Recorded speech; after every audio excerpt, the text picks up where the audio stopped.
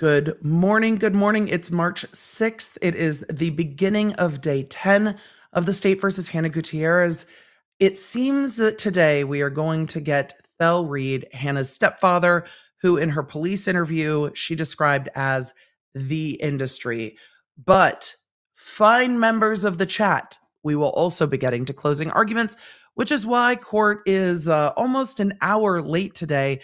They are still arguing over jury instructions, which, other than picking a jury, jury instructions are one of the most important parts of a trial. We're going to talk about what uh, Dana Griffin, the reporter for NBC who's inside the courtroom, is saying about that. We're going to go over a little bit of what the instructions can entail, what needs to be proven for involuntary manslaughter, and we're going to wait for court to resume. Normally, these things are done outside the presence of the jury, but generally, the court knows how long they need and they will give the jury that time. Remember, this judge made a court order that the only thing that will be streamed is when the jury is present in court. So everything that's taking place outside of the jury's presence is not streamed. So we just have to wait. I would really love to see them arguing jury instructions, but we're not going to get to. Um and to appease the chat, yes, yes. Yes, yes. George is here today he does he want to say hi? No, he wants to be in my lap. But um, George, can you? No, we're not. No, we're not saying hello. He just wants to cuddle. so that's what we're doing this morning. But we have a rare George sighting. And court's going to take a minute. So what we're going to do is look at the um, instructions for involuntary manslaughter. If we have time, maybe we'll go to the ones for the tampering with evidence. Mm. We will um, we will be looking at the reporting coming out of court, and then I will be answering your questions. There's no additional documents filed in court. So all we have is live reporting, which is why it's important to have somebody in the courtroom. So I'm glad someone is is reporting. I don't want to be the person sitting in the courtroom. I want to sit here with the law nerds with George on my lap. Um, so we're gonna do that this morning and we're gonna chat and we're gonna all just wait for court to start together, I suppose. Um, with that, I have some hot water this morning for the throat with lemon and honey. You guys let me know what you have. So we're ready to bring the jury. We're ready. Bring the jury. This one says bring the Emily because I knew I knew y'all were ready. I knew y'all were ready. Let's George, George, George. Let's roll the intro and uh, I'll remind ourselves why streaming with cats is always an adventure. Hey there, I'm Emily D. Baker, the internet's go to legal analyst, breaking down the legal side of the pop culture and entertainment stories we can't stop talking about. I'm a big fan of the cursey words. I've been a licensed attorney for over 17 years, but this is not legal advice. This is where the law nerds unite to talk about facts, not. Let's get into it. All right, y'all. Let's, I'm going to be holding on to your questions and I'm going to go through A, the reporting in court first, and then into the statute and some of the notes about the jury instructions because, well, uh, we've got we've got time. Court hasn't started yet, and uh, there's nothing much else for us to do. I could, excuse me, I could have waited. I thought today, like yesterday, I was like, start at 10:30. There's no way they're done with jury instructions. That was my gut. My gut was start at 10:30. And then I was like, I told the law nerds we're starting at 10, we'll split the difference. And uh, away we go. Because because law nerds of the chat, it's a closing argument day, and I'm excited. Aren't you excited? Are we excited? I'm excited. I'm ready to see if these attorneys can make things seem clear finally. Because uh, so far, they haven't done a great job. So, uh, Dana Griffin from NBC, thread for day 11 of the Rust manslaughter trial of armorer Hannah Gutierrez Reed. Who in all the court filings is just going by Gutierrez. I wonder if now, if Thell's going to testify, he's in court. If Thell's going to testify, whether or not she'll regret not having the Reed on her name as she's going through prosecution, maybe not. The defense will finish calling witnesses today. We knew this. Closing arguments are expected to start as early as this morning, not if they don't get done with jury instructions. Uh, today is technically day 10, but there was one day of jury instruction. So She's including the one day of jury instruction for day 11. I am considering this day 10 because we didn't see the day of jury instructions. So for my coverage, this is the 10th day I've been covering it. So that's where I'm at. But yes, technically there was one day of jury instructions before um, before testimony started. Judge is going over instructions on intent. State will not include general intent instruction. State has concern over defense closing argument language they plan to use about the improper intubation of Helena Hutchins. Oh, oh dear. Well, that's going to be a fight. State wants to prevent jury from hearing that improper intubation could have been a cause of her death. These are all very much civil concerns because if somebody is shot and something intervenes, they were still shot. Um, that's more of a civil argument. I'm not surprised it's coming up from this defense attorney who I wonder if he works more in civil than he does in criminal. The judge is looking over transcripts of the doctor's testimony, transcript notes. Halyna Hutchin had been intubated incorrectly, sending oxygen into the stomach. Doctor said she could not opine that uh, Halyna Hutchins would have survived if she had been intubated correctly. Let's see. Court now replaying doctor's test. Um, let's see. Judging judge looking over the transcripts of the doctor's testimony. Helena Hutchins had been intubated incorrectly, sending oxygen to the stomach. Doctor said she could not opine that Helena Hutchins would have survived if she had not been intubated incorrectly. Judge, you can say she was intubated, but the doctor did not make the conclusion that she would have survived. Judge wants defense to include full scope of the doctor's testimony. Court now replaying the doctor's testimony. This is something you never get in a trial. You get the art the lawyers arguing over their recollection and sometimes the court reporter being asked to go and reread the transcript from that day, but you never get to replay the you don't get to, to watch the replay except in the very rare trial where this is streamed. Court now replaying doctor's testimony. Bowles and the judge disagree on what the doctor said. Well, the judge is going to win that fight. The judge is going to absolutely win that fight. Like 100%. Bowles and the judge disagree on what the doctor said. Judge says Bowles is only taking a portion of the doctor's testimony and leaving out the rest. Court replaying doctor's testimony for the second time. Going over jury instructions and verdict form, prosecution wants to mention that jurors have to be unan- unanimous on involuntary manslaughter, but not unanimous on the alternative theories. Defense objects they have to be unanimous on a theory. I don't think they have to be unanimous on a theory. That's um that's going to be a matter of case law though. Judge reviewing case law, yep. Judge, quote, I always have to get the facts. Jury ruling, jury instructions as they stand are sufficiently correct. We do not need um, anonymity on a theory. I think she means unanimity. And you generally don't in criminal law. If one person is like, I think it's involuntary manslaughter because she was negligent in her handling of the firearm. And somebody else says, I think she's guilty of involuntary manslaughter because she was reckless in doing her job. It doesn't matter. Like, same, same, same, same. So you don't need to be unanimous on a theory. And we're going to talk about that. Um, manslaughter is one of the parts of involuntary manslaughter. And on Twitter, I don't really give people a hard time about not including the entire title of the charge because involuntary manslaughter is a lot to type out. So manslaughter is a different degree. Involuntary manslaughter has no intent. But for these purposes, we're only talking about involuntary manslaughter in this case. So, as of three minutes ago, it looks like the uh, attorneys are still doing are still doing jury instructions, which they should have known they would be arguing over today and should have had the jury come back an hour later. Um,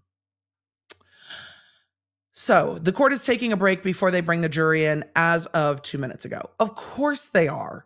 Of course they are. um, Georgia says Emily has a great voice for radio, podcast, YouTube. I really I think deep down in my soul, I always wanted to be a radio host. Um, since I started watching the Kevin and Bean show as a very watching, listening to Kevin and Bean on the radio as a junior high school student in Southern California, I have loved radio. I love radio.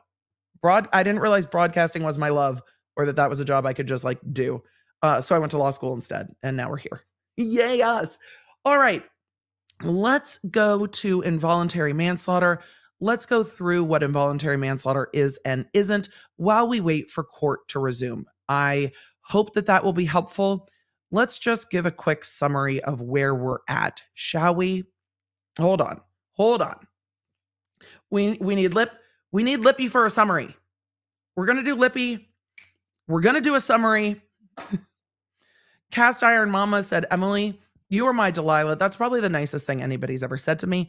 And I'm here for it. All right. I remember Pirate Radio too. Let's do a quick summary. We are in the final day of testimony for the state versus Hannah Gutierrez. The defense has one more witness. I think it is going to be her stepfather, Thell Reed, though they have not announced that yet. And they told the jury they would get to closing arguments in the morning session of court. However, court is starting like an hour late because they're still arguing over jury instructions, per the reporting coming out of court.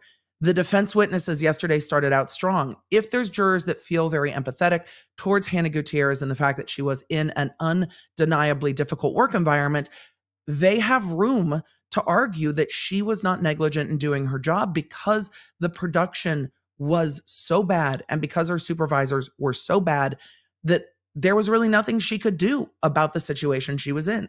Those OSHA witnesses give room for jurors who believe that. However, if the state in closing reminds the jury that Hannah, in all of her interviews, took absolute responsibility for her task and absolute responsibility for gun safety on set, it's going to negate the OSHA testimony, perhaps. And then the defense weapons expert, who has a uh, Boy Scout medal from 1957 and sometimes pulls the cannon in the 1812 overture, was not a great witness for the defense didn't move the needle at all and I think was more embarrassing and difficult for the defense than of benefit. So their their last witness today needs to be strong. And with that, we are going to go to what the jury instructions are, what the elements of this crime are. But first, law nerds, we need to thank our sponsor because our stream does, in fact, have a sponsor. Why? Because I don't always monetize trials, because they say all the naughty words. And in this one, they wave guts around. So thank you to our stream sponsor. Thank you to today's stream sponsor, Foreo. Foreo from Sweden makes the Luna 4 facial cleansing brush that I absolutely love. Not only can I keep it in my shower, but it's easy to take traveling and it doesn't have those nylon bristles that are really hard to get clean and can hold on to gunk and grime. It is clinically proven to remove 99% of dirt, oil, and makeup residue. 100% of users report more refreshed and radiant looking skin. 81% of users reported a reduced appearance of blemishes. One of the reasons I like it so much is not only can I leave it in the shower, but it holds a charge for quite a long time. But the massaging settings on the back has a bunch of different types of custom massage that I use to drain fluid from my face so I don't look as puffy, but also to maintain my skin around my neck and chest. And if you're using that massage setting, you have the option of lymphatic drainage, deep tissue, trigger point massage, shiatsu, and reflexology.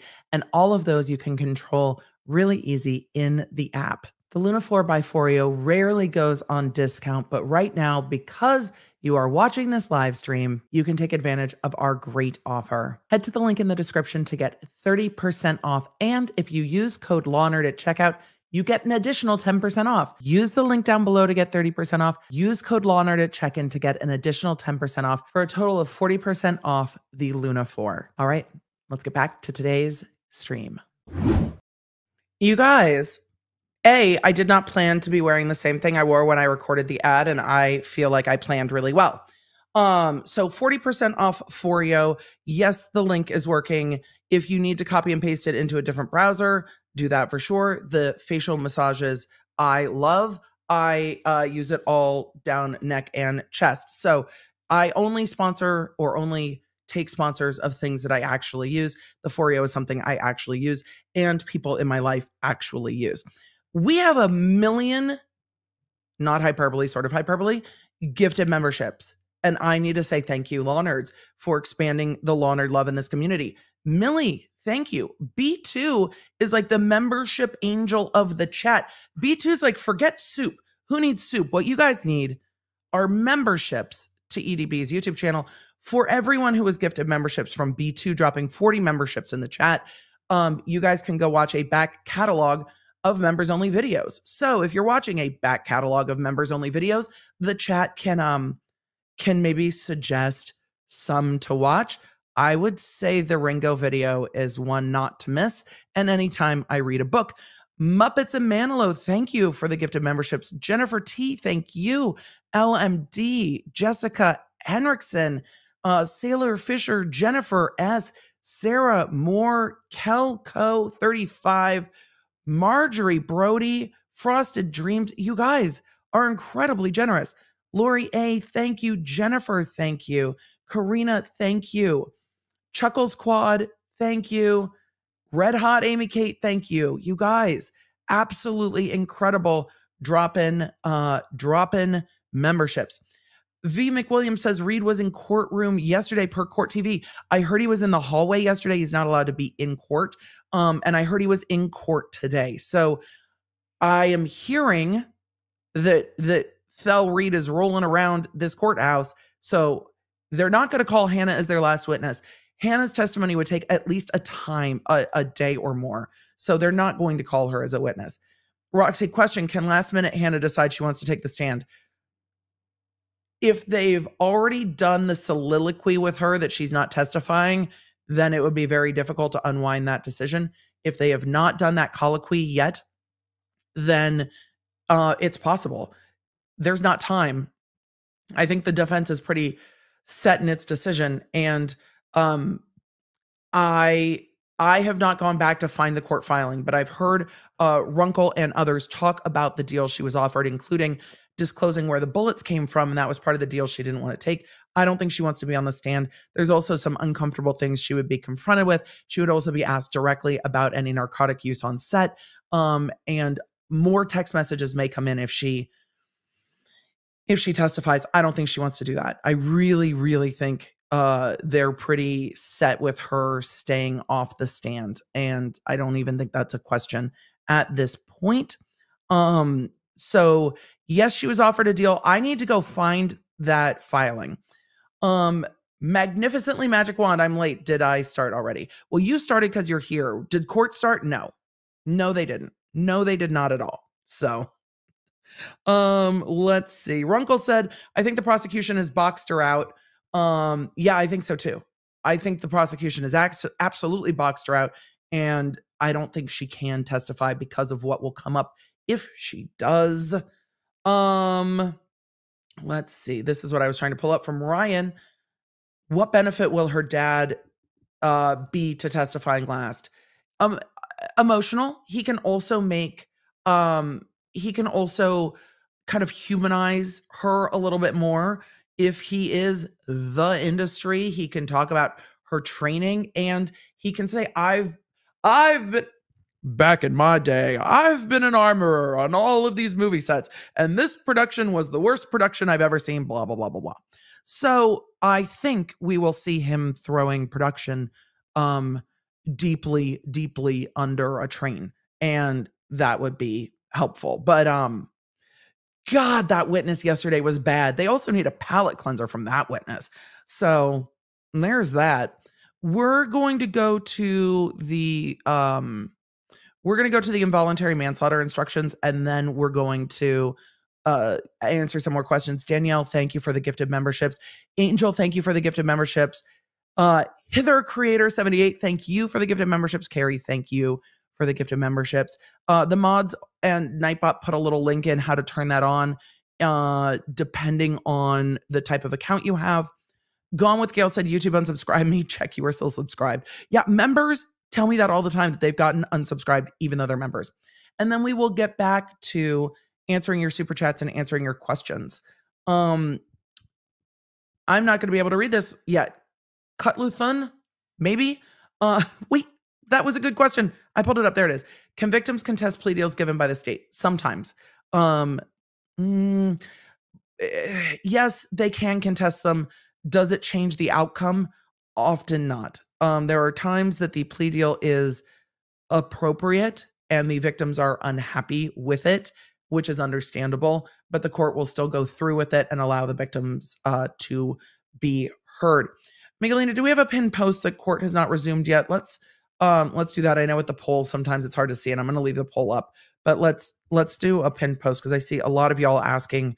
Um, because it is so late today.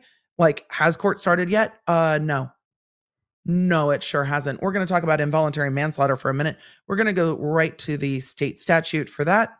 And then we're going to get to some of the ins and outs of the jury instructions of this because, well, uh, we've got time. Like, here we are. Uh, where is our straight up code, not our code notes? I need our code, not our code notes. Let's get to our code first. Stick to the code. I thought I had it pulled up. I just had the annotations pulled up. I don't need the annotations yet. I need the code. Uh, manslaughter. Whomever commits voluntary manslaughter is guilty of a third degree felony resulting in the death of a human being.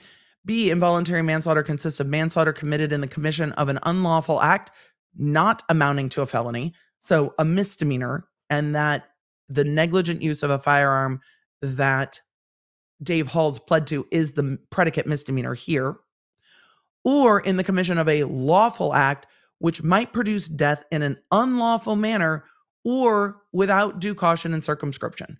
Was Hannah doing her job in a in an unlawful manner or without due caution or circumscription? And I think the without due caution is a very strong argument. Yes, of course, they can argue that she negligently handled a firearm. That's the unlawful act. I personally, and Chad, I would love to know your thoughts. Please you don't have to agree with me. I personally think the argument that she did her job without due caution, with criminal negligence, with recklessness, was the stronger and is the stronger argument than the negligent use of a firearm. But the negligent use of a firearm, not loading the firearm, not checking what you're putting in it, could be the negligent use of a firearm. The jury does not have to be unanimous on this. But I think saying, look, her job is to check it and load the gun. She's legally allowed to load the gun. She's the armorer on set. But she did her job so badly that this involuntary manslaughter happened. So let's go to the annotations now. That's the code. That's what the code says. Whomever commits an involuntary manslaughter is guilty of a fourth degree felony. Right? Voluntary manslaughter, third degree felony resulting in death. Involuntary man, fourth degree felony, which carries with it 18 months. So um, question How can she do her job unlawfully if there are no industry standards? It's a great question. It wouldn't be doing her job unlawfully. It would be doing an act in an unlawful manner. So it would be that negligent handling of a firearm. So, job in a negligent fashion. Annotations. Let's go to the jury instruction annotations. I've covered these in a podcast. Um, these make very clear that that's voluntary manslaughter, that we don't need voluntary manslaughter, that involuntary manslaughter excludes all cases of intentional killing. So if anyone ever was like, what if this was sabotage? What if somebody meant it? Then they've charged absolutely the wrong code and she can't be charged with this. This has to be a unintentional killing. Involuntary manslaughter includes only unintentional killings by acts unlawful but not felonious. So like a death caused in the course of like an armed robbery of a of a convenience store or whatever. That would be doing a felony act and then you kill someone that is not an involuntary manslaughter. That bumps up into the other homicide statutes because you're doing you're committing a felony. That bumps into like felony murder rule which we're not going to do today. We don't have time. If you are uh like driving DUI and your DUI would be a felony given the uh, either the BAC or the statutes or priors, then you can also have that commission of a felony. Uh, there's other ways to get there with DUI. We're not going to go into all the nuance of that either. But if you're doing, if you're committing a felony and somebody is killed in the course of it, that bumps you into other sections of the felony murder statute, not the involuntary manslaughter. Involuntary manslaughter is confined to cases where the killing was unintentional. No one is arguing this is an intentional killing. Everyone has said that they believe that this is an accident. There we are. Um, distinction between lawful and unlawful acts. And remember, the state has to summarize all of this really, really well in their closing argument so the jury understands. For those of you asking, what are all the red things? Those are hyperlinks to case law because all of this comes from statutes and case law. In distinguishing between unlawful and lawful acts, the statute applies the language defined by the courts to mean criminal negligence only to the lawful act portion of the statute, meaning if Hannah Gutierrez Reed is negligently handling a firearm, misdemeanor you don't have to prove criminal negligence. You only have to prove the criminal negligence as to she was loading a gun on set as the armorer, because that's the lawful act. Two different theories. Um, G Mommy in the chat asked, so Halls pleas for a misdemeanor, but they're charging her with felonies. Yes. Memory fails from when we went over his plea. Yeah, he pled to a misdemeanor negligent handling of a firearm. Um, where uh, question if Hannah is found guilty, can Helena's husband or family give a witness impact statement at her sentencing? Yes, they could. Helena's family could. Helena's friends could.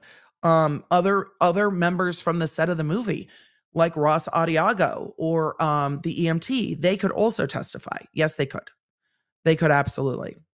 Criminal negligence is not an ele- uh, element of involuntary manslaughter by unlawful act. That would be negligent handling of a firearm. Criminal negligence is required for involuntary manslaughter by a lawful act, doing her job, loading the gun, but not checking it. A killing by lawful act to be involuntary manslaughter depends on whether the lawful act was done in an unlawful manner without due caution or circumscription. The phrase without due caution and circumscription has been held to involve the concept of criminal negligence. So when you hear me say that she is being negligent or reckless, it's because the law is written without due caution and circumscription. And a whole bunch of people went, What the fuck does that even mean? And the state courts went, Well, without due caution and circumscription means criminal negligence, which means without due caution and circumscription. What does that mean? Criminal negligence. Yeah, yeah. But what does that mean? Conduct which is reckless, wanton, or willful. Was Hannah Gutierrez in doing her job reckless, wanton, or willful? I think reckless is the easiest thing to explain, but this is how law works. We get this concept of without due caution and circumscription. From that, we get to criminal negligence. From that, we get to, well, that really means you're being fucking reckless. Um, so that's why I keep saying recklessness. Still no court, by the way. Showing of criminal negligence is required for a conviction of involuntary manslaughter based on whether based on an unlawful act or lawful act. Um, let's see. That's interesting because that conflicts. Some of the case law from up above says that criminal negligence is not an element of involuntary manslaughter but unlawful act. And some of it says it is. So they're going to argue over that, and the court's going to decide. And we will hear it when we hear all the jury instructions together. Reckless disregard of others merely driving on the wrong side of the road could be an inadvertence, but not sufficient to convict. A lot of involuntary manslaughter case law comes from driving related offenses. That is where this happens the most. Negligent use of a weapon. This is the predicate act she's charged with. I keep calling it a predicate act like it's a financial crime, like it's a RICO charge. Yes, yes. Negligent use of a weapon. A conviction of involuntary manslaughter by negligent use of a weapon requires negligence, which is ordinary. Just regular negligence, just plain old, you shouldn't be doing that shit. However, the state, where is it? Um, let's see. Where's the state talking about ordinary negligence? Ah, this was general intent. I wanted to make sure I was correct. I'm going to update this there's a sky growling at me. Stop it. We're going to update and see if we have any updates from court. Nope. 22 minutes ago, court taking a break before the jury is brought in.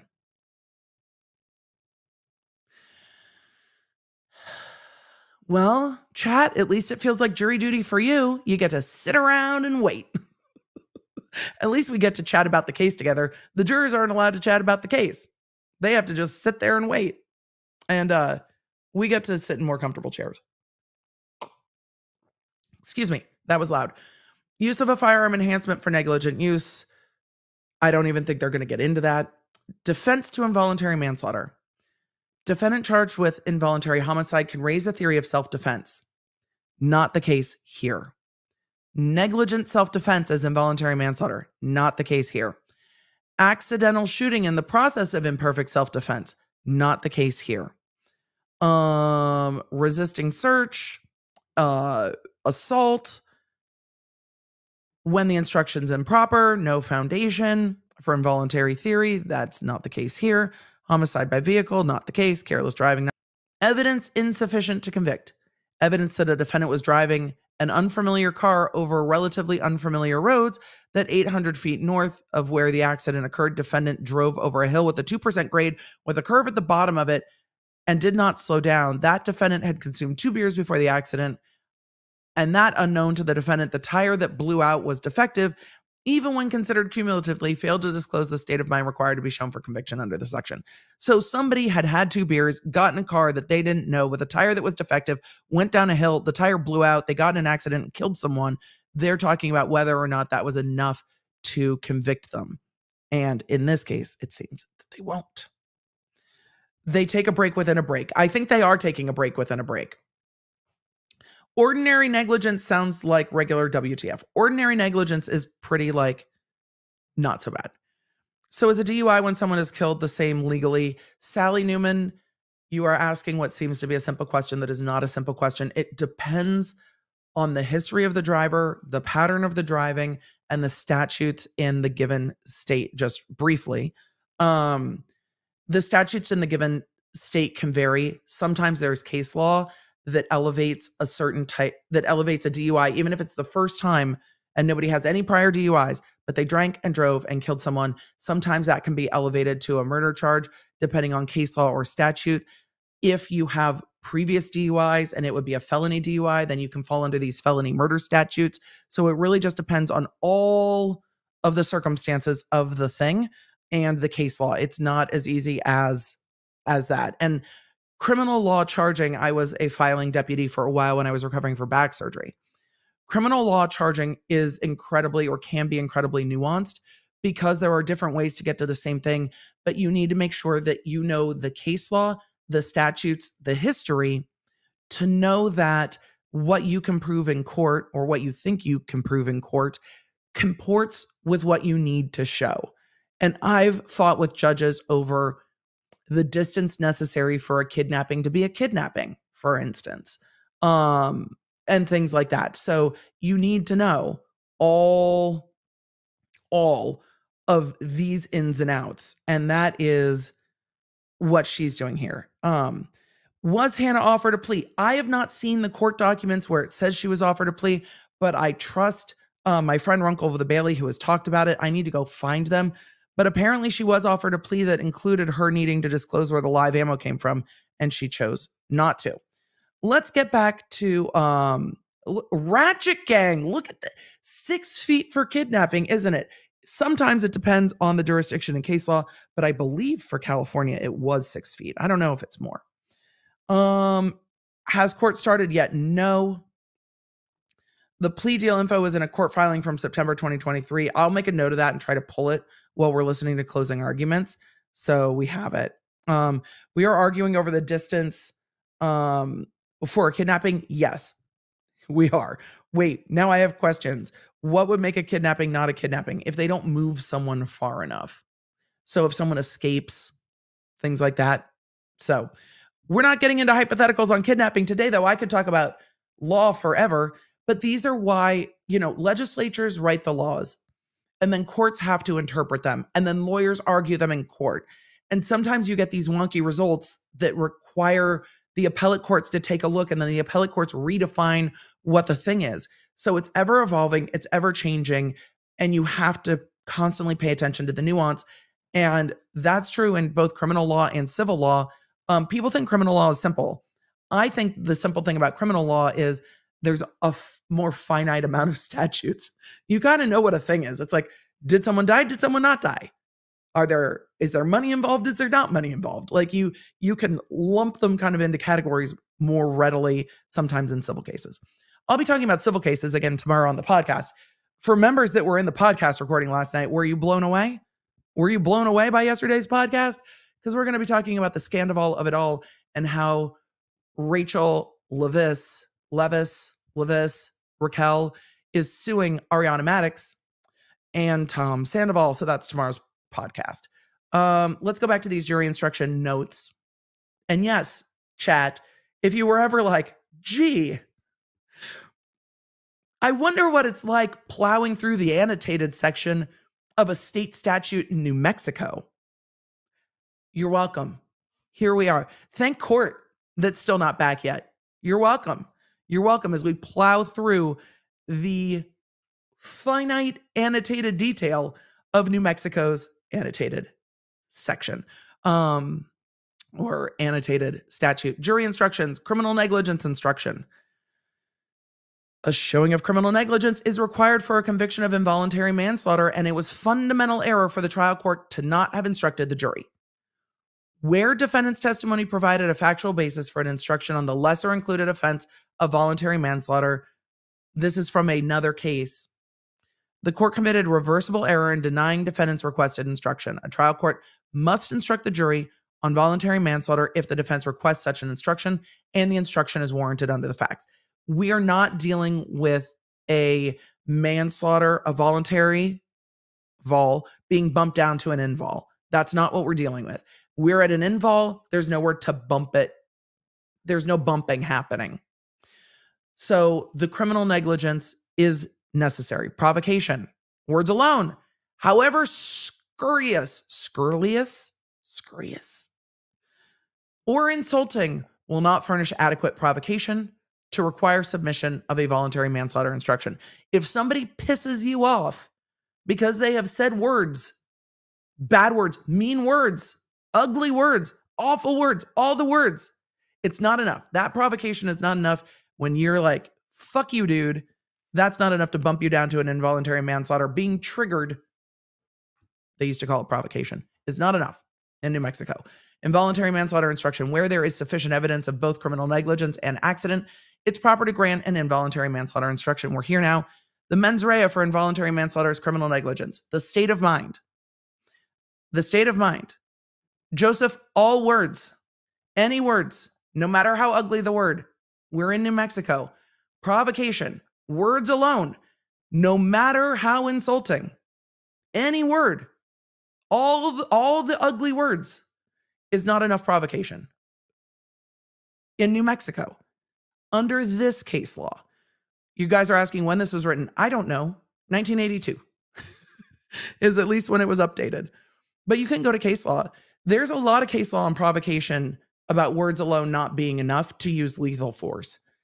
Um those again, those things are those things do shift by case law, but words and slurs are not enough when to be provocation if someone is killed to bump you into the involuntary manslaughter.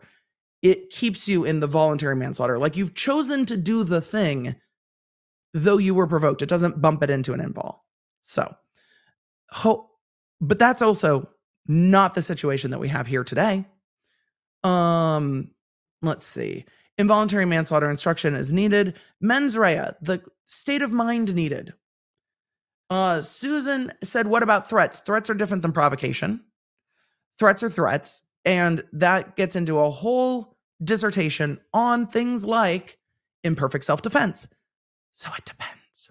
Threats are different than provocation. Provocation is mean words, however insulting, however scurrilous. Scurrious. I can't pronounce that. Stop sticking an L in the middle of where it doesn't belong. The mens rea for involuntary manslaughter is criminal negligence. An invol jury instruction is proper only when the evidence presented at trial permits the jury to find the defendant had a mental state of criminal negligence when engaging in the act to cause the victim's death. Was Hannah negligent? Is the the end of the day. Everything we've heard in this trial that is still yet to start today. Everything that we've heard. Everything that we've heard. Does it mean anything other than Hannah was negligent.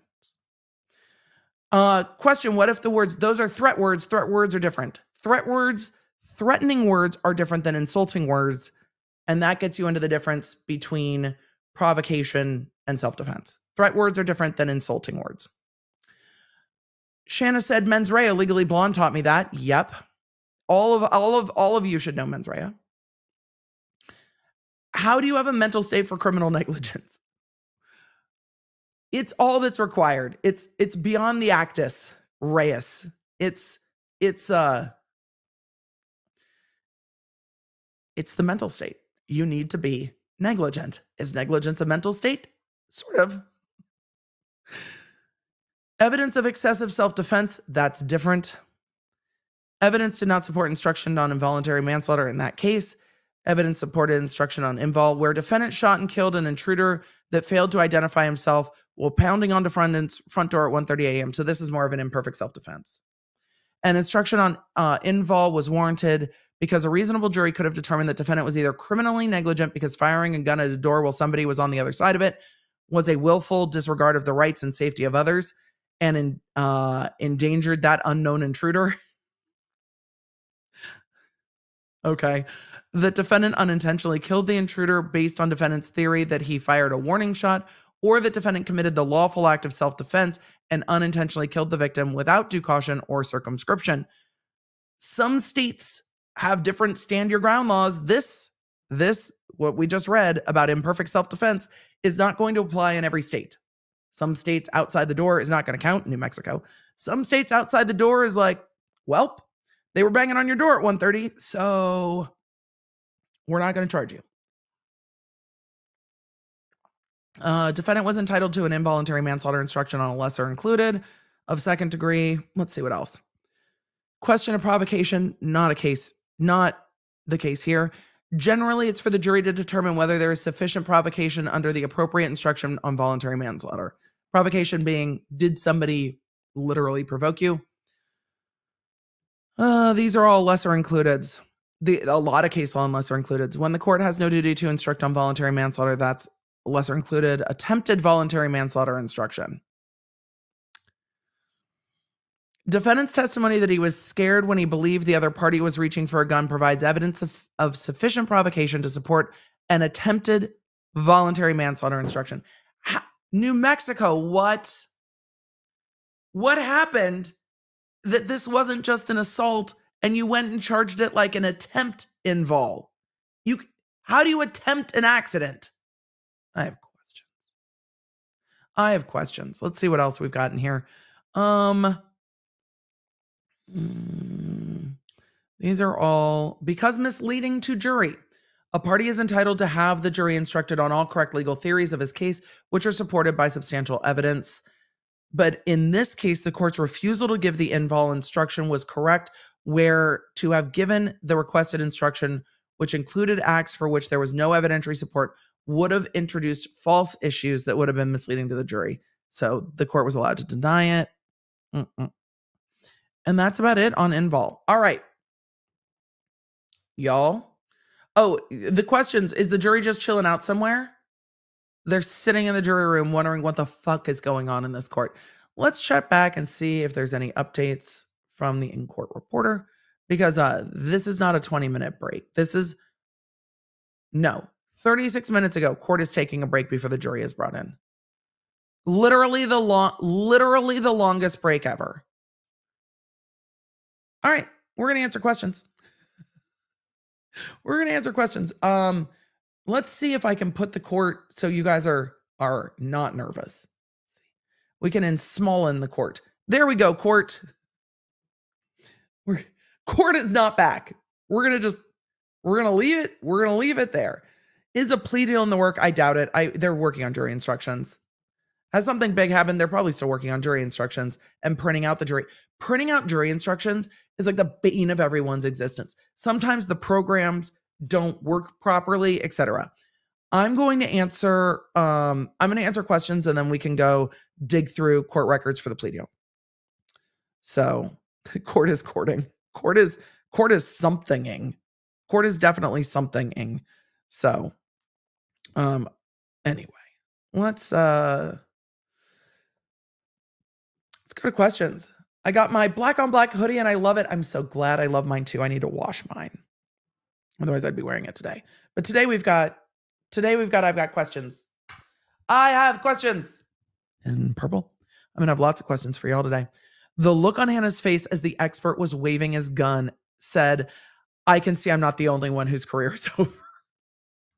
It's a very fair point. That expert was not experting. He had never testified in court as an expert before. I don't think the defense prepped him well with what to expect and um and that's unfortunate for the defense.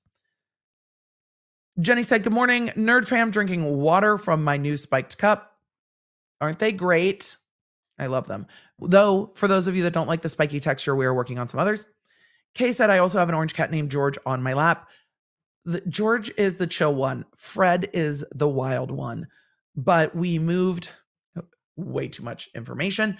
We moved the we moved a cat tower to a different window in the house and they're obsessed. So now they're in the upstairs in the in the uh, cat tower. I'm holding on to your questions as you guys ask them so we can get to it. Bobby, but did you get your luggage back? I sure did. I sure did. Yesterday, I learned that the Cincinnati Symphony also does LARPing, not on my bingo card, with the 1812 Overture. I need a paw nerd bandana for my pepper. We're working on it. This trial has been so weird. Thanks for keeping me company during a migraine. I'm sorry for your migraine. Those are the worst, and we're working on it. Brittany, thank you for the gifted membership. Heather, kitty kisses to sweet George. I will boop the floof on the snoot so I don't get cat hair on my lip gloss. Fat Yoga, thank you for the gifted memberships. Um, am I watching in class? Absolutely not. Mia, don't worry. We'll ping you when uh when court actually starts.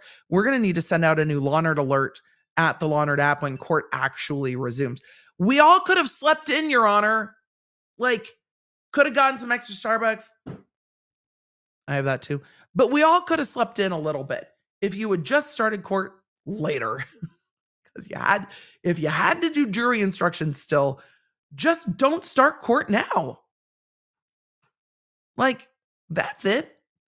Um, Donnie Joe Mosa, much appreciation to you. You have a beautiful spirit. Well, thank you. Um, not everyone agrees. Sometimes I say the fuck words too much for some folks. They've already left though. Carla, good to see you. It must have been a feat for Bowles to take over planned Bullion crosses. Agreed. Agreed. And I try to give grace. And then I forget myself in the middle of being annoyed. it may be why he didn't go in on some witnesses like we thought he would. Do you agree? Um, I I do think there's there's something to that. I don't know what witnesses Bullion would have crossed. And yesterday, um, I didn't see it when I was screaming about the gun expert, but I saw it on rewatch that when the court panned over, Bullion was like at the very end of a table facing the jury, like working on his laptop. So the court is still like, you're gonna sit here for the rest of the trial and you're gonna like it. I bet he's glad he's not uh he's not on camera talking in court. Mary said last year I was traveling on jury watch for Murdaugh. Now I'm going to be on jury watch tomorrow traveling. It looks like it's a March tradition. Depending on how long today takes, this case could go two ways. This jury could go back and slap down their first vote and ring the bell. 15 minutes. Your Honor, we've got answers. Or they could want to rewatch all of her interviews and then they're not going to come back till tomorrow. We'll see what happens. We'll see what happens later in the day. We need to see how long closing arguments take. We need to see when court actually starts. It's 10 a.m. local time for court. They told the jury to be back at 8:30. Imagine how thrilled you would be. They could have all slept in too. They could have spent the morning working on emails. They could have done something other than sitting in this fucking court. Um, but no, everybody's taking forever. Maya said, I'm a 12th grade senior, started watching two years ago, and you've helped me figure out what I would like to do after graduation. I'm now going to law school. Mia, congratulations. Hopefully, you don't have much going on in class today while you're on jury duty. Ah! Things are happening in court. Um, court looks more full for for um for closing arguments. Closing arguments are the best part of a case. Uh, this also this could be I do not know. This could be Halyna's family uh, in court. They have wrongful death lawsuits against a whole bunch of folks. I've covered those on the podcast and on YouTube. I have a very thorough playlist on all of these cases. The uh, civil lawsuits and this trial are all on one playlist. If we need to break it up and put the trial on a separate playlist later, I will. I have questions. She was not in church. Gun was called clear. Why could someone not have put the live round in? There's no testimony of that. There's no evidence of that. Could it have happened? Yes. Is it reasonable that that happened? No, because there were like 12 people in the church. Also, her first response was to go in church. She screamed, um, she was screamed out to leave. I agree with you. Um, her job was to load the gun.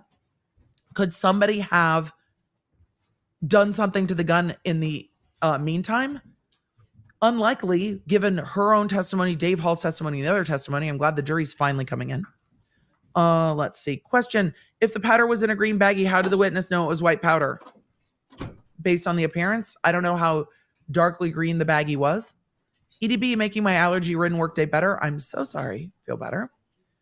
In other news, Lawnerd merch for Pawnards. We're working on Good it. Morning, jurors. Thank you so much for your patience. Uh huh. All right, next witness. Your Honor, we call PJ Pesce. That's not Thell Reed. PJ, I missed the last name. Are you an experty expert or are you a shit show expert? Let's find out together. Just stand before the judge, raise your hand. All right, let's go you ahead and end swear our affirm under penalty of law that the testimony you'll give in this case will be the truth, the whole truth, and nothing but the truth? I do. All right, have a seat, talk into the microphone. Thank you. Who is PJ? No idea.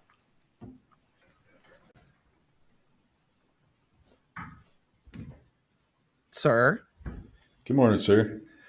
And you, please tell the jury your full name. Uh, it's Paul Peter Pesce Jr., but uh, I've always been referred to as PJ Pesce. what up, PJ? Mr. Pesce, what do you do for a living? Uh, I direct and write movies and television. How long have you been in the business of directing and writing movies and television? Uh, 35 years.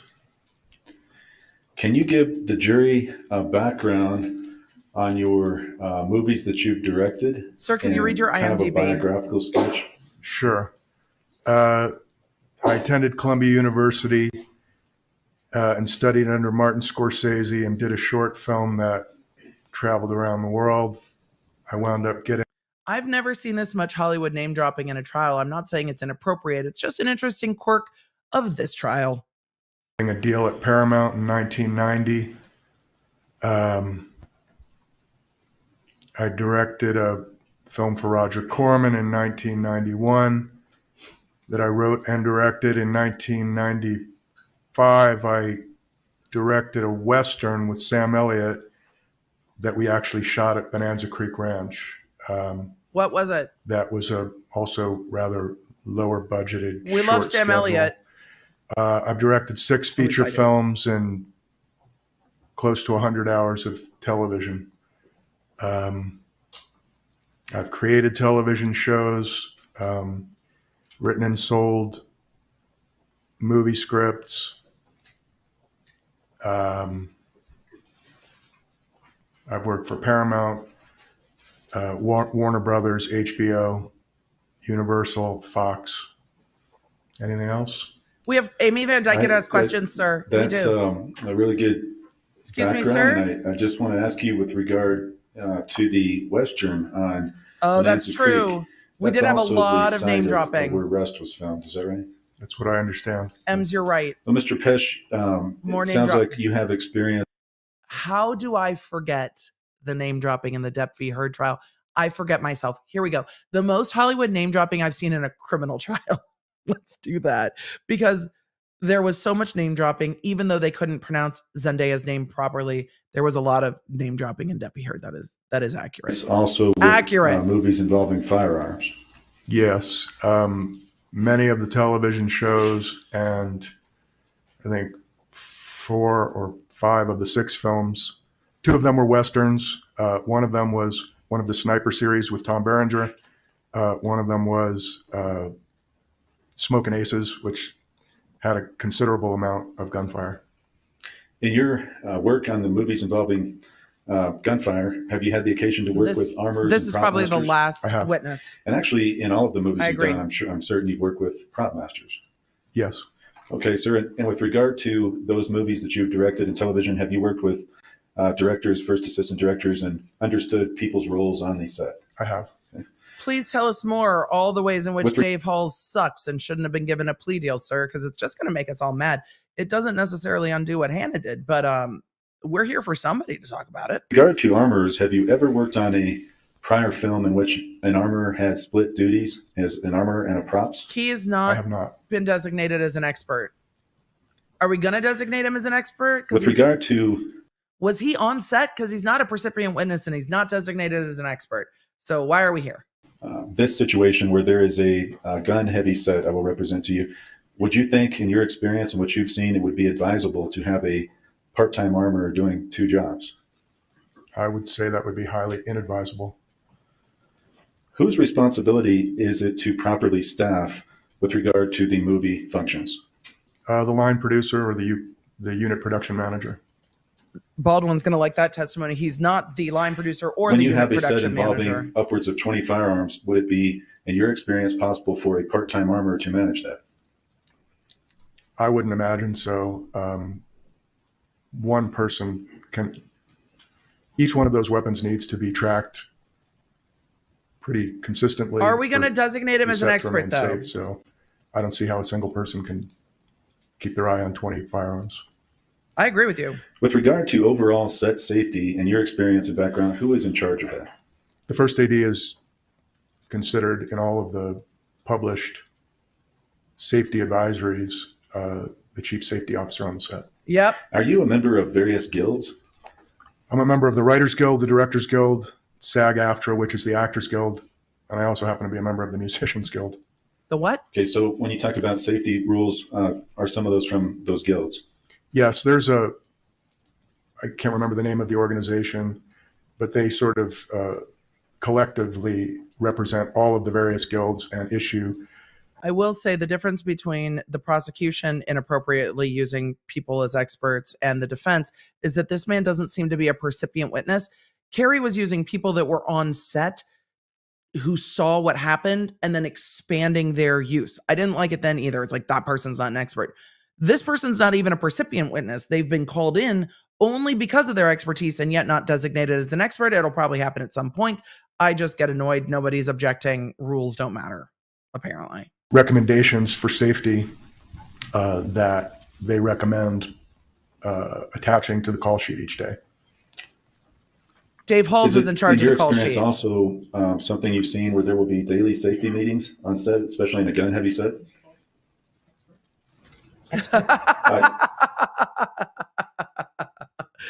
the judge quietly goes, Are we going to designate him as an expert? Thank you, Your Honor. Yes, Your Honor. We, I believe he can give lay opinions on his experience, but, but also we would tender him as an expert. I think we should approach. Now we're approaching. he doesn't want to offer him as an expert. Why are we approaching? Oh, now we're caught up to real time. Darn it. There's no zoom zooming today. So, Mr. Pesce, you were discussing some of those safety rules now. Not designated Would as an be, expert. in your experience, advisable for uh, production to convene daily safety meetings? Yes, in fact, it's recommended by all of the published literature uh, by the guilds. Um, and it's been my, they, they recommend that a safety meeting takes place anytime uh, there's to be any stunts. How is this not hearsay? What foundation do you have for what's recommended by various guilds that you didn't? How is any of this proper evidence? firearms, special effects. But it's been my experience, but in the last seven or eight years since the tragic incident with the camera assistant who was killed on the railroad bridge, that every first AD I've worked with, regardless of what's happening that day, on the call sheet has a quick safety meeting, just running over and reiterating basic safe practices. And, and you, as a uh, director, uh, is that something that you advise and you practice? I don't give safety meetings. That's the job of the safety First officer, AD. the first AD. But I think it's a great idea. In your experience and in, in interacting with first assistant directors, if, for example, there's a situation where a set is rushing, there's safety issues occurring, does the first assistant director How is this not calling for an expert opinion? What are you calling for then? Not a lay opinion. That's not even a thing. He's not a percipient witness. What what are we have any responsibility Why? in that respect? Most definitely. And what would that be in your experience? What would what would you expect to see happen? Um, my experience has been that the first Okay. has an announcement to everybody slow down, this is not safe, or we're not doing this, or just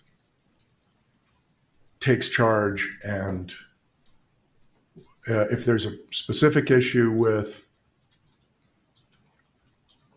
a crew member, they'll pull them aside and discuss the issue and consult with stunts or props or uh, firearms and I think they probably could have qualified him as Is an that expert. also true, They for example, if you have a issue with an actor? Uh, for example, uh, firing a blank after somebody yells "cut." What would the first AD be expected to do in your experience? This uh, also the state might not be objecting to just use this guy to roast the armorer duties and be like, yeah, we'll just use it to our advantage. But it's I'm a I'm surprised the court is allowing it, though maybe I shouldn't be. Speak with them and indicate If look this when defense cut is called doesn't bring an expert armorer, Uh, it's going to look very bad. I think. usually the only person that can call cut is the director but if, if it's a safety issue anybody can call cut I have a question. Is it better if they yell cut motherfucker? once cut is called everything needs to stop because if there is a safety issue obviously that somebody has noticed nothing else should take place so yes the first ad should speak to that performer When it comes to safety, what is your view as to everybody's responsibility on set? Well, again, it's not just my view, but again, in the published literature of the of the various guilds, they indicate safety is is everyone's excellent point. responsibility. If there's a safety issue, there are anonymous hotlines for anybody to call and raise these issues. And are those uh, anonymous hotlines are those published generally in your experience working on set? They are usually they're uh, with that safety recommendations that are attached to the call sheet. And those hotlines, uh, what do they what did they provide for people to be able? Hey, counsel, do you have evidence that your client did any of this? Because if you if you're opening the door to the jury's thinking that there are hotlines that Hannah could have called and she didn't, why are you introducing this? You better have documentary evidence that Hannah was calling everybody up, being like, these motherfuckers aren't safe, or it's not going to go well for you. Why introduce it if your client didn't do this and you're introducing that she could have just called? It's not going to go well. You better have evidence that she called. It, able to do if they notice a you, safety failure? you bet. You better back that Uh, up. you can call the someone from your guild. Uh, each of the studios has their own separate hotline. Because Lane Luper did, Um, Ross Addiego did.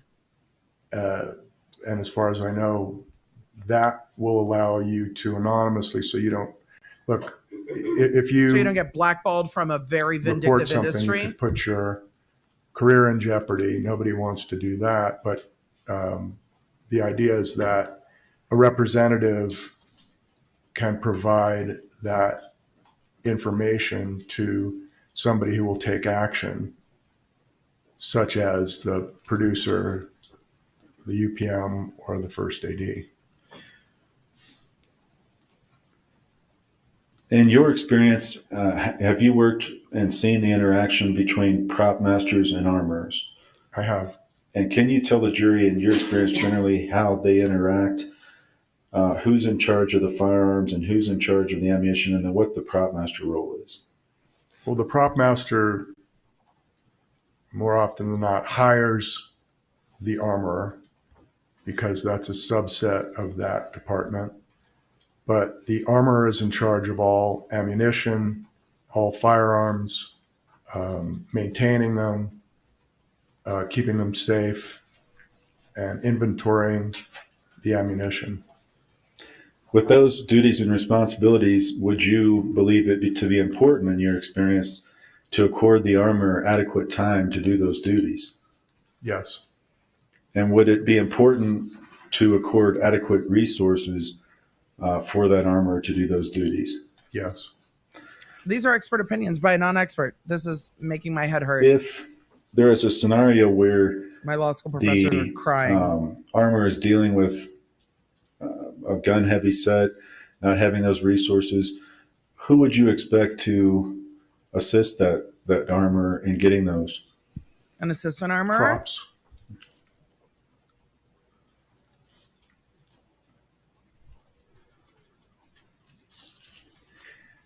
If there is a situation where um, there is a scene, a video, something's happening, and both the armorer and first assistant director witness a, uh safety violation involving a, a weapon, for example, um, what would be your assessment whether one or both of them um, should say something about that?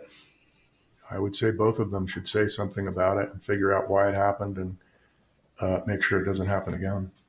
Did anyone do that on this set? Anyone? Okay. Thank you, Your Honor. I have no further questions. Sir, how is this helpful to your case? Cross exam. This is going to be worse. This isn't going to help. Danger, Mr. danger. Bush, I just have a couple follow-up questions for you. Thank you for your time today. Certainly. Um, Tell me all the ways in which this armorer didn't do her job. Ready, go. So anyone on the crew can stop filming due to safety concerns, is that right? That's right. And that What a great first question on cross. I, I think I'm going to leave her cross at, at normal speed. So anyone on the crew can stop filming for a safety concern because the other experts the defense had, OSHA, yesterday, were saying she was not empowered to do her job. The defense just brought in an expert that undoes everything, well, not expert, that undoes everything OSHA fucking said yesterday. This undoes everything OSHA said yesterday. Why? Why do this? Because OSHA said she couldn't. And this witness, the director, the dude who works on films, is the one that the jury's going to believe more than OSHA. Why would you undo your witnesses from yesterday? I.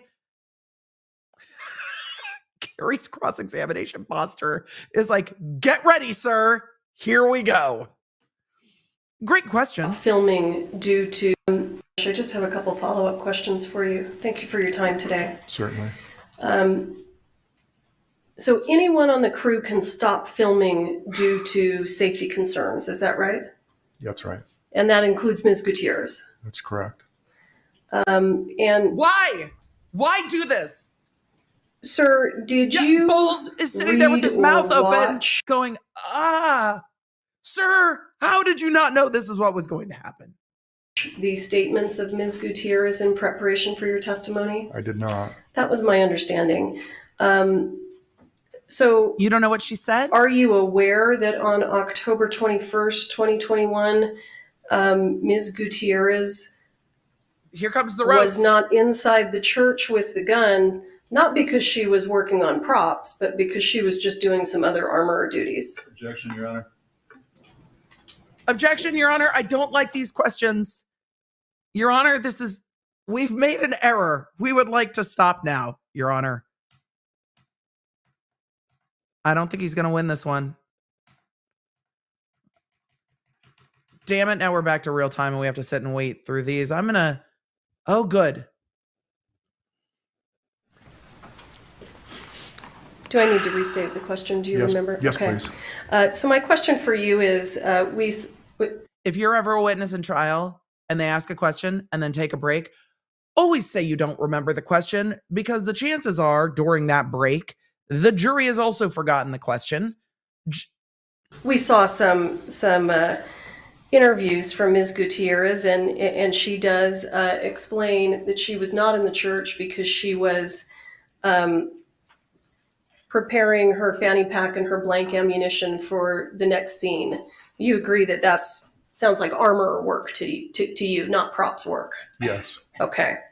Um, and are you also aware, sir, that on the morning of the 21st, when the crew was waiting for replacement the defense teed Kari up and is just going to let her go and undo all of their evidence from yesterday with this dude. That's why they weren't objecting. Look, I get in the moment. I get very in the moment. I'm like, object, block this guy from coming in. And you, you know what Kari is doing? She's like, oh no, oh no, come, come on in, sir. The water's fine. Tell me all the ways this armorer is supposed to do their job, and is going to use it to her advantage instead, which might be the stronger play. camera personnel to arrive, Ms. Gutierrez had approximately three hours uh, to work on her preparation for the the scenes camera that crew day. walked off. I was not aware of that. Okay, thank you. I'll pass the witness. I think she could have done more. I just. I think that's pretty, pretty, pretty helpful to the Mr. prosecution. Pesciff, there was um, a scene going on inside the church at that time involving Mr. Baldwin and the firearm. If Miss Gutierrez Reed was not in the church, would you have expected someone to have called her back in?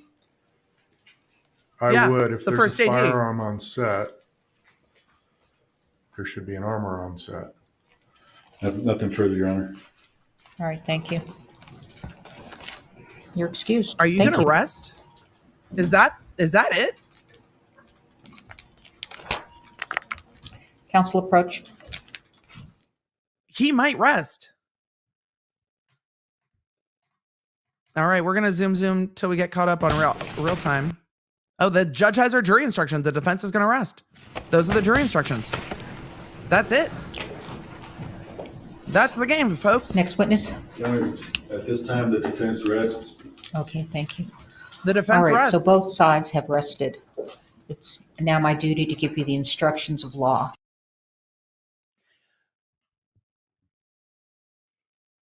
That's how you rest your case? With a witness that undoes your witness from yesterday? I guess I guess Hannah's stepdad is in court because now that everybody's rested, he is and the prosecution doesn't have a rebuttal case, he is allowed to come and sit and watch the closing arguments. So y'all, that's it. Where is it? Nope. Nope. And like that, the defense went out on a witness that sounded like a balloon losing air for all the help it did to their case. We're going to read jury instructions and uh, we're going to get to closing arguments. Miguelina, go ahead and let the Law app crew know. You guys, jury instructions are one of the most important parts of a case. And if the judge reads them wrong, it is the part that will get a conviction overturned on appeal absolutely the fastest. That witness was a complete waste of time for the defense. Um, so glad, so glad we're here. So glad we're here. I'm going to read them to you, and then you will get a copy of the instructions, okay? The instructions I'm giving you are very helpful for the um, council to uh, use in their closing It's arguments. 10:30 okay? local will time. follow. It's a All right, very so real instruction number possibility we have a one. verdict today. You have heard all the evidence. It is now my duty to tell you the law that you must follow in this case. Yep. Instruction number two. The law governing this case is contained in instructions that I am about to give you. It is your duty to follow the law as contained in these instructions. You must consider these instructions as a whole. You must not pick out one instruction or parts of an instruction and disregard others. A copy of these instructions will be given to you when you begin your deliberations. Instruction number three. The law presumes the defendant to be innocent unless and until you are satisfied beyond a reasonable doubt of her guilt, his or her guilt. The burden is always on the state to prove guilt beyond a reasonable doubt. It is not required that the state prove guilt beyond all possible doubt. The test is one of reasonable doubt. A reasonable doubt is a doubt based upon reason and common sense, the kind of doubt that would make a reasonable person hesitate to act in the graver and more important affairs of life. Instruction number four. You are the sole judges of the facts in this case. It is your duty to determine the facts from the evidence produced here in court. Were you waiting Your for her to say the should not be facts from based the on fuckery? speculation, You might guess, have or conjecture. You might have been. Neither sympathy nor prejudice should influence your verdict. You are to apply the law as stated in these instructions to the facts as you find them, and in this way decide the case. Every jury wishes they could do this. Instruction number five. Your verdict must represent the considered judgment of each juror. In order to return a verdict, it is necessary that each juror agrees. Your verdict must be unanimous. It is your duty to consult with one another and try to reach an agreement. However, you are not required to give up your individual judgment. Each of you must decide the case for yourself, but you must do so only after an impartial Closing is consideration after of these the evidence with instructions. your fellow jurors. In the course of your deliberations, do not hesitate to re-examine your own view and change your opinion if you are convinced it is erroneous. But do not surrender your honest conviction as to the weight or effect of evidence solely because of the opinion of your fellow jurors or for the purpose of reaching a jur- uh, verdict. You are the judges, judges of the facts. Your sole interest is to ascertain the truth from the evidence in this case. Instruction number six, each crime charged in the information should be considered separately. Instruction number seven, you must not concern yourself with the consequences of your verdict. Instruction number eight, you must not draw any inference of guilt from the fact that the defendant did not testify in this case, nor should this fact be discussed by you or enter into your deliberations in any way. Instruction number nine, you alone are the judges of the credibility of the witnesses and the weight to be given to the testimony of each of them. This is a really important instruction, so I'm going to slow her back down to normal speed as we get to the crime instructions because judging the credibility of a witness is very important. In determining the credit to be given any witness, you should take into account the witness's truthfulness or untruthfulness, ability and opportunity to observe, memory, manner while testifying, any interest, bias, or prejudice the witness may have, and the reasonableness of the witness's testimony considered in light of all of the evidence in the case. Instruction number 10. You should consider each opinion received in evidence in this case and give it such weight you think it deserves. If you should conclude that the reason given in support of the opinion, the reasons given in support of the opinion are not sound, or that for any other reason an opinion is not correct, you may disregard the opinion entirely. Instruction number 11. An expert witness is a witness who, by knowledge, skill, experience, training, or education. You may disregard it become entirely if the witness subject. An expert witness may be permitted to state an opinion as to that subject. You should consider each expert opinion and the reasons stated for the opinion, giving them such weight as you think they deserve. You may reject an opinion entirely if you conclude that it is unsound. This is the busiest this courtroom has Instruction number 12.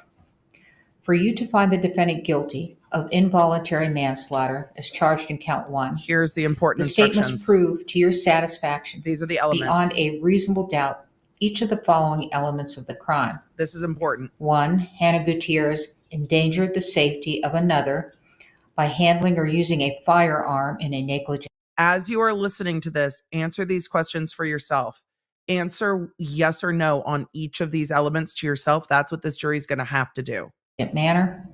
Two, Hannah Gutierrez should have known of the danger involved by Hannah Gutierrez's actions. Action. Three, Hannah Gutierrez acted with a willful disregard for the safety of others. Four, Hannah Gutierrez's act caused the death of Halyna Hutchins. Five, this happened in New Mexico on or about the 21st day of October 2021. Instruction 12A. For you to find the defendant guilty of involuntary manslaughter in count one alternative, the state must prove to your satisfaction beyond a reasonable doubt each of the following elements of the crime. One, Hannah Gutierrez loaded live ammunition into a firearm intended to contain only inert ammunition, and or Hannah Gutierrez failed to perform an adequate safety check of the ammunition she loaded into the firearm. Two, Hannah Gutierrez should have known of the danger involved by Hannah Gutierrez's action. Three, Hannah Gutierrez acted with a willful disregard for the safety of others. Four, Hannah Gutierrez's act caused the death of Halyna Hutchins. Five, this happened in New Mexico on or about the 21st day of October 2021. Instruction number 13. For you to define, for you to find the defendant guilty of neg- negligent use of a deadly weapon as a lesser included offense Aunt charged Irma, I love count- that so much. Thank you. One, the state must prove to your satisfaction beyond a reasonable doubt each of the following elements of the crime. One, the defendant endangered the safety of another by handling or using a firearm in a negligent manner. Two, this happened in New Mexico on or about the 21st day of October 2021. Was she negligent in loading it? Instruction number 13A. For you to find the defendant acted negligently in this case, you must find that the defendant acted with willful disregard of the rights or safety of This is like others a in any decision manner tree. which endangered any This and then person or this and then property. this and then this. Instruction 13B. In addition to the other elements of tampering with evidence, the state must prove to your satisfaction Tampering. Beyond a reasonable doubt that the defendant acted intentionally when she committed the crime. A person acts intentionally when she purposely does an act which the law declares to be a crime. Whether the defendant acted intentionally may be inferred from all of the surrounding circumstances, such as the manner in which she acts, the means used, or her conduct. Instruction number 14. You have Close- been instructed closing on the arguments are crimes after of this. involuntary manslaughter and the lesser included offense of negligent use of a firearm as charged in count one. It is up to you, the jury, to choose the manner and order in which you deliberate on the crimes charged in that count. However, to return a verdict, you must follow the procedure described in the next instruction. Instruction number 15. To aid you in your deliberations and in returning your verdict, you will be provided both guilty and not guilty forms for each of the charges for each of the crimes charged in count 1. Unless you unanimously agree on a verdict, you should not sign a verdict form for that crime. Although you may deliberate on the crimes charged in count 1 in any manner, and order which you choose, you must return your verdicts for each offense in count 1 in the order they are instructed. Under this procedure, if you unanimously find the defendant guilty of involuntary manslaughter, you should sign the guilty form for that offense and should not proceed to reach a verdict on the remaining offense in count one. If after reasonable deliberation, you do not reach a unanimous verdict on involuntary manslaughter, you should not sign a verdict form for that offense and should not proceed to reach a verdict on the remaining offense. You should only return a verdict on negligent use of a Interesting. firearm if you unanimously find the defendant not guilty of involuntary manslaughter. They did put in a lesser. I wasn't sure if they were going to drop in the misdemeanor lesser included, but that's what the judge is saying. The lesser included is the misdemeanor negligent handling of a firearm. So I will get to your questions soon, but we're going to go through the jury instructions because closing arguments are going to start. I am going to hold on um, to your questions. Why do jury instructions come before closing? Because jury instructions are a central part of closing arguments. If you unanimously find the defendant not guilty of like involuntary it better this way. manslaughter, you must sign the not guilty verdict form for involuntary manslaughter before returning a verdict on any other crime charged in count one. If you unanimously find the defendant guilty of negligent use of a firearm, you should sign the guilty verdict for that offense. If you do not reach a unanimous verdict on negligent use of a firearm, you should not sign a verdict form for that offense. Instruction number 16. In this case, as to the charge of involuntary manslaughter contained in count one, there are four possible verdicts. One, guilty of involuntary manslaughter. Two, not guilty of involuntary manslaughter. Three, guilty of negligent use of a firearm. Four, not guilty of negligent use of a firearm. You must consider each of these crimes. You should be sure that you fully understand the elements of each crime before you deliberate further. You have the discretion to choose the manner and order in which you deliberate on this count, but you must return a unanimous verdict of not guilty on involuntary manslaughter before entering a verdict on negligent use of a firearm. Because it's a lesser You will first decide whether the defendant is guilty of the crime of involuntary manslaughter. If you unanimously find the defendant guilty of involuntary manslaughter, then that is the only form of verdict which is to be signed as to this count. If you unanimously find the defendant not guilty of involuntary manslaughter, then you should sign only the not guilty form as to involuntary manslaughter. If, after reasonable deliberation, you do not reach a unanimous verdict on involuntary manslaughter, you should not sign a verdict form for that crime, and you should not proceed to reach a verdict on the remaining crime. If you unanimously find the defendant not guilty of involuntary manslaughter, you will then go on to a consideration of the crime of negligent use of a firearm. If you unanimously find the defendant guilty of negligent use of a firearm, then that is the only form of verdict which should be signed. But if you unanimously find the defendant not guilty of the crime of negligent use of a firearm, then you should sign only the not guilty form. If, after reasonable deliberation, you do not reach a unanimous verdict on negligent use of a firearm, you should not sign a verdict form for that crime. You may not find the defendant guilty of more than one of the foregoing crimes. If you have a reasonable doubt as to whether the defendant has committed any one of the crimes, you must determine that the defendant is not guilty of that crime. If you find the defendant not guilty of all of these crimes in count one, you must return a verdict of not guilty as to this count. Instruction number 17. For you to find the defendant guilty of tampering with evidence as charged in count two, the state must prove to your satisfaction beyond a reasonable the doubt evidence tampering each elements. of the following elements of the crime. One, the defendant Hannah Gutierrez had a baggie of cocaine by asking Rebecca Smith to take it outside of Hannah Gutierrez. The evidence on this is so thin. Gutierrez's hotel room, hid a baggie of cocaine by asking Rebecca Smith to take it outside of Hannah Gutierrez's hotel room. Two, by doing so, the defendant intended to prevent the we hate this apprehension charge. prosecution or conviction of Hannah Gutierrez for the crime of involuntary manslaughter. Three, this happened in New Mexico on or about the 21st day of October 2021. Instruction number 18. A firearm means any weapon which will or is designed to or may readily be converted to expel a projectile by the actions of an explosion. The frame or receiver of a firearm, any firearm muffler, or firearm silencer. Firearm includes any handgun, rifle, or shotgun. Instruction The judge didn't say it was cocaine. The judge said the jury had to find it was a baggie of cocaine. The jury gets to decide if it is or is not a baggie of cocaine based on a woman saying it looks like a baggie of cocaine, but sure, it could be meth. Number 19.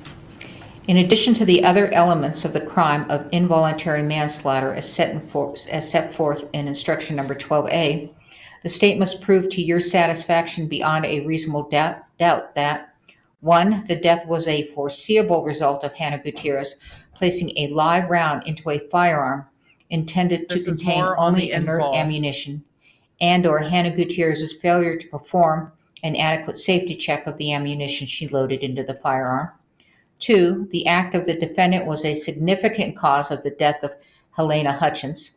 The defendant's act was a significant cause of death if it was an act which, in a natural and continuous chain of events, These are definitions.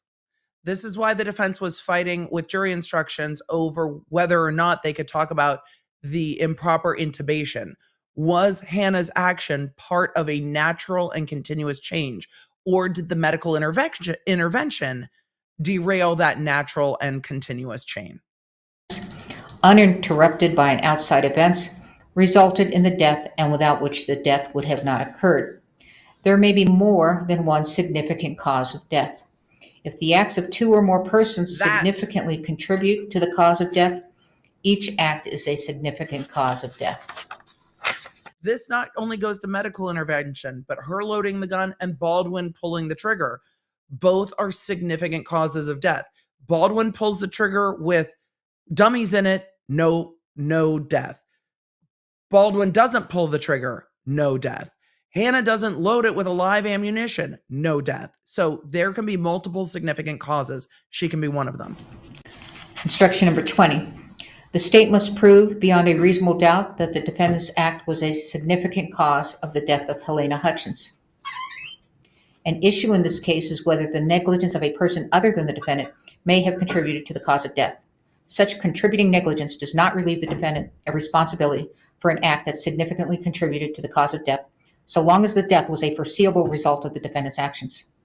Contributing negligence does not excuse the defendant's behavior.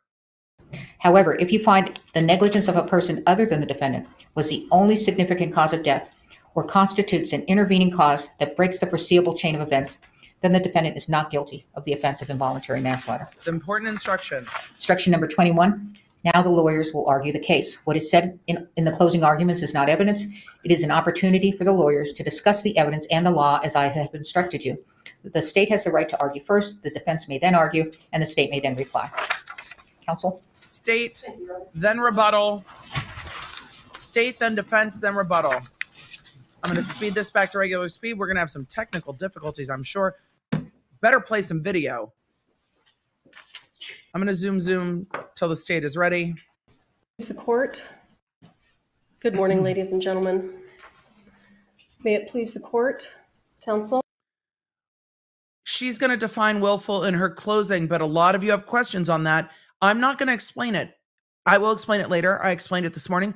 It's the state's job to do that. So I'm going to let the state argue and try to persuade you, the chat jury, of guilt here. Um, I want to begin by thanking you all for your time. I know that this has been a, a long trial, and It has been. um, I also understand that as jurors, you find yourselves maybe a little frustrated. There's a lot of sitting around and waiting, um, and uh, we appreciate your time. We appreciate the sacrifice same, that you chat. make when you leave your jobs and your families and your other responsibilities To come and and watch come this to court, on the internet. uh, to participate in a very, very important part of our justice system. So, on behalf of the state of New Mexico, uh, we thank you very much for your time. Thanks, chat. And as you can see on your screens, we end exactly where we began in the pursuit of justice for Halyna Hutchins. I want to start by just generally outlining Hannah Gutierrez failed to maintain firearms safety, making a fatal accident willful and foreseeable. And please keep in mind that omissions can also be willful. So if we fail to do something that we should do, and that failure uh, results in someone's death, then that too uh, can be willful. So I would ask that you keep that in mind as we move through uh, some of the evidence and testimony that you have heard. I know that you have heard a lot, and I do not intend to keep you too long, uh, but I do have to be thorough. I do want to hit You need to make uh, it simple. some high points. So I You do need to make it appreciate your simple. patience. you Um, need to make it simple. here's what we saw. We need to have These videos, if you recall, that were taken by Production Outfitters, they were taken on October 13th of 2021. What these demonstrate to you is that Ms. Gutierrez was unwilling to maintain proper firearm safety repeatedly. And it's really important because this is not a case where Hannah Gutierrez made one mistake, and that one mistake was accidentally putting a live round into that gun. I- That's not what this case is about. I about. think this is a good This point. case is about constant, never ending safety failures that resulted in the death of a human being and nearly killed another. that y'all gave Dave So let's talk about all of the safety failures that we saw and the reason that these safety failures prior to October 21st are so critically important to the analysis is because they go to foreseeability. They And also go to willfulness. foreseeability is a very important element in this case. So as we can see here, we have our um, stuntman with his double barrel shotgun. From watching those videos, what you understood is that Ms. Gutierrez did appear to, in fact, be present because at times we saw her and at times we heard her. So she wasn't off doing prop duties. She was right there and she never intervened. Gun pointed at a child. Gun pointed at Joel Souza directly at his back. Gun pointed up in the air in the direction. There's not a chance that this photo is clear to this jury. N- not a not a chance. Maybe when they get the printout, but there's not a chance that's clear to the jury. That good lord. of the stunt coordinator. Gun pointed again, apparently in the direction of Mr. Souza, the person on the far right. No, no, don't put your brightness Gun down on the screen. directly at Mr. Souza Brightness again. up. The firearm in the left hand of the stuntman who is facing you. Firearm pointed directly at a minor child. The brightness is down so low it's impossible to see Firearm these. pointed directly for us. at the camera.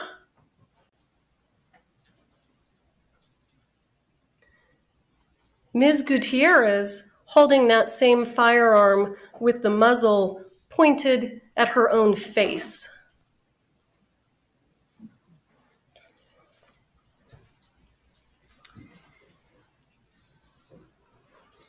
the jury hopefully Um, can see those photos better, I'm sure.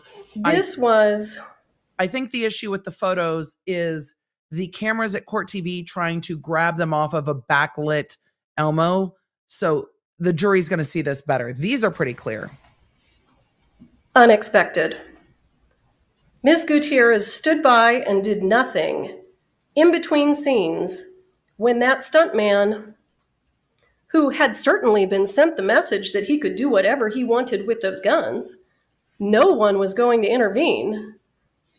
The person tasked with intervening was not going to do it. That was clear. He hands the firearm to the child and allows the child to manipulate the gun before then, after a short period of time, perhaps thinking better of it and taking the gun back. And pointing it at who? This firearm, I actually don't think in this photo that the firearm is pointed at the child. I think the firearm is, based on the angle of the camera, probably more pointed at this person right here. Um, but she's there. We hear her, we see her. She does nothing. Absolutely nothing. This is some of the first evidence that we see where if something doesn't stop, if something doesn't change, she is moving in, in the direction of potentially a fatal incident. And that is exactly what happened.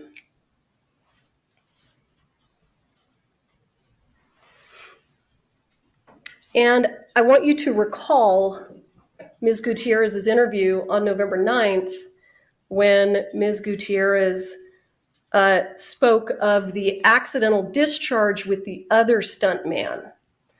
Um, Read it. having a Read it. complete lack of understanding of her role in safety on this movie set. Read it. She's talking about Sarah Zachry, and she was like, Well, yours just went off in there after you loaded it. And I said, Yeah, well, I can't be responsible for every dickhead fucking stunt guy that gets a hold of the gun and doesn't understand the concept that it's hot. It's kind of your job to make sure they get it, though. Her entire job is to be responsible for exactly that. And when she took this job, she agreed to that responsibility. There is no exception in the law for you're young. The exception in the law does not exist. The law treats everyone the same. If you take the must. responsibility, if you take on that responsibility, it's on you, is her argument. And they're going to argue it what was wasn't the her one point job. to the test? the defense is going to argue she had two jobs. They were making her do props. She can't be willful when they don't give her time. testimony about the lever action rifle. Well, here's the point to the testimony about the lever action rifle. Oh, good. More negligence. Ma'am, have you been watching the stream? We've been asking. Thanks so much for directly answering our question. I feel so the testimony about the lever action rifle. Well, here's the point to the testimony about the lever action rifle. More negligence, more carelessness, more lack of attention to safety. She loaded a lever action rifle with dummy rounds that, by the way, according to the director, was completely unnecessary. Because, yes, while it's true, this gun operates in a way where if a certain type of camera angle is hitting it, dummy rounds would be appropriate if the scene calls for loading or cycling. There wasn't a scene that called for that.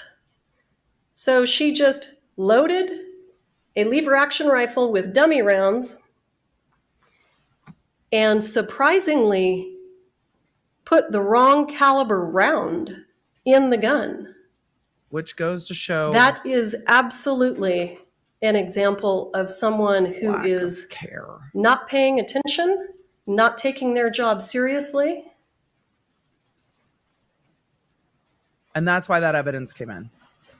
I want to talk to you a little bit about some of the rounds that you've seen because it's critical to tracking the existence of the live rounds on this movie set. Because where did the live rounds come from is a huge we question. We have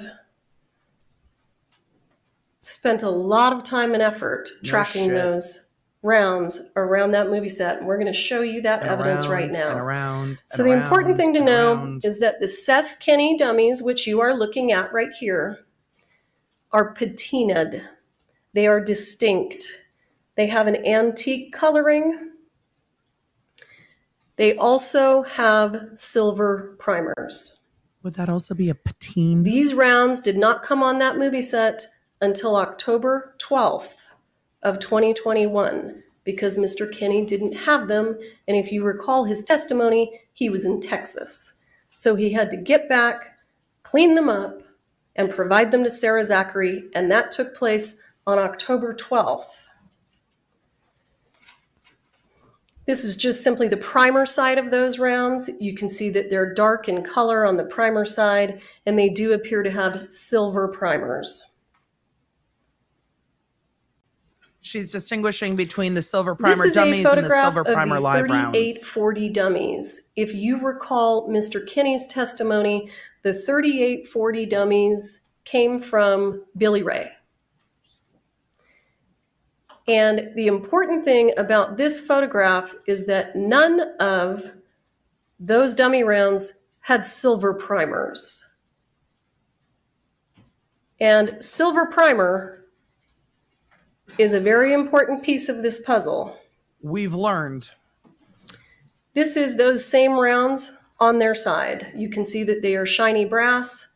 We also know that they have brass primers. We just saw that. Very Uh, shiny. based on Mr. Kenney's testimony, you know that they were 3840, but there was also some 4440 caliber rounds um, in that box. that's that so not working? that's so distracting. Well, oh, let's stop. there the defense's monitor was not working. That was considerate of her, but that's it would be distracting to have somebody walking around the courtroom while Um, you're giving your closing. For sure. let's take a moment to talk about all this testimony that you've heard about whether or not the live rounds found at PDQ, which are photographed there on the left, I'm so glad she slowed match down. the live this. rounds found on the set of Rust. This was the most confusing ass testimony scattered throughout this trial. I am so glad she has taken a breath. She has slowed down and is like, this is what we're doing. This will be very helpful. If the jury's convinced the difference between the live rounds on the set and the live rounds at PDQ. You don't have to be a gun expert to look at those and see they simply do not match. Even though you could look at those rounds and fundamentally understand that they are not the same, the police department, sorry, the sheriff's department and the FBI sent them to the FBI for testing so that we could actually have some experts confirm what we can see with our very own eyes. The defense needs to hammer how long Seth Kenney had evidence. before PDQ was searched. If you want to see them in in real time, In real life, you have States Exhibit 79. You have States Exhibit 91. States Exhibit 79 is a disassembled live round from PDQ props. States Exhibit 79 is a disassembled live round from the set of Rust. Watch you them can in look real at them. time. You can see the projectiles are different. You can see that uh, it- perhaps the primers are even are, are even different. If you recall, uh, Ms. Popple indicated there were only 10 silver primered live rounds found at PDQ. The rest of them were brass. The other thing that you can just see with your eyes is the gunpowder in these is substantially different. It has a different chemical composition. So, any argument that could ever be made in this case that Seth Kenney It's a very definitive statement, was the source of these live rounds ma'am. Is absolutely dishonest. Those are that. Those are some big words, counsel. I wonder if the state's argument is, hey, Seth Kenney had 10 live rounds with silver primers. If he was going to get rid of them, he would have gotten rid of all of them. But she's arguing that any argument that the live rounds on set came from Seth Kenney is dishonest. Wow. Now, I'm going to ask you to take a take a walk in the weeds with me here, okay? No, let's not. This is a photograph of October 10th of 2021. You can see the color of the rounds at the top That's good evidence. Those are brass primered rounds. The rounds in the bottom appear to be lighter, and I would suggest to you, based on the totality of the evidence that we're going to go through, that you are looking at live rounds. She's arguing that the Seth Kenney rounds with the silver primer got onto set October 12th, and this photo's from October 10th, and this photo has that foam core in it, and that is the box she was pulling from. And they are arguing that these are silver primered live rounds that Hannah brought onto set. That's her And argument. keep in mind, anything that you see on the set of this movie that is a revolver ammunition, that is revolver ammunition prior to October 12th, Came from if Hannah. it has a silver primer, it's a live round. Because the silver primered dummies didn't come on set for two days after this photograph was taken. they think that is their proverbial smoking. Here's gun. our comparison photo that Mr. Primo put together for us. And I'm if you need questions it when you're when we have a reviewing the evidence and doing your deliberations or engaging in your deliberations, I have included it ma'am not everyone on the jury is going to look at that and see silver for you. Um, but we're going to do a comparison here in a moment. the set did not have any silver Now, primer the dummies importance until of this october photograph, 12th still October 10th of 2021.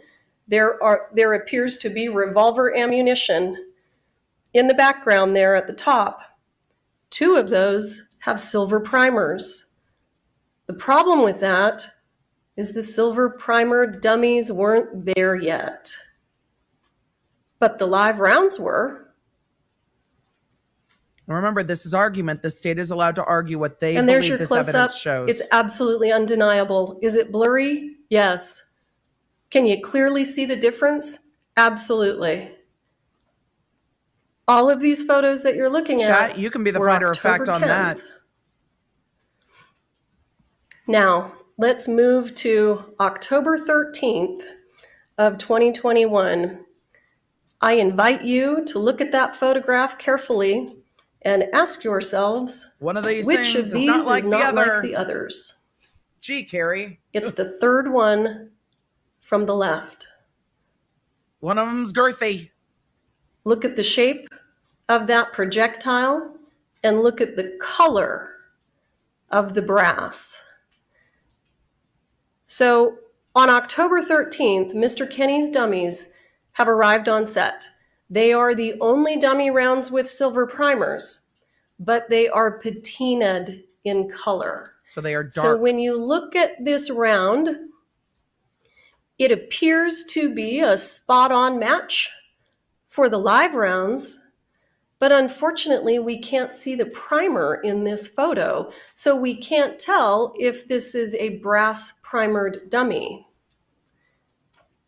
That's the reason that we watched thousands of videos I mean, they weren't and thousands. looked at Counsel. thousands of pictures because then we moved to the production outfitter videos from October 13th, Those the videos same day.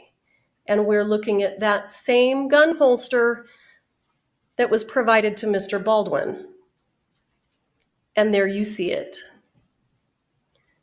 The third one down has a silver primer. There you And see it, ladies and gentlemen. It is a live round. Does that stand out to you or not? You know that because it's not a Seth Kenney dummy. If it were, it wouldn't have that shiny brass color. So there The Seth Kenney patina dummies with the brass primer is very helpful as she's going back and forth between the shiny brass and the patina brass. And that has not been tied together well in this trial until now. Here's your live round. We've seen it on October 10th. We've seen it on October 13th.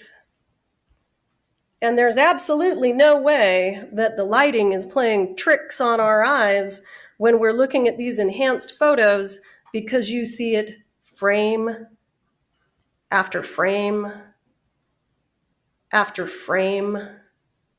It does stand out in some of those photos. And now let's move to October 15th. Karen Kuhn arrives on set.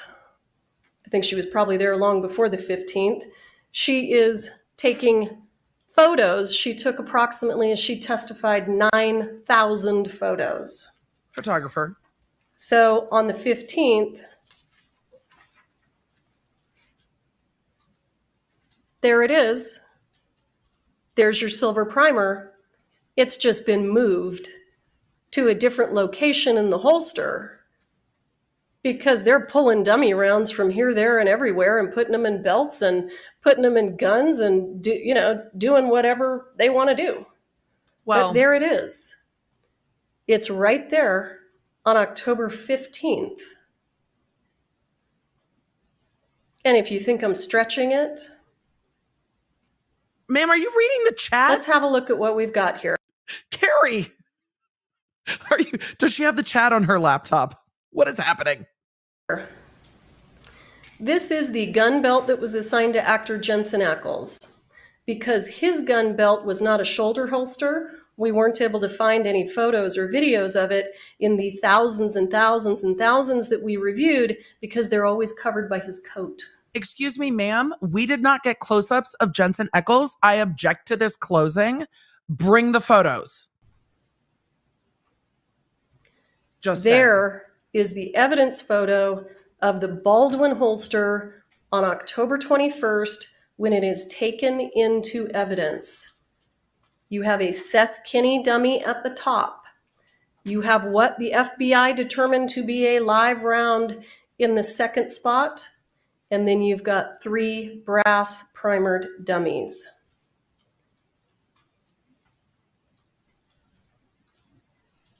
October 17th, October 21st. So the video that Mamie Mitchell laid the foundation for, she said she said that according to her notes, the filming was done on the 17th. Mr. Primo said that he believed, according to the camera, it was the 18th. Take whatever date, whatever date you She's want. like, potato, potato. That's a match. Seth Kenney dummy at the top, live round next. You've got three brass This- primer dummies on the 21st, four brass primer dummies That's very helpful. on the 17th or 18th. But it is shockingly the same. And there is no question that this one right here is a live round. It was sent to the FBI and they confirmed it.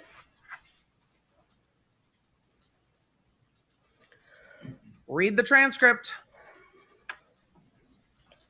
This is Ms. Gutierrez talking about um, her bringing these dummy rounds on set. I had a multitude of the ones with holes and the ones that you shake, so yeah. And I checked those all and I put them into two things.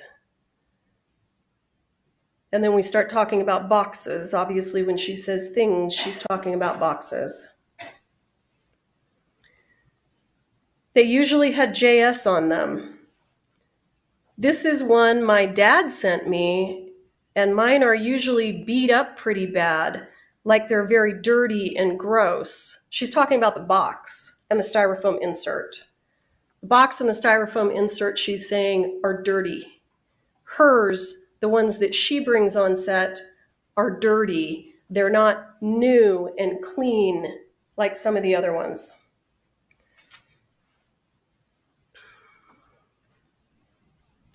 Detective Hancock asks her, This is the one that was or handed that you guys had said that you had pulled from.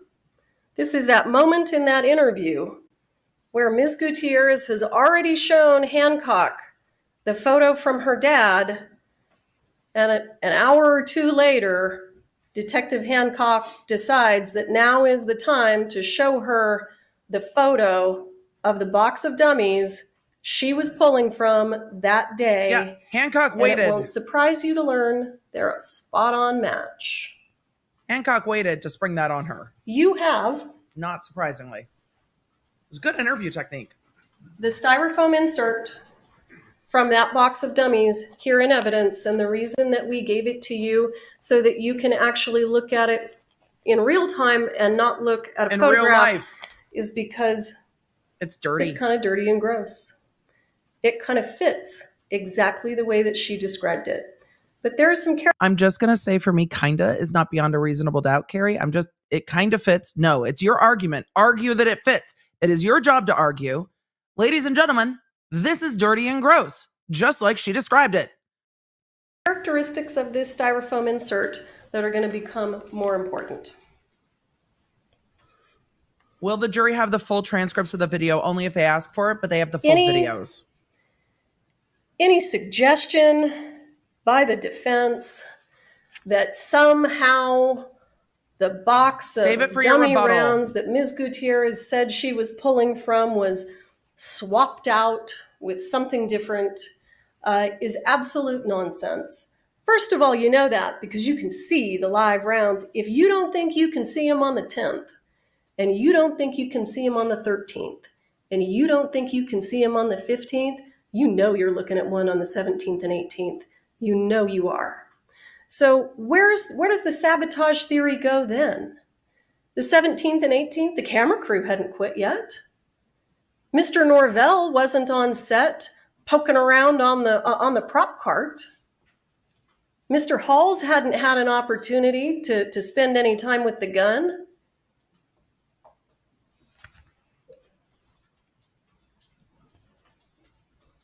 They moved directly from that cart right into Lieutenant Benavidez's patrol unit.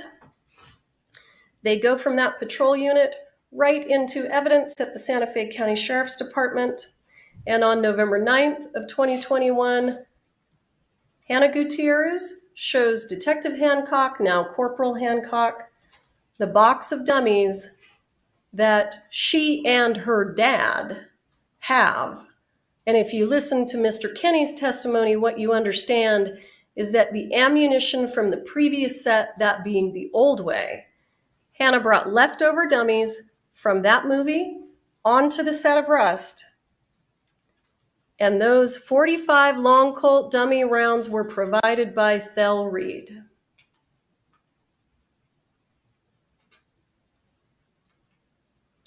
What you are looking at in this photo Eee, and Smollen. is this styrofoam insert. This is the styrofoam insert that had the live round in it. This is the styrofoam insert that came out of the box labeled 45 long Colt dummies with the JS in the middle. That Hannah told you she was pulling from Now, in her interview. let's put it together. Okay. Our original evidence photo up here from October 10th, you can see this distinct uh, sort of cut in the styrofoam on that insert that is sitting on her leg on the 10th. You can see Very good use of circles to put together the photo that's been enhanced and is a little blurry to the photo that was taken in evidence to what is in court. I like the way she's walking through this. See that the Like it a lot. hole in the styrofoam in the second to the right at the top is dirty. You can see a little bit of grime. You can see it right there. And you're going to take it into evidence and you can look at it Ruby, closer. Ruby, there were multiple live rounds. you're going to see that there's some holsters. damage to the There were. styrofoam separators that was proven. between these two holes. And what do you know? It's right there. the circles are very helpful. Real good demonstrative. There's a little bit of damage to the styrofoam separators down here. You can see it in the photo on the right. You can look for yourself. It is right here. And what do you know? That silver primered round from October 10th is sitting in the exact same position that it was found on October 21st when the sheriff's department collected this box, took it into evidence, and photographed it. that is a really good demonstrative. Ladies and gentlemen, we call that circumstantial evidence, but that's a mountain of circumstantial evidence. wow, we finally have a mountain of evidence in one of the trials we've watched. The circles are very helpful to orient the jury to the way that the blown up photo is facing versus the way that the evidence photo is. And circling that silver primer is very helpful. The argument here is the silver primer live round was in the styrofoam tray on her lap on October 10th before Seth Kenney ever brought the silver primer dummies onto set. So that is not a silver primer dummy. That is a silver primer round that Hannah brought onto set. That is the argument.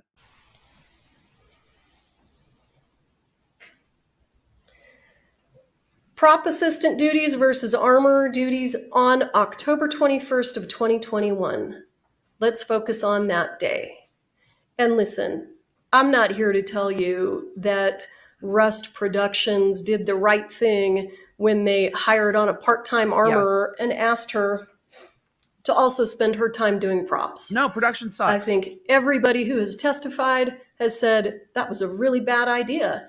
And that's probably part of the reason that they're being sued by a whole bunch of different people. and probably why Hannah shouldn't take the job and why no other armorer wanted to take the job. But on October 21st, But she took the job. this was simply not the case. It was not the case on that day. She had three hours in the morning waiting for the camera crew to arrive. She had every opportunity to go through that box of dummies. Gee, that only had like 30 rounds in it. How long I like how she is arguing the camera crew walk off to her advantage. does it take to pull the round out of the box, shake it, and if it doesn't shake, look to see if it has a hole in it, put it back in the box, and do that to each and every one of them? How long does that exercise take? 10 minutes max? That's not hard. The other thing that is very important is Ms. Gutierrez didn't get pulled out of the church because she had to go focus on prop duties. She was standing right there. She left the gun in the church, contrary to all the industry standards uh, for armors on movie sets, for firearms safety on movie sets. And she went back out to her cart so that she could start doing other armor duties. Probably because she's Baldwin getting was her constantly fanny pack filled up. Well, we've seen that. She's filling it with blanks. And we know they're She was just pouring it in. about to do a turnaround. They're going to do this this uh, quick this quick insert with Baldwin, and then they're going to do the shoot scene, the, the the gunfire scene where they're using blanks, and the law enforcement have come into the church, and there's a shootout. So she goes to get ready for it. She just leaves the gun in there. As you heard from many witnesses, she would leave guns unattended all the time. The fact that Hannah has not rolled her eyes at the prosecutor about October 21st is that caused her to be unable a good to amount of stay in the restraint. church to properly perform her duties. She leaves the gun. She goes back out because, for some reason, with the three hours of, uh, of free time that she had in the morning, she didn't get her fanny pack filled up. She didn't get herself ready for that turnaround. So she leaves the gun. Everybody's heard armors don't leave the gun.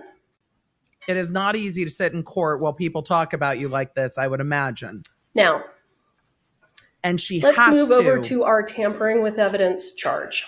She has to bear it well or the jury will not How is jury will hold it getting rid of against a bag of cocaine tampering with evidence related to involuntary manslaughter? Yes, ma'am, we've got that question. We sure Well, do, Kari. On October 21st, 2021, She's identified our issue properly. Let's let's see how we get to it. the shooting occurs, the incident occurs. Gross Um, negligence is Ms. not the Gutierrez standard here. understands it is not gross negligence. that someone has been seriously injured. it's She does not yet know that that person is not going to live or has already died. She gets interviewed at the Santa Fe County Sheriff's Office. I will say, surprisingly, two occasions after this incident She was very candid. where a helicopter had to come in, ambulances had to come in. Um, Ms. Gutierrez, on two occasions after that incident, spoke about her concerns about her career. Wow. I mean, That gives you an idea that you are dealing with someone who is not particularly concerned about the health and safety of others. And her job okay, was to be concerned about the health and safety of others. But on that day, she's just thinking about herself. She's put a lady in the hospital, a man in the hospital. She asks to be escorted to the bathroom. because she's Corporal afraid of her coworkers. agrees to do that, and we have her on video on the way there expressing dismay about how this will affect her career. True. Ouch. After the interview, Hannah goes back to her hotel. Rebecca Smith goes to Hannah's room. She's been summoned by some other folks to try to sort of sit and visit and give Hannah some support. So Rebecca Smith goes to her room, and Rebecca Smith is the person that tells Hannah that Halyna Hutchins has now died. And you have to understand, in the mind of Hannah Gutierrez, this investigation went from this big to this big. Because the difference between shooting someone and them living and shooting someone and them dying is a really, really big difference. Yeah, ma'am, we get so that. she is told by Rebecca Smith investigation just got giant and very, very serious. So after receiving that information, She says, she "Here, my offloads this bag of cocaine to Rebecca Smith. Rebecca Smith is a lady that's lived a life. She's used cocaine before, many years previous, but she's used cocaine. She knows what it looks like. She knows how it's packaged.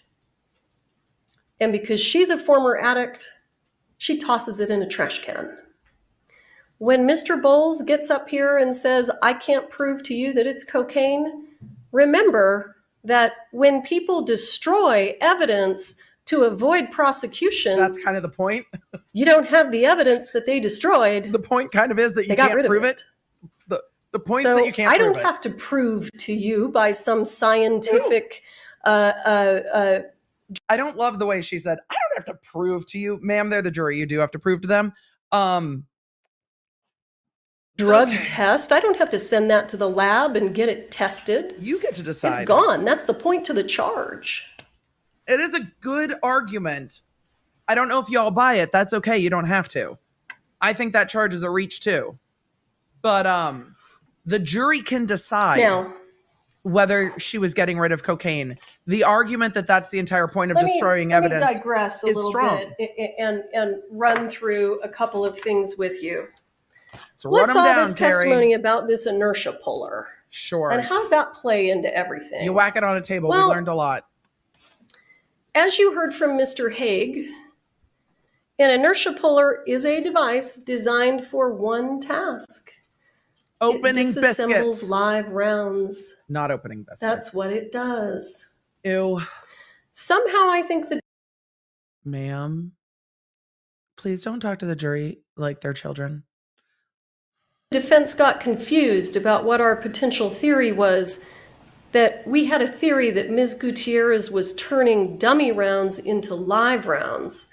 That was never our theory because that would require quite a bit of equipment.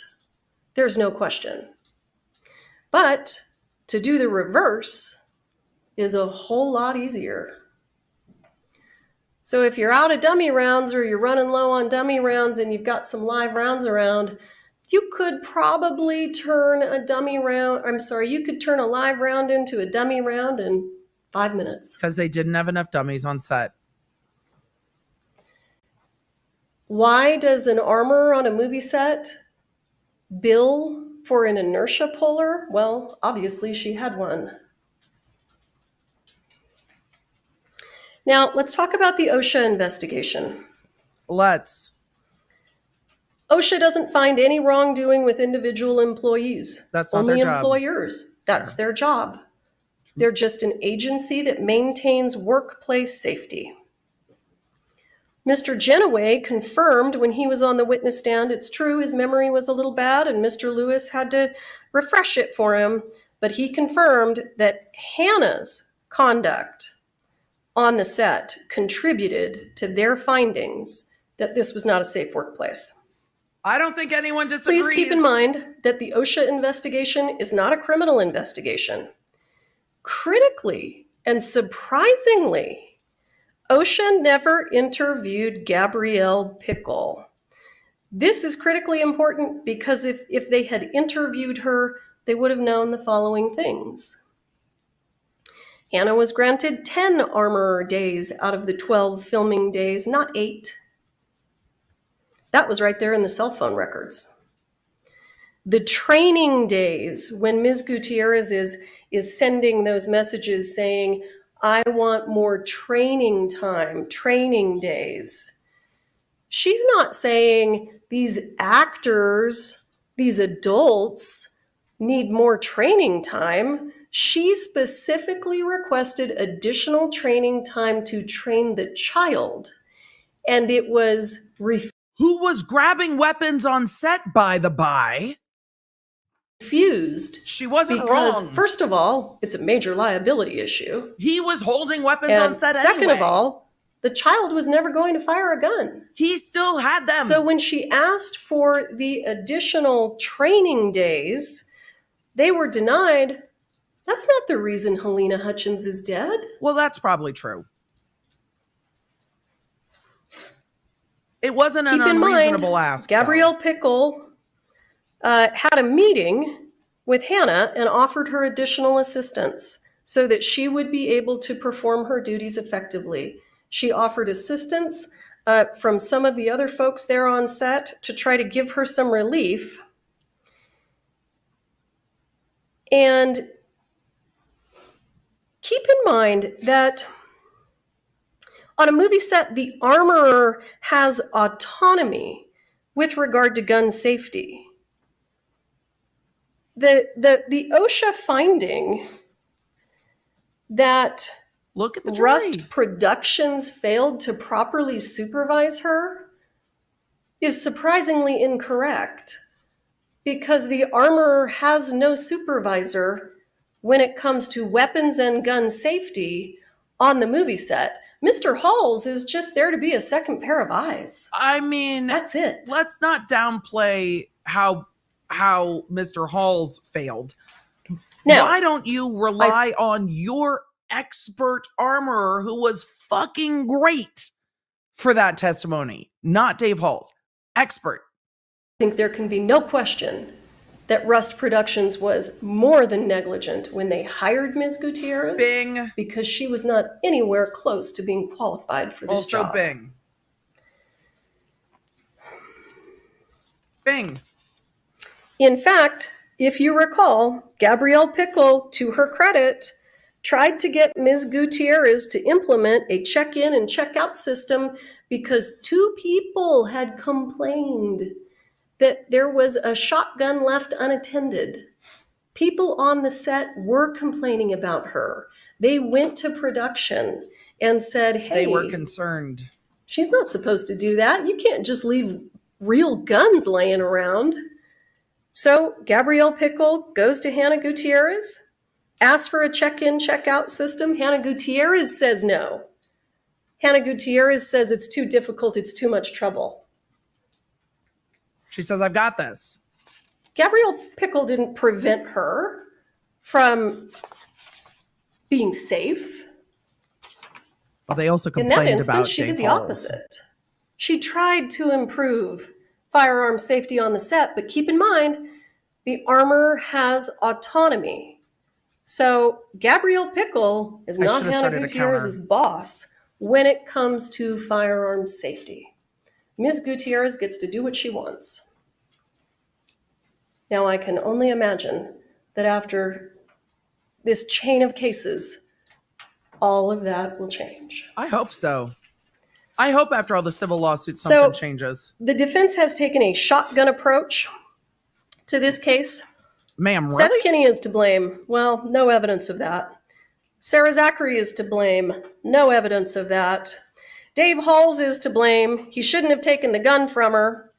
Um, and he didn't do a good safety check. Well, Well, he's already she pled is guilty. the autonomous decision maker with regard to gun safety. It's not that Dave Halls shouldn't have taken the gun from her. it's partly it's that. that she shouldn't have given him the gun It's that too. and then turned around and walked away. Uh, the defense. Alec Baldwin is to blame He did for acting like a prima donna on the movie set and bossing people around. This is Hollywood, for heaven's sakes. I would imagine that's relatively common. Don't get me wrong. I'm not saying that his conduct was right. I am the person who indicted him.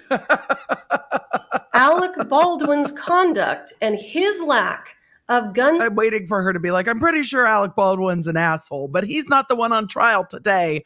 Come back in a couple of months. We'll see if we get there. safety inside that church on that day is something that he's going to have to answer for. To me, Not with you and not today. That'll be with another jury on another day. July. Brian Norvell, the gentleman who goes and gets the prop cart and wheels it over and then puts his hand over the crime scene tape and picks up that dummy round and shakes it. You heard Mr. Bowles ask some questions that that that, that are intended to make people think that uh, Mr. Norvell either took something off the prop cart Or or put something on. planted something on the prop cart. Well, keep in mind, he doesn't have to plant live rounds because we've seen from the photographic evidence those are there. They're floating around already. Um, so live rounds were on set. They were not planted by by Brian Norvell, but this man is not a mystery to the state or the defense. They interviewed him. I made him come in and sit down for a one and a half hour Ooh. interview I was just trying to move the so that the defense could ask him I was just trying to move the closed captioning because the uh, lawyer or legal assistant at defense table has been making all of the faces, and I didn't want the uh, closed captioning to cover the expressions on on her. Any questions they wanted, and they asked him none. Not a single question. So, what that means is that this is just all smoke and mirrors and deflection. They don't want the truth. We know the truth. You have seen it throughout this trial.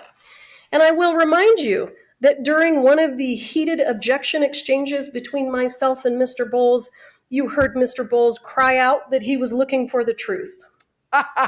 Listen, I can bring a horse to water, but I cannot make him drink. Ma'am. If you want the truth, I'll bring the guy in. I'll make him available for you to talk to. Ask him some questions. Not a single one.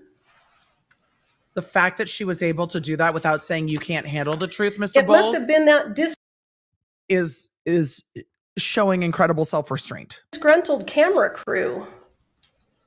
You mean the people who believed that safety on set was being compromised to such a degree that they left? That decision may very well have saved their lives.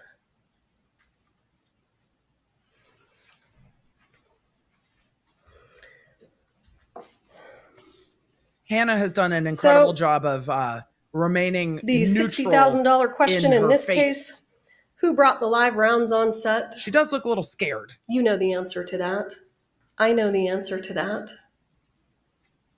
I'm not telling you that Hannah Gutierrez intended to bring live rounds on set. but she I'm telling you that she it. was negligent. Yeah. She was careless. She was thoughtless. she was reckless. She brought them on set, and you know from the testimony you heard, Sarah Zachry never saw her shake a dummy round. Dave Halls never saw her shake a dummy round. She didn't shake those dummy rounds. For all we know, those dummy rounds were floating around the set of the old way, and Nicolas Cage is lucky to have walked away with his life. It's closing. Nicolas Cage would like to be excluded from this closing argument. So, why does it matter that she brought live rounds on set? because it's reckless and negligent. It goes to foreseeability. She had six, six live rounds on that movie set. The earliest date that I can track them for you is October 10th. We know that they were there from the 10th to the 21st. Six. And she failed to ferret them out for 12 days. because she wasn't checking them. What that means is that she wasn't shaking any dummy rounds. She wasn't testing anything. None of that stuff that her lawyers want you to think was so difficult. It was no, none of it was happening. Closing argument is it didn't show. happen the entire time. it's the whole show. She didn't find any of them. It's the best part of the show. Closing argument is the moment. And I don't know any lawyer that doesn't that does litigation that doesn't love closing. Closing is the and moment. folks, if she's not checking the dummy ammunition the during part. the pendency of the filming to make sure that those rounds that are designed to look like live rounds are in fact dummy rounds. This was a game of Russian roulette. Every time an actor had a gun with dummies. the chat has been saying that for 10 days. Sadly for Ms. Hutchins, her camera crew walked off set that morning, and that required her to go into the church and operate the camera herself. And sadly, And that's Alec what Baldwin she was doing when the live round pulled the trigger that on that Ms. gun. Gutierrez put in Mr. Baldwin's gun was expelled from that firearm and went all the way through her body.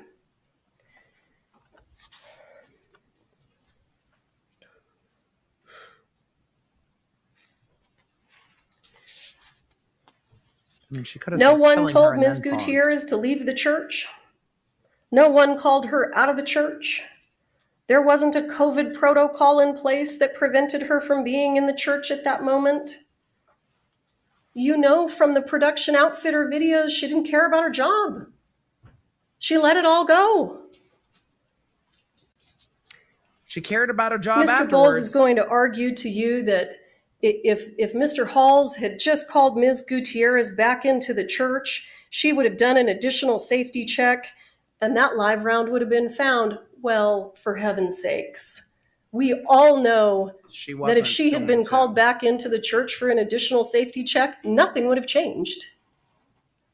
Her safety checks didn't consist of pulling the dummy rounds out of the cylinder, shaking them in front of the actor and the assistant director, showing them that they're dummy rounds, and putting them back in. No one ever saw her do that one single time, even though that's industry standard. And the reason it's industry standard is because you like can't this should tell never a happen. dummy round by simply spinning a cylinder and looking at the primers unless they are dummy rounds without primers.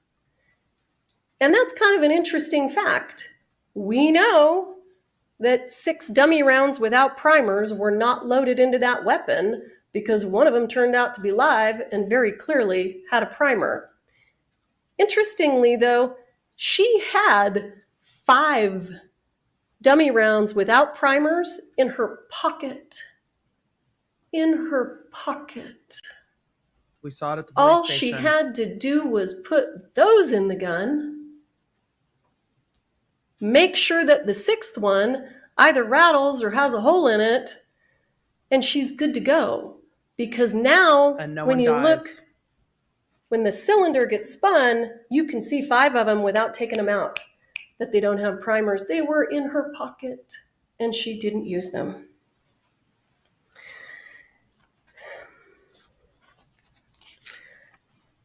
Um, I am going to have another opportunity to speak with you, and when I speak with you uh, last, it won't be as long, I promise. It'll probably be more we fiery. Will talk about some of our jury instructions then, but I do want to address some of the testimony from the from Dr. Jarrell from OMI, uh, because Mr. Bowles is likely to make an argument that there was some sort of medical negligence uh, that contributed to Ms. To, to Ms. Hutchins' death. She knows he is. And I want to talk to you a little bit about Dr. it- Jarrell's They testimony. argued that at sidebar. Here are the lethal injuries. The lethal injuries. Blood loss from from the wound. That was the primary lethal in, injury. Her blood was leaking into her in, into her abdominal cavity, and a lot of it. And you saw those photographs. You saw the photographs of her clothing. There was a lot of blood. So the first lethal injury that comes from the gunshot is blood loss associated with it. And the second one, if you recall from Dr. Jarrell, uh, the, the wound to the, to the lung was also a lethal wound. Keep in mind, that bullet went into her body, it went through her rib, it severed her spinal cord, I figured she was going to bring that up. it punctured her lung, It broke ribs. Did we bring It up came out the broken back of ribs? her it shoulder. broke ribs. How big of a And a few it was and hours later- she was. Ms. Awful. Gutierrez is telling Corporal Hancock that she's worried about her career. If you think that person I'm going to pause real quick because the chat, uh, Marta asked a great question. Why is this important? Because Hannah has to be in the chain causing death, and the defense is going to argue the medical intervention is what led to her death, not Hannah loading the gun.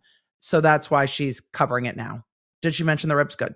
I was trying to open my Ricola. would have done a satisfactory safety check if she had been called back to the church, I am here to tell you that I strongly disagree.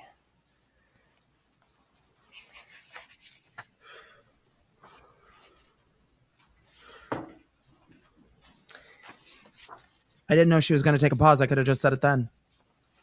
Chat, I'm going to put up a poll after this. I don't poll guilt or innocence. I'm going to poll if you found the closing convincing The when she stops. Astonishing. I'll do the same for the defense. lack of diligence with regard to gun safety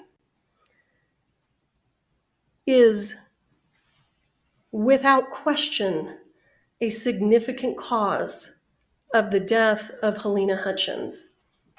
That's Did what the jury Mr. Baldwin says. also contribute when he pointed the gun yes. At people and pulled the hammer back and regardless of what he said to George Stephanopoulos, pulled the trigger? Yes. Yes, he is. And again, we'll deal with that another time. I love that she's just like, ladies and gentlemen, don't worry.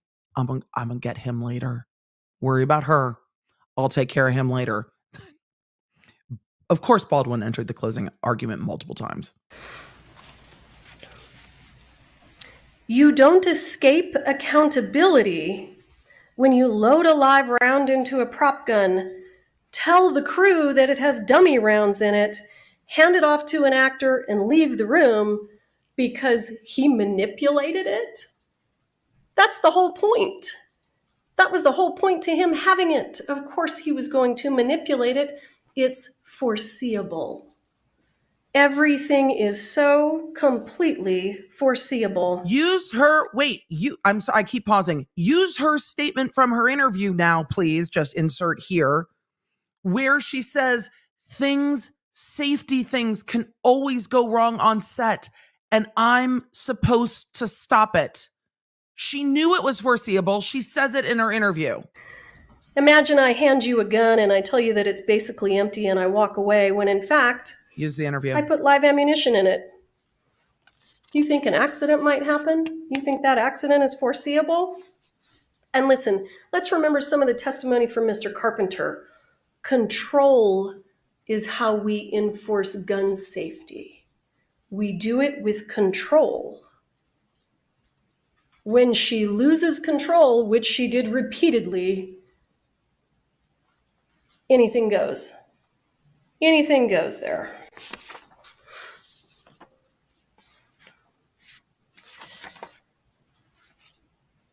I am going to complete the majority of Don't tell us what you're going to do. Give us some more quotes from portion Hannah. of my closing arguments. quotes from Hannah. Quotes With from regard to the facts, the next portion will be with regard to the law. quotes. When I come back after Mr. Bowles has had an opportunity to address you, quotes from Hannah. uh, we will be asking for justice today for Halyna Hutchins. Thank you. May we approach? Well, if it's about a bathroom break, we're going to take a bathroom break. Okay. Okay. So please don't talk among yourselves or anyone else about the evidence. I'm putting up a received poll in for court. you. Thank you. A reminder for the We'll be new, back at um, 10 of, okay? a reminder for the new law nerds in the chat. I do not poll as to guilt or innocence. That's the jury's job, and the jury can't consider that yet. We're not there yet. But I will ask you if you found this closing argument by this special prosecutor to be persuasive. Yes, no, or I want to hear from the defense. That poll's going up now for the 24,000 of you that are here in chat. Um, Hannah did a very good job of controlling her face during this closing, and it's not easy to do. We've seen a lot of criminal defendants not do it well. Um, yeah, Kari might save the quotes for the rebuttal. Um, she may well.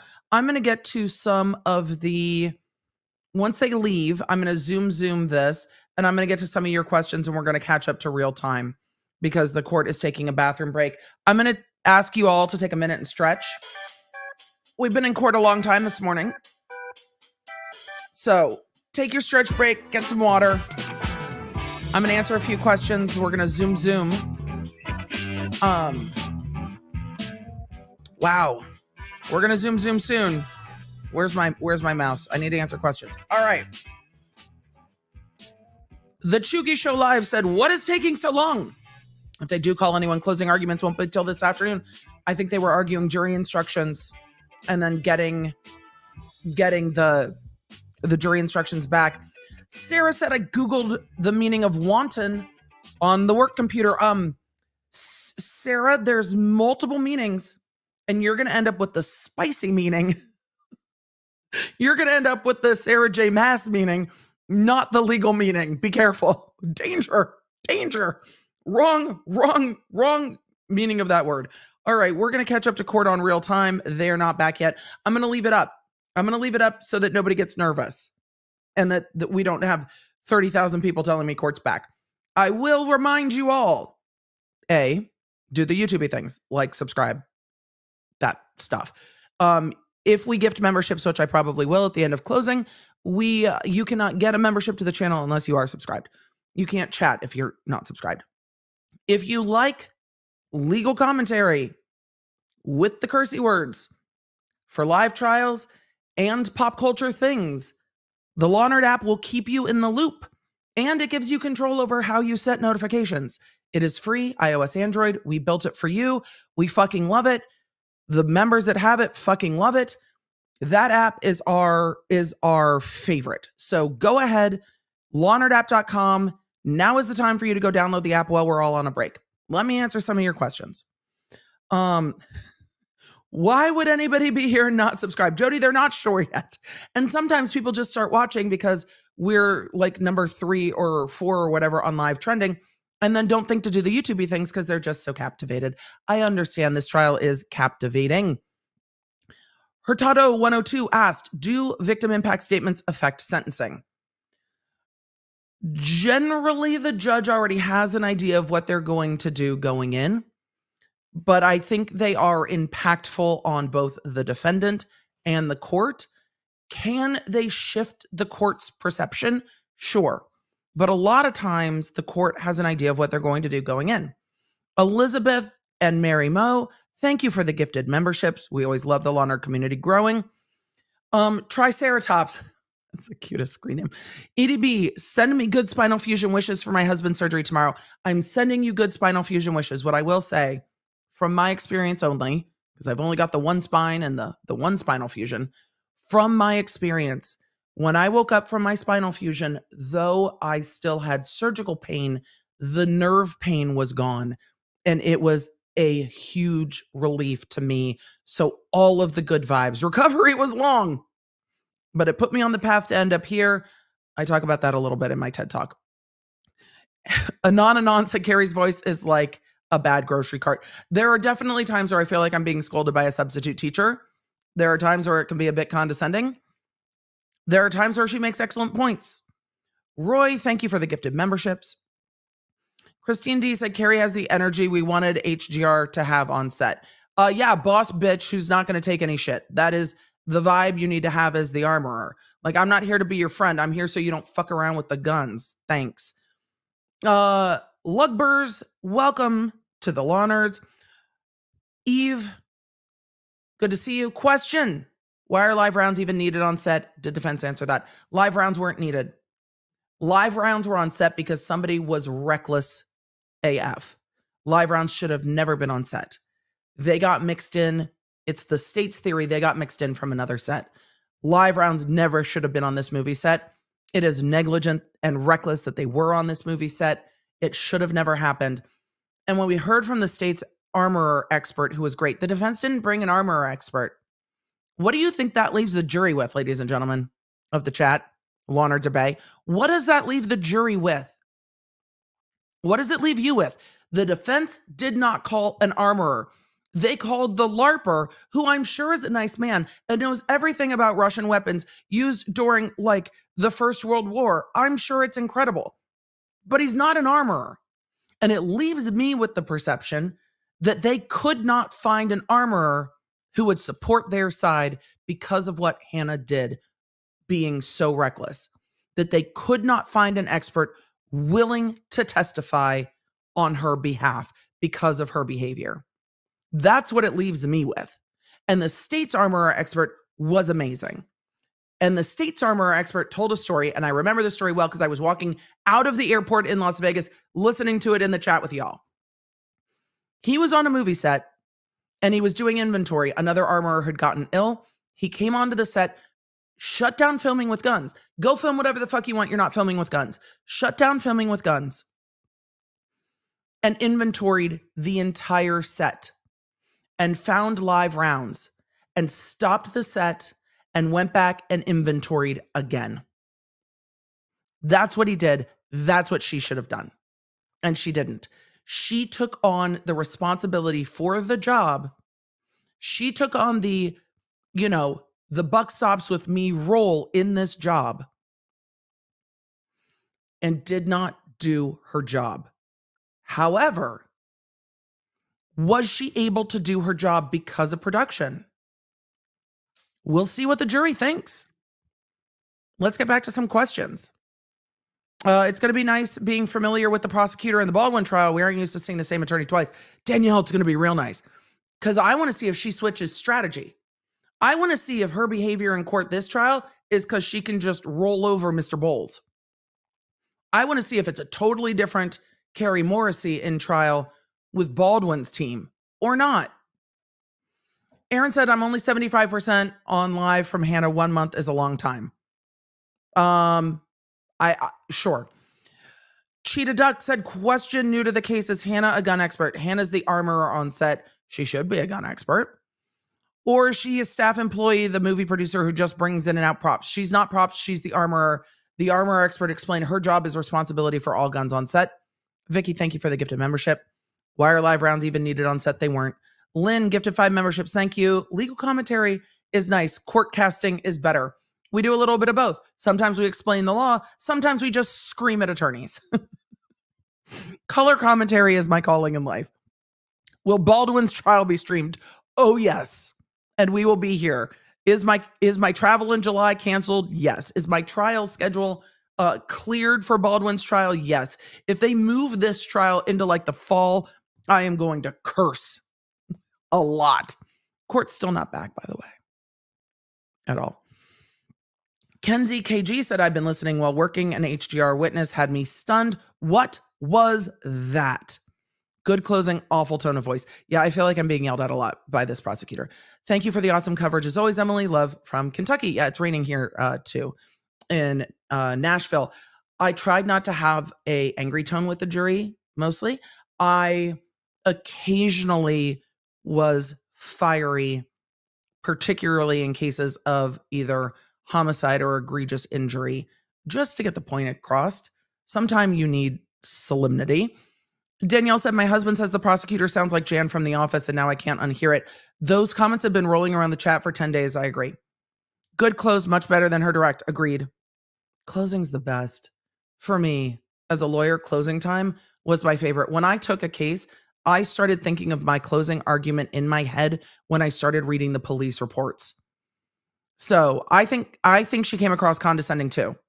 I think righteous indignation is warranted. So, you know, the defense is getting ready for their closing argument now. But I um I there were definitely times I would be frustrated with uh, the defendant's behavior. EDB, my brother worked with Baldwin on a set and he acted the same way, rushing and demanding take after take. Are we shocked?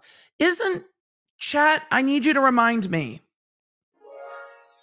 This is how you remind me. Chat, I need you to remind me. Wasn't it Baldwin that refused to get off his phone on a plane because he was playing words with friends? Like, I remember him screaming at his daughter, like that audio that leaked of him calling his daughter a selfish little pig when she was like 11 will never leave my mind. But wasn't he also the the actor that would not turn off his phone to play words with friends and was like screaming at the fucking flight crew? Like like it's their job is to tell you to put your phone in airplane mode sir. Chat's like yes 100% okay and cursed at the flight attendant.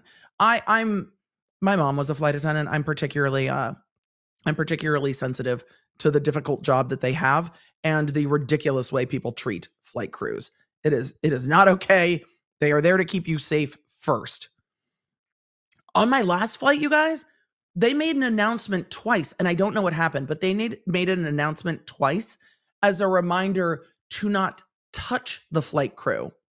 And I was like, what is going on in this? What what is someone is someone like grabbing the flight attendant or like why are you touching the flight crew? I, had no idea what happened. It surprised me that they were announcing that over the PA. Ryan's Hex RN gifted five memberships. Thank you. Simona said the root cause of all of this is the need to have super real looking bullets. The prop guy complained about being able to tell they are dummies. Oh, Seth Kenney definitely complained about like you know what I think of Seth Kenney. My my my impersonation uh, of Seth Kenney was sometimes I'm watching TV and I can like hear them rattle on screen. Ugh, these dummy rounds. Okay keep your hands to yourself. It was I was so surprised. I was like, "What are you doing touching the flight crew?" They they're ugh, No touchy. Like, don't touch people unless you ask. Defense, everything that guy said is bullshit. Thank you. I think her condensation will work in Alec Baldwin's trial. It is my selfish dream, wish, and hope, and I think it might happen, that Alec Baldwin testify in this trial and we see Baldwin versus Morrissey because Baldwin, as we have seen in his uh, interviews, will like to mansplain to you. He is the expertiest expert that ever experted in acting and acting with weapons. And he is very method, and he is going to tell you all why it is not his fault. And the cross examination will be will be magical because Baldwin is going to want to explain to the prosecutor why she is wrong. And she will play into it and annoy the piss out of him until he is an asshole on the stand. And I want to see it happen. His lawyers will prep him for that and tell him it's a bad idea. But his lawyers probably told him the interview with George Stephanopoulos was a bad idea too. Fiona said, Thank you for distra- this distraction tonight. Lost my beautiful cat to a snake bite nine hours ago. I, Fiona, I am so sorry. The way I have been gutted in my life by the loss of a pet. Um, it's 3:45 a.m. here, and he would normally be asleep next to me while I watch. I'm a blubbering mess. Me too. The loss of a Pawnard is a very specific and unique pain and loss. And I'm sorry for your loss. Lots of hugs from the chat. I would try to summon one of my cats, but they're sitting watching the bird feeder out a window. Will you be covering Marco Marco Erika Girardi case? Bridget, if you have not seen The Housewife and the Hustler Part 2 on Hulu, I cover the Marco Marco case in The Housewife and the Hustler Part 2 on Hulu, and I will be doing a podcast on it. We are deep back in the Bravo sphere for the podcast tomorrow, covering um the Rachel Raquel versus Ariana Madix Tom Sandoval revenge porn lawsuit. That's tomorrow. Ah, look, we might be coming back to court. Seems like production management didn't question her unsafe habits because she came with credentials she didn't actually have due to dad. She said in her police interview, My dad's the industry. I didn't take classes with anyone else because my dad's basically the industry. That's what she said. Oh, defense closing is going to start now, I guess.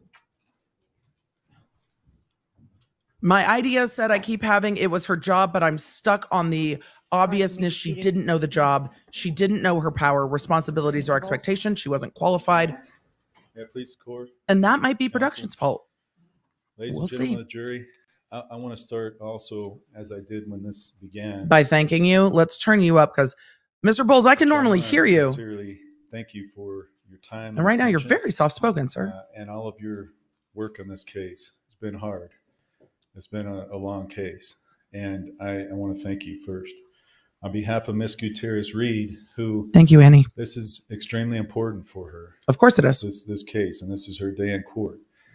And it's extremely important that the government rule out Is he going to try to tell them not to come to a verdict in like 10 minutes? Because it feels like he's saying, please give her due consideration.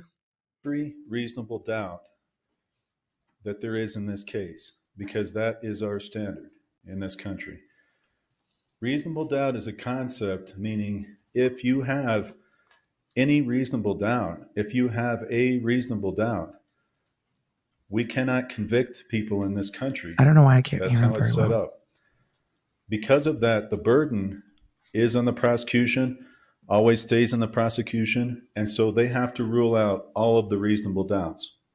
In this case, and I'm going to talk about a lot of the evidence soon, but I just want to start with a summary. The prosecutor just presented to you a series of pictures. I'm going to end the Uh, poll on the were the prosecution's closing. I'll ask the same $10,000 about the defenses in a minute. large. Uh, and they went through the pictures and they tried to show that there were silver primers, and this is going to be definitive I don't know evidence. if they tried. They did. These live rounds had to be on set at a particular time. I think this Let me tell you why there's off. reasonable doubt. Number one, that they will never be able to rule out in this case. Sarah Zachry threw away rounds. She unquestionably threw away rounds From the other guns. after the shooting. Wrong guns. It's undisputed. Counsel, We have no idea what those look like. We will Counsel, those weren't from Baldwin's gun. If you're going to try to fool this jury, you're just going to piss them off. Never have an idea what they look like, and that will never be able to be overcome. That one fact alone prevents that entire picture setup that was just shown to you from being accurate, from being real. Does it? Because we have no idea what those other rounds, whether they had silver primers, whether they were dummies, whether they were other types of, of dummies, what they look like. We have no idea. Fact two on the pictures. Seth Kenney told you he had gotten live rounds from Thell Reed that went to the 1883 set. He did say that. Those live rounds were three types. There were three types of bullets. He then brought Three looks. around Three looks, three looks. I got three looks. of the three types.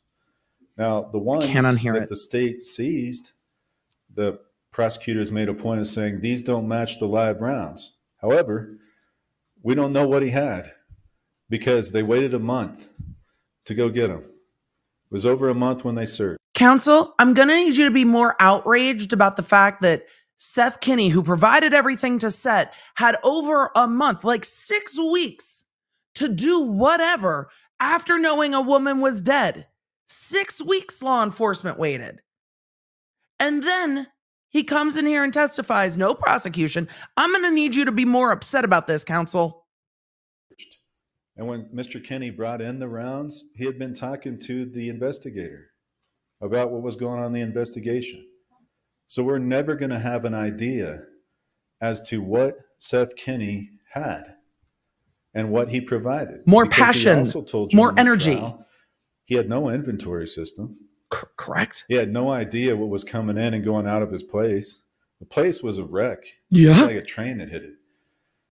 Sorry, I'm trying to move the closed There's no captioning so you guys can see them to- easily without them blocked by to chat. To really understand what they're putting in, what they're going out. And so he also said there were things that went onto the rust set that he hadn't inventoried, hadn't invoiced. He said that there were things that put on there that he didn't have invoiced. So here's the problem with that. We do not know that Seth Kenney only had those patinaed rounds. That's reasonable doubt. That's coming right from the government's witnesses, from Mr. Kenney. That part is unreconcilable. There is a reasonable doubt that we'll never leave this case on those two points on the pictures Chat, do you have doubt rounds. on that? Now, Ms. Morrissey calls it dishonest. Chat, do you have doubt on that? Raise a question about Mr. Kenney. And I submit it's not dishonest at all because they have the burden to investigate every possibility, uh, every aspect, as anybody in Miss Gutierrez Reed's place would deserve and would want, because their life is on the line Oh, that was me. as well on felony charges. Sorry, And it's the government's duty to rule out all these other things. Far from dishonest, what it is, I'm the problem. is thoroughness. on the audio. competence.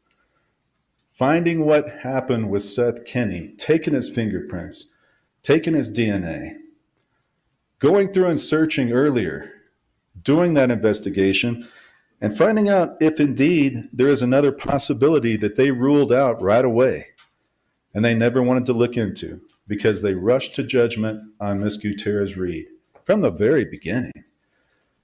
They singled her out on that set. She was the armor. They put her in a cop car, whether she asked or whether they put her in. She was the Uh, she's in the cop car and she never leaves custody until after her statement. She was in charge They of weapons. singled her out got and they rushed to judgment on her, and that's what you've seen ever since. A rush to Miss. Morrissey says, and the camera crew, and she mocks things that we raise as possibilities on the idea that none of it can be possible except Miss Gutierrez Reed is guilty. That is the only thing that can be possible because I say it. It's not how it works. Miss Morrissey said she indicted Mr. Baldwin. I indicted Mr. Baldwin. Actually, I think it's the state of New Mexico. That's not an individual person. you want to just you want to just piss at the prosecutor? Piss at the prosecutor about something else. She also sat there when Miss Zachry was on the stand, and Miss Zachry, I'll remind you, got an immunity agreement. Yep. Miss Zachry was promised she would never be prosecuted. And Miss Morrissey stands up and says, there's no evidence against Miss Zachry. Well, then why was she given an immunity agreement? Great question. Why would she need immunity? Why would she need one? if there's nothing against Miss Zachry? Because otherwise her lawyer wouldn't let her talk. She's given an immunity agreement, and then she's told on redirect examination Seth Kenney didn't get Miss immunity Morrissey. though. Did he? Remember, if you don't tell the truth, I can prosecute you. I will prosecute you. So Miss Zachry doesn't tell the version of the truth that the government believes is true. We saw the threat in live court. Oh, You can't trust some of the witness testimony in this case. interesting. And that will raise a reasonable doubt as well, I submit, because of things like that. Because the lead investigator admits that she practiced her answers and questions with the prosecutor. The side eye, the side eye from this prosecutor while the defense is closing. First of all, it's got to be freezing in this courtroom because everybody's always bundled up in jackets. But um, the digs at the prosecution are hilarious, and Kari's response to them also kind of hilarious. Something you can consider. Are you hearing everything? Or are you hearing a one sided version that fits the narrative that Miss Gutierrez Reed has to be guilty because we picked her out first? It's got to be her. She's Can't be. Mr. Kenney. Can't be the, anything else, any other possibilities. Sarah Zachry has nothing to do with it, even though we know unquestionably she threw away rounds after uh, a shooting. That's undoubtedly going to be evidence, but but there's nothing on her Different, apparently. different guns though, Second, which makes that argument boxes. tough. Different guns. the idea that the boxes match. We heard testimony that these rounds were loaded in and out of these boxes daily. Nobody knows what was in them on the 13th, the 16th, the 21st, because the rounds were put in, they were taken out, and they were put in different boxes. So the boxes really uh, are, don't matter. There's there's reasonable doubt all over the place to the boxes because we don't know what was in them Can you tell me where? three or four days before. Can you tell me where the doubt them. is? Not just all over the place. Um, the boxes are interesting because the government wants to match up the two they sure do. and they want to show the pictures that match. Yet all the ones from PDQ Props have the same label, same font. They're from Joe Swanson. They were different labels, Those boxes are, are similar to the ones on set. Sir, don't So argue that- things they that can prove you're wrong about. Is is not conclusive as well. The other part, when the government shows you video and video of video on only on the 13th, and says Miss Gutierrez Reed was lax on safety. Well, again, you're seeing videos from short snippets of time on one day on an entire movie set, and then you're not seeing what Miss Gutierrez Reed may have done right after the clip. You're not seeing what might have happened right after that. The other thing that strongly rebuts all of the safety points Miss Morrissey is pointing out about Miss Gutierrez Reed the hard thing for me with that counsel though is she was she was holding a shotgun barrel under her own chin though. What she does do on camera is not good. Now they try to downplay OSHA, but OSHA is a separate, independent state and federal agency Good that did argument. a full investigation into the responsibility for safety failures on this set. but your last And you Witness can it was evaluate the credibility job. in your minds of, of Mr. Montoya, who took the stand, and how you thought he testified, loved Mr. whether you thought he was thorough and how he answered questions. Yep. He, Did his job. he interviewed quite a few people and he reviewed a lot of information. Their conclusion after that was done was that production was responsible. He said the root cause was production adopted a safety plan and it ended at the word adoption because they didn't do anything after that. They didn't respond to complaints that there were safety concerns. They didn't allow for more training and take the time to do that. They did not respond to the negligent discharges and deal with that. Mr. Halls talked to one of the guys briefly, and that was all that happened. So you got to set that they're not allowing a time for inventory for the armor. They're not allowing time for You them to clean their weapons more. or deal with their weapons. This is management. You just heard Mr. Pesce state that the first assistant director is the primary person for safety on that set. Dave Halls has been doing this 30 years. Yeah, give him the smoke. Somebody doing it 30 years has a responsibility and duty to step in when there's safety things going on. And he's on several of those videos. He has a responsibility to step in and say, hey, we're going to stop this. We're going to slow this down. Agreed. We are going to have meetings. We're going to have additional safety training, and we're going to address this. Ms. Gutierrez Reed, come over here. We're going to do this, and we're going to talk to people. And Dave Halls didn't She do fuck also all. can come in and talk about that. And on those videos, they're both on the videos. But OSHA found because of the lack of support, because she's a part time armor, OSHA only charges employers, though. because she's not full time, because she's not, there's not two of her. As Mr. Carpenter said, two is one and one is none. Well, here we didn't even have one, we had a half. So she's trying to run around and do various things. She's a half a, a, a job on a set with over 20 guns, and they want to lay the complete blame on her in this case, as opposed to OSHA, who investigated as an official agency, Mention the plea made an deal. official determination that this was Mention the plea deal. and management. Mention the plea deal. Yep, mention That's it. That's important. And they gave him a That's plea an deal important finding because for a misdemeanor. they said all of this was caused safety wise by management. and As Mr. Souza told you, the buck stops with production. The buck stops with production. As in any organization, it starts at the top. You don't go and take one of the lowest people on the call sheet after something bad. I don't think the happens, armor is the lowest after person on the The whole sheet. management team is just thrown safety aside in favor of money, in favor Fair. of speed, in favor of profit give them the smoke. you throw all of that aside because at the end you've got a convenient fall person you got a convenient scapegoat and she may not be the armor on some days she's a props person but she's certainly the She's armor the armor of the day of the shooting. everything goes bad She was the armor of the day you of the why? shooting, sir. Because despite OSHA's uh, findings that they were responsible, production, the guys that you saw come in, the producers, the big guys, they want to sail off into the sunset. Sir, the producers that the prosecution brought in looked like they were 31 year old VC bros who might also talk to you about crypto. I don't know if that's going to work. and Just saying. go on about their business, finish the movie, make the money, because they've got the convenient fall person sitting right here.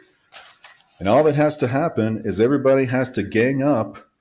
Everybody has to Get their story have their straight. talks after this happened Yep. and blame. Hannah. So it has to happen. That's what happened in this case. You had a production company on a shoestring budget, an A-list actor that was really running the show. He was directing people in those clips, telling the camera person where to go, telling the armor where to, where to go. And then you had a situation where at the end they had somebody they could all blame. It didn't work out with OSHA because OSHA didn't buy it. Well, OSHA doesn't blame OSHA said it was the higher ups.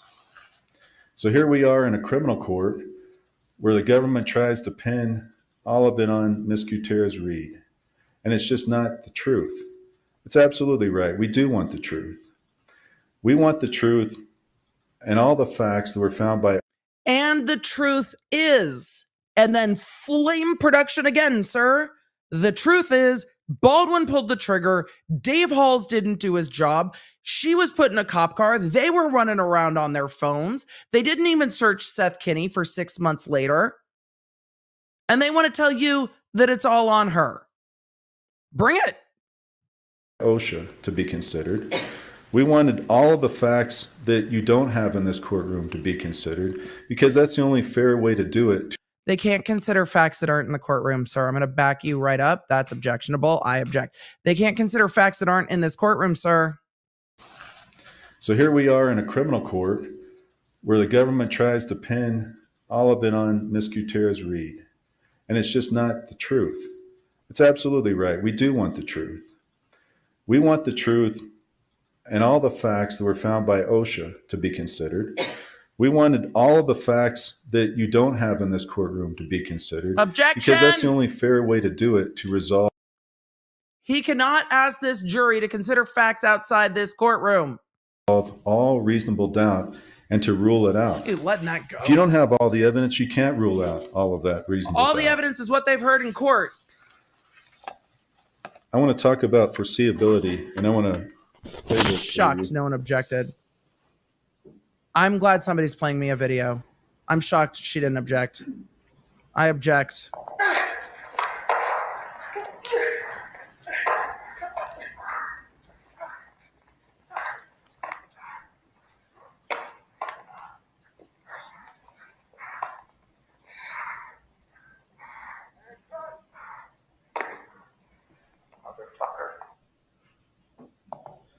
I'm so glad we're using cut motherfucker again. I I am I'm real glad. I wish the audio was a little bit better, but what happens is Joel Souza yells cut, Baldwin shoots a blank again, and then Joel Souza says motherfucker. You probably remember that. Um, Yeah, I do. That was the scene where Mr. Baldwin runs up the hill I remember. and cut is yelled. And right after cut is yelled, he shoots. That's, I submit, reasonable doubt, and I'll, I'll tell you why. Sir, this is a different day. How is this reasonable doubt for your client? Because Mr. Baldwin went off script. He chose to fire after cut was called. And you're going to see where he does later do the same thing in this tragic shooting. Mamie Mitchell told you on the stand, the script supervisor, that it was not in the script for Mr. Baldwin to point the weapon. But for Baldwin, It was not in the script for him to point the weapon. And we have to be very careful with facts when we're considering a, cri- a criminal case and the beyond the reasonable doubt standard. That's extremely important because Ms. Gutierrez Reed, nor anybody else, knew that Mr. Baldwin in that moment was going to point the weapon right at Halyna and uh, Hutchins and Mr. Souza yeah, he shouldn't have done that at do all. what he did. he shouldn't have done that at all. That is the concept of foreseeability. Now, Miss Morrissey gave you an example of you, if I hand somebody a, a firearm and it's loaded, Counsel just undercut his own argument, and here's why, in my opinion. He is arguing that Baldwin going off script is not foreseeable after he showed a video of Baldwin doing exactly that after Cut is yelled, still going rogue and firing and getting called a motherfucker by Joel Souza, who I think was the most pleasant and affable witness in this entire trial. So he has just undercut himself in the middle of his own closing by saying it's not foreseeable that Baldwin will do whatever the fuck he wants to do. After showing me a video of Baldwin doing whatever the fuck he wants to do. That doesn't help. and then they go and do something with it. Uh, That's and it foreseeable. somebody. But here, what we had, we she did not know Mr. Baldwin was going to do what he did. Even though no before one, first he of was all, called her firing back after into cut the was called. church that he was using the gun at that time. She had given fair. it to Halls to sit in in the church. Mr. Halls then gave it to Mr. Baldwin, and that is the conclusion of the lead investigator. That was what Baldwin said, and that is what Miss Gutierrez Reed said. So Halls hands it to him. No one calls her back in to let her know Baldwin is doing that blocking scene. It's She doesn't know foreseeable. Baldwin will be wild. The medic said she did not hear anybody call that out. They didn't. First team over the channel. So that's not getting put out. So Ross Baldwin's Addiego doing said that too. an- another audible, like he did on this video that you just saw. He's It's- going off script. So it's foreseeable. That defeats any idea that that was foreseeable. It proves that it's foreseeable. Reed. If she doesn't know uh-huh. what's happening, she can't foresee it. That's a big part of the the instruction. The other part I want to talk about Okay. foreseeability and where this matters is live rounds. Now, live rounds in this type of situation has not happened in Hollywood. In the hundred years of Hollywood, this has not happened in a situation like we saw in this case. No one on that set foresaw, knew, or thought that live rounds were going to be on that set. No one. You did not hear one witness in this case.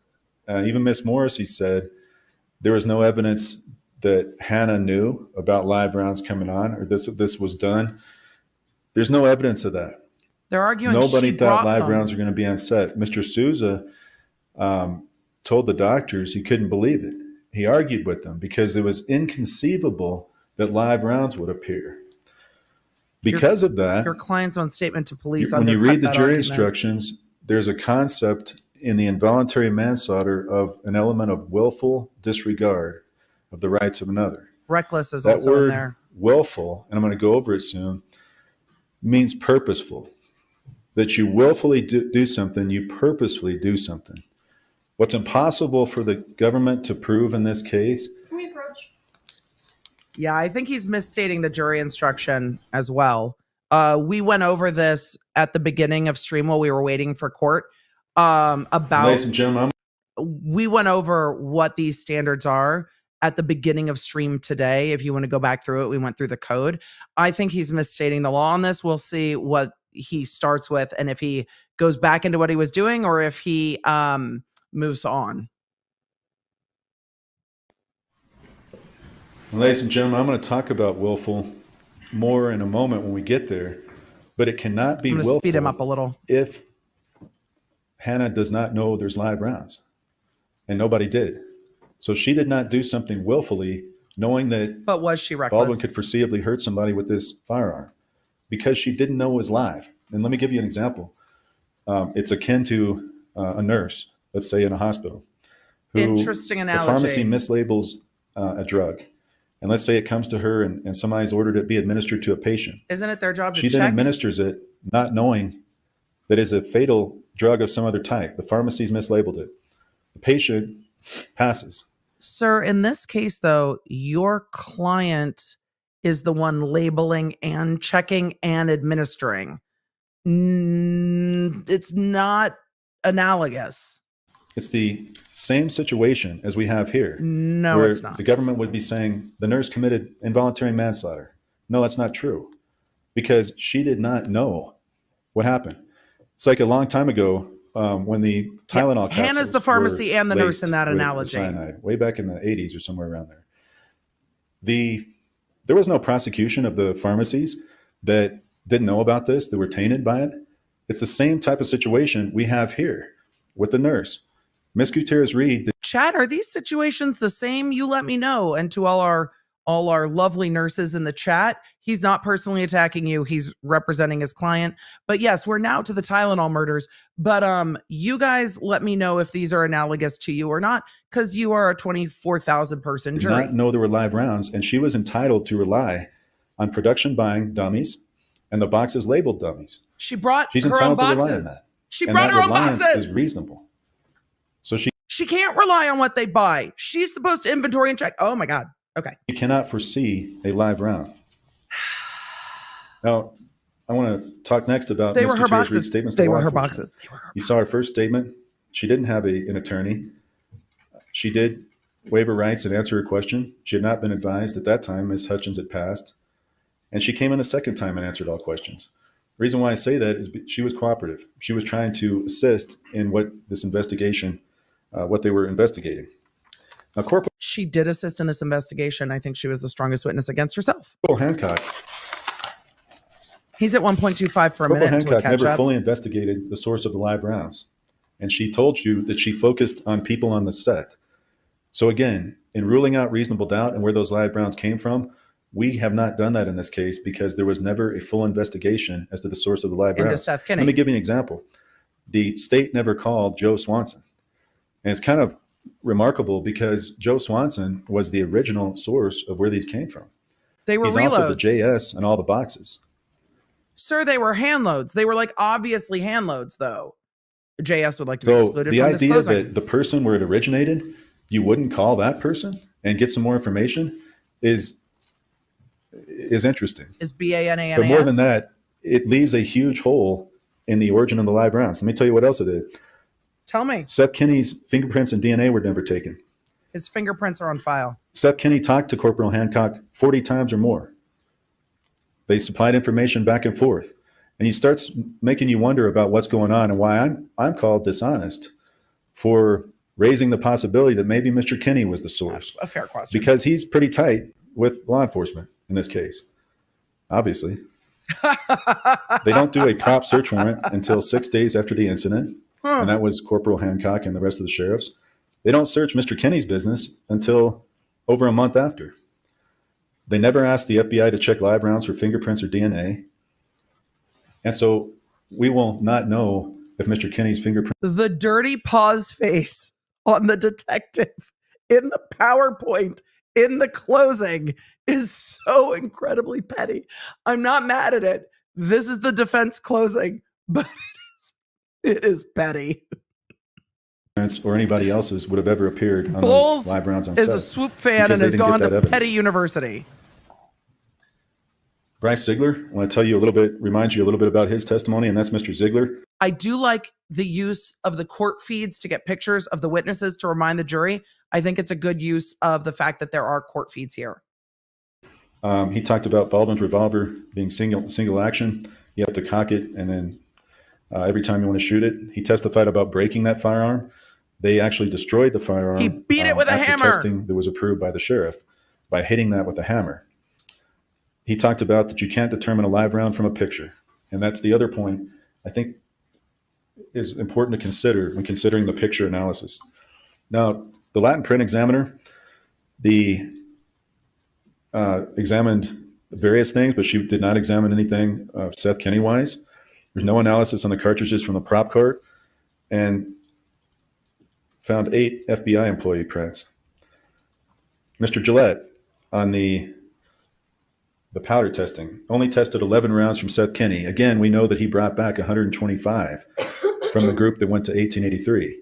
And I also want to remind you about 1883. Some of those were Starline brass rounds, and some of those he said had silver primers. And Starline so Brass doesn't when we get to the set, the live rounds are live Starline rounds. brass, and they have silver primers. It's a continuous chain that could have been traced from Thell Reed all the way to Seth Kenney, all the way back to the set. But they did not do that thorough investigation, and that's reasonable doubt they have not ruled out. The dummies, again, I submit this is another area of reasonable doubt. Witnesses testified this set contained a dangerous mix of dummies. They were dangerous because it was impossible for the armor and prop master to hear and rattle I wonder if when they said the set contained a dangerous mix of dummies, they were actually talking about production. I have no love lost for Dave Halls and the job he did or did not do on this set. I'm I would just submit that to you, chat. all of the dummies, uh, especially under pressure, rushing, and noise on the set. You saw there was a lot of wind that day on the lapel. There's people running around. There's, I think at one point somebody said 200 people. There's all kinds of things going on. Um, and despite that, Mr. Haag uh, indicated in a quiet office he could not hear one of the dummies when it's rattled. That's dangerous because when you're trying to do it quickly, when there's a lot of noise, it may be a dummy. So Um, it was too loud not. for her to hear, hear them rattle. rattle. Seth Kenney again mentioned in this case that he always rattle tested his rounds, and he made sure they're dummies. He told you all that. Well, the problem, the, even the box that they say was Seth Kenney's and the rounds that came out of it, there was one round, if you remember, that was gunked, and it didn't shake. That round had to be sent to the FBI to be broken apart and to be checked to see if it was live. So if he truly is that thorough in shaking, he missed that round. And so did your client. Now the producers, You just they left had it oversight of the budget there. team. They didn't know where the funds were set aside for the armor. The dirty They were on location for The- filming, and they were the dirty paws. on- it's I don't know who did these, but it is it is absolutely petty and it's kind of funny. Find the statutory maximum by OSHA for managerial safety violations. Again, He walked back what he said in opening. Do you remember in opening when he said this OSHA fine was the largest in the state's history? And then yesterday when the witness was like, "Nah, that's not true. It's just the statutory maximum." They uh they walked that back and fixed it in closing, didn't they? OSHA found that the management team are the ones responsible. And yet we're here with Ms. Gutierrez Reed, the person on trial for the felony offenses. Sherilyn Schaefer was the medic on set. If you recall, she did not have chest seals. Um, she Sir, I am trying to listen with an open mind. If you start coming for the medic because she didn't have hospital grade equipment on a set, you are going to lose me. And I am curious if anyone on that jury has a medical background. Don't, she's not the one that deserves the smoke. Go back to Dave Halls and Seth Kenney. Go back to production. Smoke them all day long. Leave this medic alone. I think was doing the best she could with the equipment that she had, but she didn't have the um, complete equipment to deal with a gunshot wound. Because she's not a She hospital. Also indicated she never heard anyone call out use of the gun before the fatal shooting. Mamie Mitchell, I touched on this earlier. Most important thing Ms. Mitchell said was that it was not in the script for Baldwin to point the firearm. That goes directly to the element when you read the jury instructions and you all go back in to deliberate. Uh, that goes to foreseeability and whether or not anybody can foresee the moments Mr. Baldwin pointing the gun, using it as a, a pointer. He's up on the hill shooting after cut, and then he's shooting, uh, pointing the him up on the hill waving it around, shooting after cut and getting called a motherfucker happened days before this happened, making it for you're gonna get self-owned with that argument, making it foreseeable. gun when he's not supposed to in scenes. Look, Alec David Baldwin's not doing what he should do. Um, David Halls was the first assistant director, uh, as you remember, and he was in charge of overall safety. Now he got a misdemeanor, uh, six months unsupervised probation, uh-huh. even though he was in charge of overall set safety. Uh-huh. He never raised any concerns, and in fact, I think he said Hannah did a great job as armor. He did. He indicated he did not hand the gun to Baldwin, but the sheriff contradicted this. So did Hannah, and so did Mr. Baldwin, uh, and that was essentially Mr. Hall's testimony. Sarah Zachry, No more remind you, she threw away rounds on set. No after more the smoke shooting, for Halls. Took items off the prop card. She worked for Seth Kenney, and she texted and called him right after the sh- shooting. Not the emoji.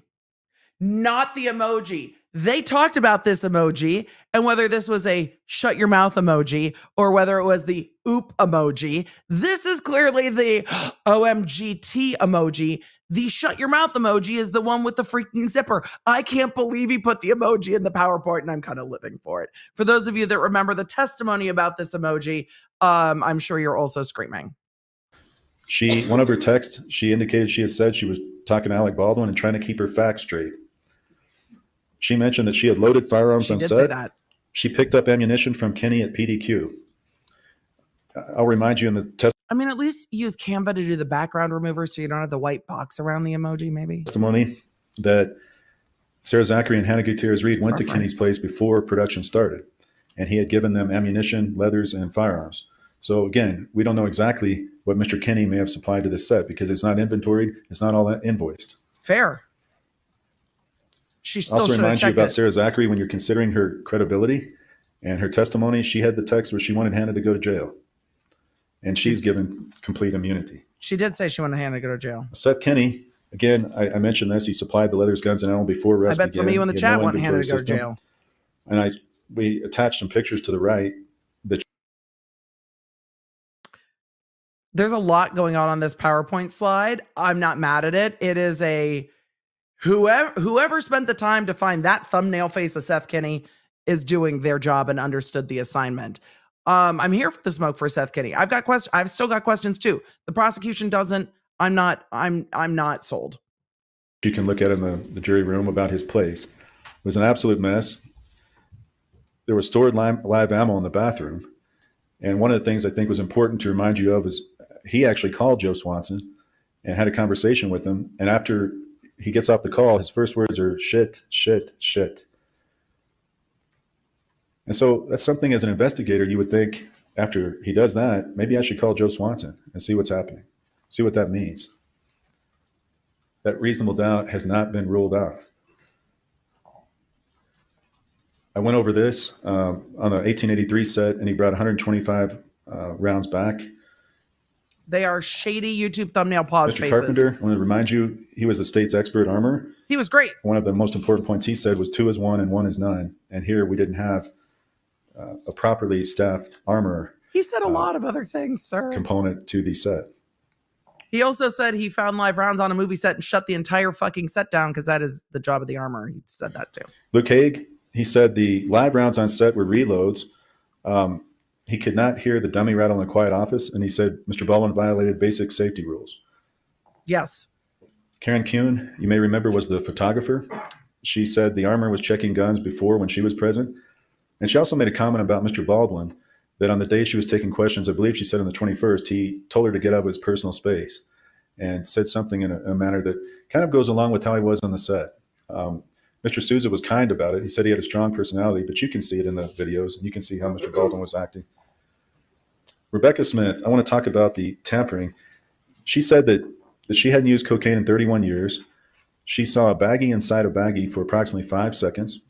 She didn't know if it was cocaine or I think he should hammer the reasonable doubt on this and hammer the state stretching and trying to uh bull over Hannah to taint the rest of their case. Like this is such a reach, everything's a reach. I think he should focus on this and the state's reaching on this quite a bit.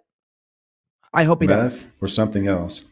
Well, she admitted at the end she was guessing. Wait, he's talking about meth again. God damn it, counsel. It could have been meth is not a good argument for you. It was still in your client's pocket, sir. Are you eh, how long have you worked as a criminal defense attorney? Because you've never gone to the jail and asked to see the physical evidence. Eh, she would have known if it was meth. Anyway, But you can see it in the videos and you can see how Mr. Baldwin was acting. not the meth again. Rebecca Smith, I want to talk about the tampering. She said that, that she hadn't used cocaine in 31 years. She saw a baggie inside a baggie for approximately five seconds. She didn't know if it was cocaine or meth or something else. But she admitted at the end she was guessing. And we also know that the substance in the baggie was never tested. And so the, the only evidence you have of narcotics in this case is a guess. Now, Ms. Morrissey in her closing indicated that, well, of course we don't have the evidence. The whole thing is throwing it away. Well, you have to prove first that it was evidence. So in a normal tampering case, when let's say a firearm's thrown away, and we know a firearm was used, and somebody throws a firearm away, we know that was a firearm. So we know that would be evidence in a case involving a shooting. Here we have an unknown substance. Again, evidence they of have to rule what? out all of the reasonable doubt by that. It's not enough to say it's probably something under a criminal standard. It's probably cocaine in Get back to arguing what the fuck is it evidence of, counsel. that bag because Miss Smith says it is. If it even happened, You moved away from the point. we don't even know this happened. The government hasn't established that except through her testimony. We don't know if there was a bag. We don't know if the jury instructions. The jury instructions very clearly say the testimony of one witness is enough. But sir, sir, the point you were at the point and you moved away from it. Can you get back to the point? What is it evidence of with regard to the involuntary manslaughter? What? What is it evidence of? this actually was passed, and that's their burden. It, let's say it did happen, that you you believe it did happen. It's not enough to say what was probably in that bag. They have the burden to rule it out beyond a reasonable doubt that it couldn't have been any. Not evidence of anything involved with the involuntary manslaughter. She maybe she had something in her room to give to a friend later and she wanted to get rid of it until the police came. It has nothing to do with the involuntary manslaughter. Why aren't we arguing that? anything else. And she's already calling it in her testimony potentially You also argued that Sarah Zachry throwing things away was was tampering with evidence and now you're arguing that your client throwing things away isn't tampering with evidence. I need you to get back to the fact that this isn't evidence of anything with the involuntary manslaughter because you never you never finished that point. Multiple substances cocaine, Sir. methamphetamine, or possibly something else. So she's not even certain about what it is. It being meth doesn't help your client. They have the burden to rule it out beyond a reasonable doubt that it couldn't have been anything else. And she's already calling it in her testimony potentially multiple substances cocaine, methamphetamine, or possibly something else. So she's not even certain about what it is. Without a, a, a test, without something presumptive to tell you on a test, Sir, that's not there's no way of telling That's what was worse. in that bag. It's not enough in a criminal case. Sir, take it show we talked about in detail. And I just want to remind you the root cause they found, they it has to be tampering with evidence related to the involuntary manslaughter. And you have not made that point clear to the jury. Make it clear to the jury that it has nothing to do with the involuntary manslaughter. Who cares if they tested it or didn't test it if it's not evidence of anything to do with the manslaughter? Why, sir? Why? It's the obvious argument. attributed all the responsibility for safety issues to management. Mr. Elliott, uh, he was defense expert investigator. got an extensive law enforcement experience. If you recall, an Where's the where's the fire spicy pepper emoji on the bottom of this one? Because he got roasted on cross. PD and military. One of his big points was Mr. Baldwin was not segregated at the beginning, even though he was the known shooter. Hannah was segregated right away. Again, they zeroed in on her uh, in the the rush to have her identified. They zeroed in on her because He she was indicated there was responsible for or the so guns and key someone was witnesses shot. not identified and segregated. And the problem with that is they can get their stories together and they can uh, change their stories. They can have their memories altered. We know this happened in this case because after the incident, Mr. Baldwin is talking to Sarah Zachry. Uh, she's, he's texting and talking to her. Seth Kenney is talking to Sarah Zachry. Mr. Halls is talking to Baldwin after. And so And your client talking to her dad all the and Seth information Kenney. we're talking about, but we do know they're coordinating, they're talking. So the put only those one in not evidence. in that group Call a uh, was- witness. was Hannah. Dan, I was talking And- to folks. again, this was the idea. We've got to circle the wagons and we've got to pick out the person that's going to take the fall for everything that's happened here. That's Hannah. Because she That's was in charge of the guns? Is that why? Why is she taking the fall, sir? Law enforcement failed to follow up on the origin of the live rounds, and their delayed search warrants caused problems with missing evidence. I think that's a fair argument. PJ Pesce testified just this more. morning. Um, he had said, like everybody else, he's never seen in 35 years I'm sorry, chat. I, I I have to pause. Chat. We seem to be missing a slide because there was a witness in between these two witnesses that isn't being discussed at all. What? Why are we missing a witness? Chat. What? Why are we missing a witness? He just completely ignored their weapons expert from yesterday afternoon. What, Mr. Bowles, at what time yesterday did you pull that slide out of your closing argument? Was it when he um, pointed a barrel towards the judge? When he got excoriated on cross examination for doing that? Or was it earlier than that? What it was the judge when the judge scolded him for being like, see, weapon in court before he had uh, demonstrated it was safe. How, what, at what point did you pull him out of the PowerPoint presentation? I'm an curious. armorer split duties with props. It's not possible for one person to keep track of so many firearms.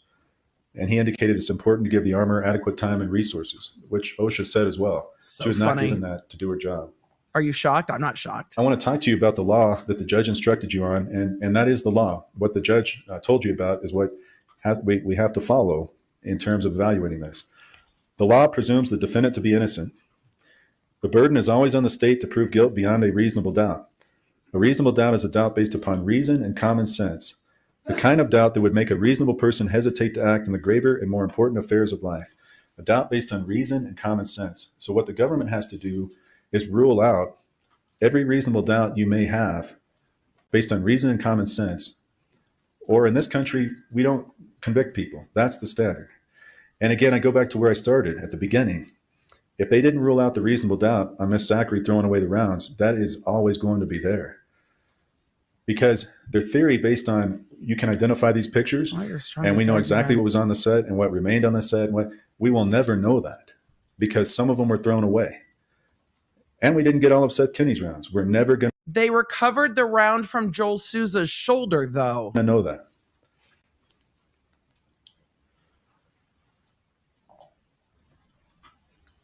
Other areas of reasonable doubt. I've gone over the top two, top three. The prop cart was tampered with. Uh, we know that right after the incident, another individual moved it. Now, Lieutenant Benavides said he had eyes on uh, the entire time. He did say that. But if you saw that video, you can make up your mind what you believe. Um, ladies and gentlemen, his camera appeared to be pointed right into the vehicle, and the individual getting the cart was way off in the other direction. He said he had his head turned. But you all can decide uh, what you think about that. Your client did verify in her police interview that the rounds taken off the cart and then put into the police car and then showed to her in her interview were, in fact, the ones she was using to load the gun. But sure. But sure. But sure. The prop cart, there was unquestionably items taken from it. We don't know exactly what those are. That is another area of reasonable doubt that the government has not ruled out. Oh, look at us. You've had witnesses say We're throughout the trial you can't tell live ammo from a picture. And the reason is that the FBI said it has to be disassembled and you have to open it up because there's powder in it. If there's not powder in it, then it's not live. Well, some of them had holes. OSHA stated the root cause of all safety failures was management. OMI ruled this to be an accident, not a homicide. You heard evidence about the esophageal intubation was ineffective to provide oxygen to Halyna. This also was a situation in this case where multiple lawsuits have been filed, and you can evaluate their testimony, those people who have filed lawsuits, with care and caution, because they've got an interest potentially in what's happening in this case by being involved in lawsuits. Most of them aren't suing your client, though. Involuntary manslaughter, uh, you're going to have that instruction when you go back. That is the um, charge that the, the, Her Honor has read to you. She's given you the law on this. I want to focus you on a couple key points. Yeah, it's a real confusing. the government has the burden to show each of these elements beyond a reasonable doubt. Yeah, it's a Uh, multi-part the elements are the numbered items. What that means is if you all have reasonable doubts on any of these elements, lawyers, future lawyers, anyone who presents PowerPoint, multiple slides, one slide for each point. There is too much text. Everyone's eyes are going to glaze over. One slide for each point. Hannah cannot be convicted. And I want to focus you in on element three that Hannah acted with a willful disregard. Again, you go back to willful disregard, the nurse example, and the idea that if somebody doesn't know, I mean, that could be the same thing with a nurse on trial for involuntary manslaughter, but if she doesn't know the drug was mislabeled, you cannot hold her criminally accountable for something like that. It's the same thing in this case because no one knew there were live rounds. The prosecutor is going to stand up and say, Hannah's the pharmacy. She mislabeled the drugs and she administered them. You are teeing up a very, very bad comeuppance. So she did not. How can you not see that's what they're going to do? anything that happened that day? In loading the, the firearm, this was a nor- another day everybody thought on set. Loading the firearms, running to different things, doing the duties. Nobody's calling her back in for the blocking scene. Mr. Baldwin's doing something on his own. Nobody in the wildest dreams thought there was a live round. And because of that, because there never the next element is that Hannah Gutierrez Reed that caused the death. I submit to you that what caused uh, her to pass was Mr. Baldwin going off script and pointing the weapon. Now he didn't know uh, there was a live round in there either. He didn't know. Again, he's in the same position that nobody knew there was ever going to be a live round on that set. But the only the only ultimate act is is pointing of that weapon. Miss Gutierrez wasn't in the church. She didn't point that weapon. She didn't pull it. Nobody called her back in. And because of that, those two elements, I submit to you, have not been proven on involuntary manslaughter. What And do you guys think? be. The government has to resolve all your reasonable doubts about that, or they don't. You cannot. Uh, we cannot convict. Mental state and willful disregard, uh, and that is going to be in your in your instructions. For you to find the defendant acted negligently in this case, you must find that, that the defendant acted with willful disregard. And, and so again, that's the terminology is willful disregard. There's a further definition of that in the code, though. You're also going to be instructed, the court instructed you, Her Honor, on negligent use of a firearm. And that is a, a lesser included offense of the involuntary manslaughter. Uh, so when you go back and deliberate, you will have uh, this in front of you as well.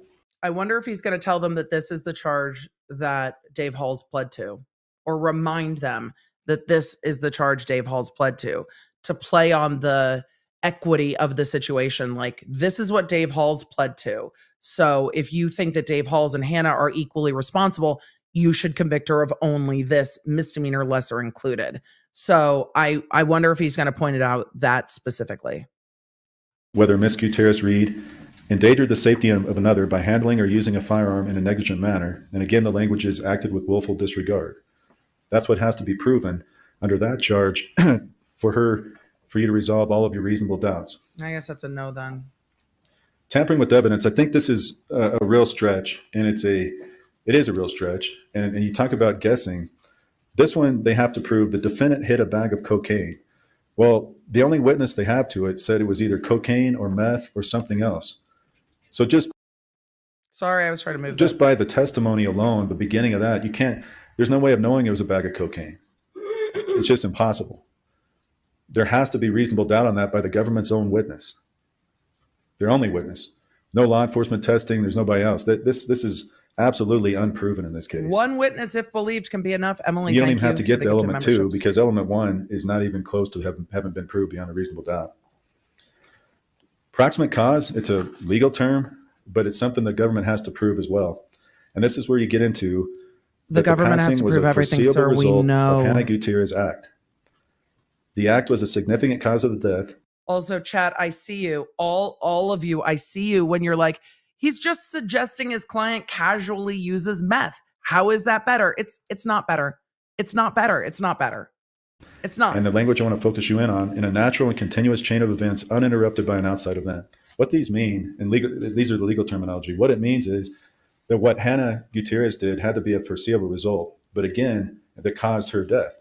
But again, without her knowing that there was a live round, that's impossible to meet. It was her job to know it was a live round, sir, and that's what the the prosecution's going to stand up and say. So I need you to bring something stronger than she could have never known there was a live round because it's her job to sort that out. I I I think there's stronger arguments.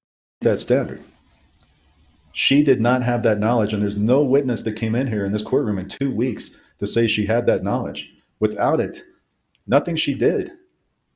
She has that willful disregard because she just doesn't know. Disagree. Now, was there an outside event as well? There was an outside event. There's She two just outside doesn't events. know is not going to cut Whoever it put the live on set, know. and then Mr. Baldwin in the end going off script and doing what he did. Those are outside events outside of Miss Gutierrez Reed's control that she didn't know was going to happen. That breaks any idea, uh, and there's reasonable doubt that she had anything to do ultimately with Halyna Hutchins' death. Miss Gutierrez Reed was not a significant cause as a result of her death because of the reasons I've mentioned to you. Chat, do you agree or disagree that Hannah Gutierrez, the armorer, was not a significant cause of Miss Hutchins' death? Agree, disagree. Put it in the chat. Another instruction her, her Honor gave you is that negligence of a third person, again, I'm going to highlight the language, if it breaks the foreseeable chain of events. Um, again, the foreseeable chain of events on that set is you have dummy rounds, you have blank rounds, and then you have um, an orderly progression with how those are being used. Here we had a completely unforeseeable live round, uh, six live rounds that were on set, nobody could foresee. And then we have Mr. Baldwin's action in the end. Those were both unforeseeable to Ms. Gutierrez Reed. I think it's foreseeable that live rounds could end up on set whenever there are guns, and that is why there is an armorer and it is their job to check everything. I think like the job function is because it's foreseeable. And I think she says that in her police interview when she says things can go wrong. And then she says, and it's my responsibility. And I think the prosecution's going to use that statement in their rebuttal because he says it's not foreseeable when his client says in her own words, it is in fact foreseeable and it's literally why her job exists. So, The judge instructed you on, you all are the sole judge of the facts. yes, You all are deciding the facts, ladies and gentlemen. And your verdict should not be based on speculation, guess, or conjecture. It goes back to the tampering charge. Um, it goes back to some of the other aspects the government has told you. In this country, we can't decide and convict people on guesses. And that's a lot of what they've asked you to do in several areas to guess, to assume, to speculate. let's It's not not sufficient to convict people in this country to guess. It's not. Every time I've had a really, really strong case and I won almost every single trial I did, but in every trial where I had really, really mm-hmm. strong cases, do you know what the defense argued the most in their closing? Burden and reasonable doubt. Because there is nothing else to argue but the burden. He has facts to work with. He does have facts to work with. And he just keeps hammering on burden because he doesn't see some of the arguments he needs to make. And he's just not making them. And that's what they brought you and they've asked you to do on the tampering and other aspects of their charges. And that's not sufficient. Ladies and gentlemen, Burden, Hannah is not guilty burden, on all the counts because of the law that Her Honor has given you. When you apply that law and you apply the standard of beyond a reasonable doubt, she could not anticipate what Baldwin would do. It was not in the script. It was not foreseeable. Management was responsible for safety failures and not Hannah. There's zero evidence of cocaine. There's no testing. And again, I go back to the idea that Hannah is a scapegoat for all the management failures. They do hope she gets convicted, so they're all exonerated. They can move forward. They can finish that movie like Mr. Souza said they did and make their money. But as he also This is the strongest point of his closing so far. told you, the buck always stops with production, and it's their responsibility. In any organization, It goes from the top down. And that's where the responsibility lies in this case. That's what OSHA said. And that's also the truth. And the truth is important because justice for Halyna does not mean injustice for Hannah. It's a good argument. Does not mean injustice for Hannah. It does not mean they get to steamroll her and they get to come in and spin their version of facts and they get to call it truth. Because that's not truth. Truth is bringing you, ladies and gentlemen, everything they can. Justice is bringing you everything they can. Justice is not mocking theories that could come true, that might have been the case. Justice is not laughing in court during some of our exchanges. And you can evaluate that as to their credibility, whether that was professional, whether if she didn't take court seriously, did she take the investigation seriously? Uh, oh, I submit she did not. the court's got some side And eye. so they can't come in here with a straight face and mock us and criticize us and tell you they have given you enough to convict her behind a reasonable doubt. Just got Because they haven't. More side eye. That, ju- th- that just got real personal. Are you done with your closing? They're going to take a break, I imagine. He, I think he was attacking both the prosecutor and the lead detective. I don't think that's going to go very well, um, based on some of his his arguments. The one thing I would have liked to have seen him argue more is whether or not she could have done her job. Not that it was unforeseeable that there was a bullet, that it was foreseeable that there was a bullet, but she actually can't be willfully not doing her job because of all the production failures. And he did not take that route at all. But that's his call and his strategy. I guess we're getting right into rebuttal. So I'm going to zoom zoom till we get to the state's rebuttal. And because the state talks fast, I will probably slow her down if we need That to. I agree. Hannah didn't know there was a live round on set. I agree. because she didn't check it. All right, you guys, I'm going to swoop just real quick because we're getting to rebuttal. They're not going to go to lunch. They are going to work through and get this jury deliberating. Let's rebut. If Hannah knew there was a live round on set We would have she charged loaded her. it into a prop have gun charged her with murder. and it was used to kill Halyna Hutchins, she wouldn't be charged with involuntary manslaughter. She'd be charged with second degree murder. Yep. Facts. She'd be charged with first degree depraved mind murder. This is an involuntary manslaughter charge because she was reckless. because she didn't know there were live rounds on set, and the reason she didn't know was through her own negligence, her own recklessness, her own willful disregard for the safety of other people. Mr. Bowles, do you see what you did? You wound her up. You wound her up and let her go. I'll explain depraved mind murder after this. You this is what he teed up. She is bringing the heat that he teed up. This is because of him. that willful disregard, that lack of care for the safety of other people that you have seen throughout this trial. It is shocking. For Mr. Bowles to come up to this podium and say it wasn't foreseeable that Alec Baldwin was going to go off script and pull the hammer and pull the trigger, Yep. he showed you a video of Alec Baldwin going off script. Yep. Alec Baldwin went off script. Hannah Gutierrez knew it. Yep. She was there. Hannah Gutierrez knew that Baldwin was loose. She knew it. She didn't do anything about it, even though it was her job. Joel Souza called it him a was motherfucker. her job. It is her job to say to an A list actor, if in fact that's what you want to call him, um, hey, you can't behave that way with those firearms. And the shade That is her job. That is what they pay her for. That is the job that she applied for. That is the job that she accepted. I have her sped up so much it feels like she it feels like an auto-tuned uh defense argument at this point. The Baldwin shade. Good lord, I was not expecting the Baldwin shade. Foreseeability. You want to talk about off script? I told you that video was going to bite him square in the ass the second he made that argument. I said, I said, this is going to bite him in the ass. Chomp chomp. Just remember those videos of the stuntman. That's not within the script. She was there. She watched it. She knew these people would go off script. You know she didn't check the rounds. If she checked the rounds, they wouldn't have been floating around that movie set the entire time, undetected. And there's the smoke. Give you everything we've got. You have absolutely everything we have. This law enforcement team and this team of prosecutors have reviewed thousands and thousands and thousands of photos and thousands of videos. We have interviewed And the defense has them too. countless people, many of whom you didn't even hear from. We can't stay here forever. Thank God.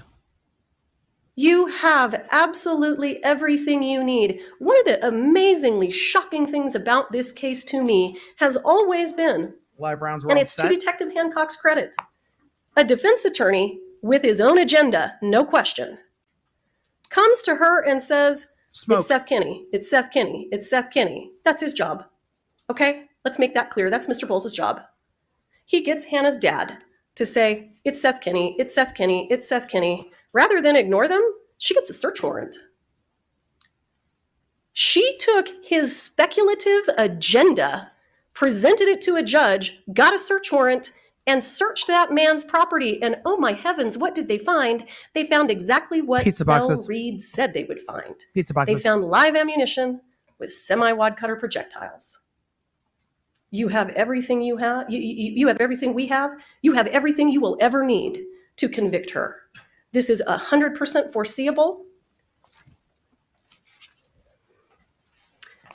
I'm, Hannah putting, Gutierrez is not a scapegoat. I'm putting up a poll about the defense's closing argument, asking you if the defense's argument introduced doubt to you. I will ask if the prosecution closed in on that doubt, but I got captivated and forgot to put up the poll. Sorry. Hannah Gutierrez is not being treated as a scapegoat. Mr. Halls was charged criminally. That plea deal sucks and we all hate it. To his credit, he took an early plea and he got the benefit of that. And it sucks and we hate it. Mr. Baldwin has now been indicted. Twice. Everyone with criminal culpability has been criminally charged in this case. She's not being scapegoated. She is being treated like everyone else. She is not being given a break because she's a woman. She is not being given a break because she's young. Because that, She's being treated like everyone else in the chain. that's not how the law works.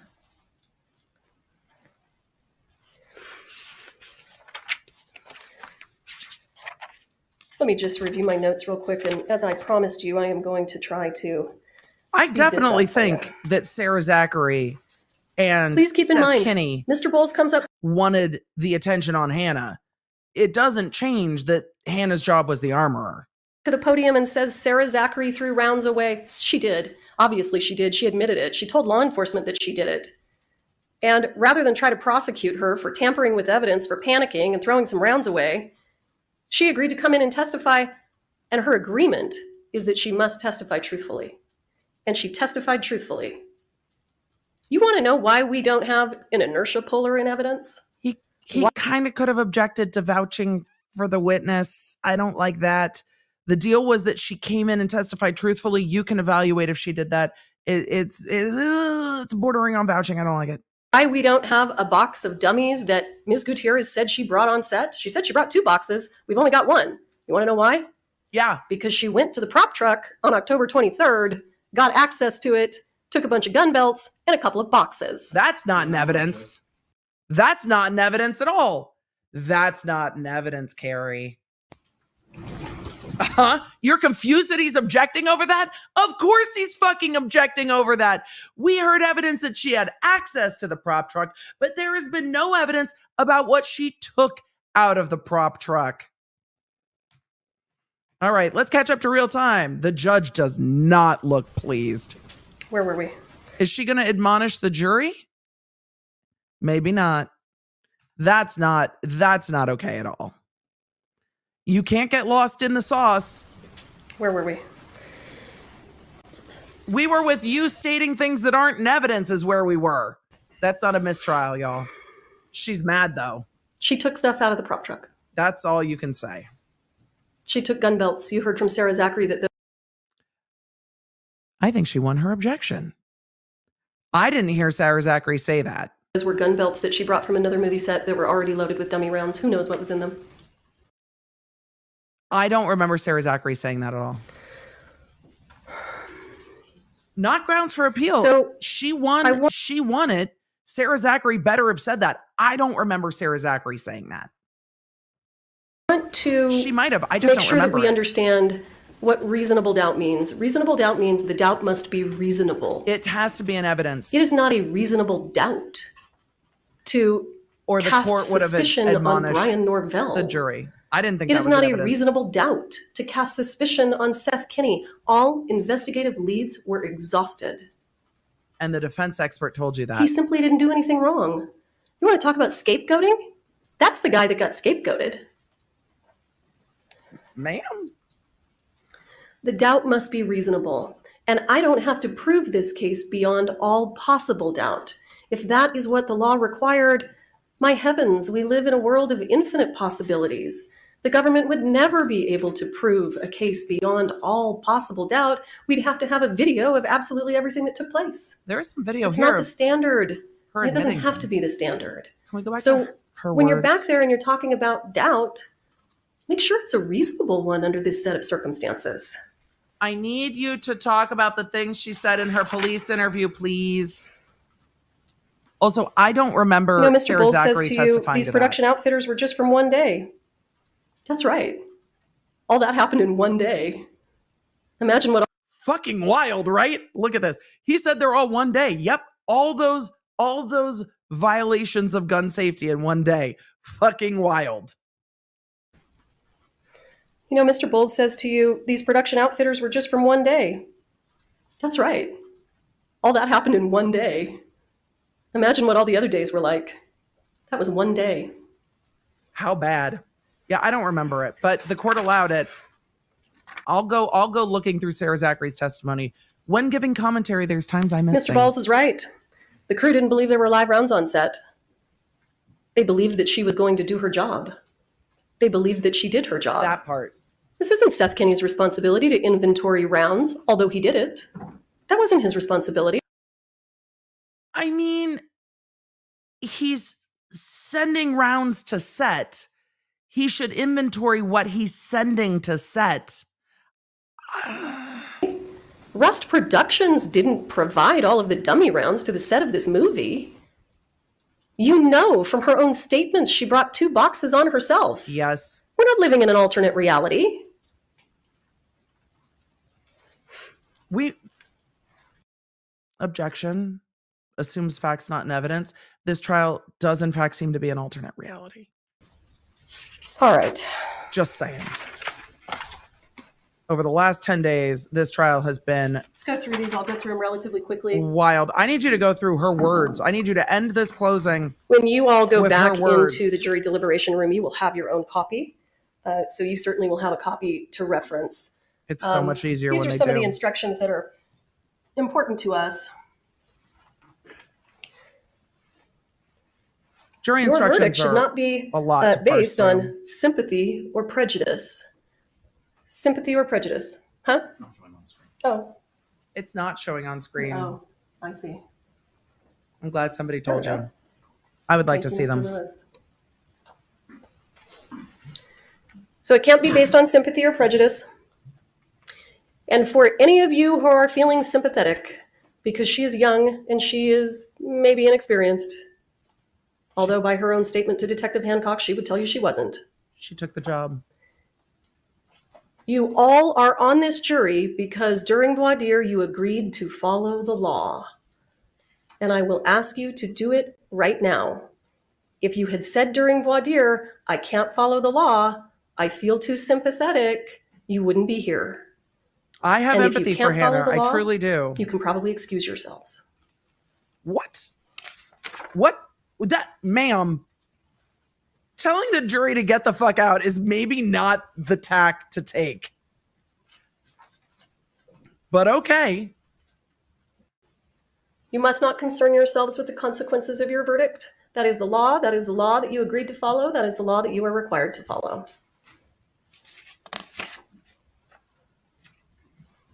I think she sounds more aggressive because I have her at one point. Hannah Gutierrez endangered the safety of another by, hand, by handling or using a firearm in a negligent manner. There can be absolutely no doubt. That happened. Hannah Gutierrez should have known of the danger involved by her actions. Yes. Yeah, she knew. This was completely foreseeable. She was trained in firearms. She knows what we all know guns can kill you. You got to be really careful.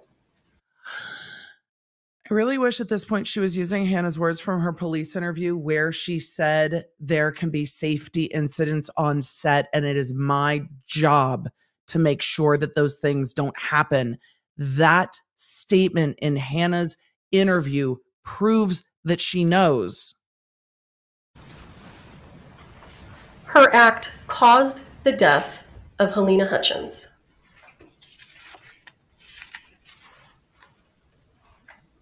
Twelve A is the alternative theory, and so let me explain to you that twelve and Yeah, twelve you need to A make this real are clear. alternatives. You must find Either. you must make a decision about guilt or innocence unanimously to the count, not to the alternatives.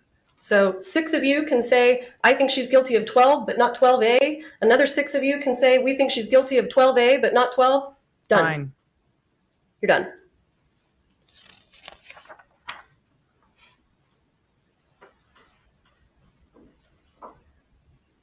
Hannah Gutierrez loaded live ammunition into a firearm.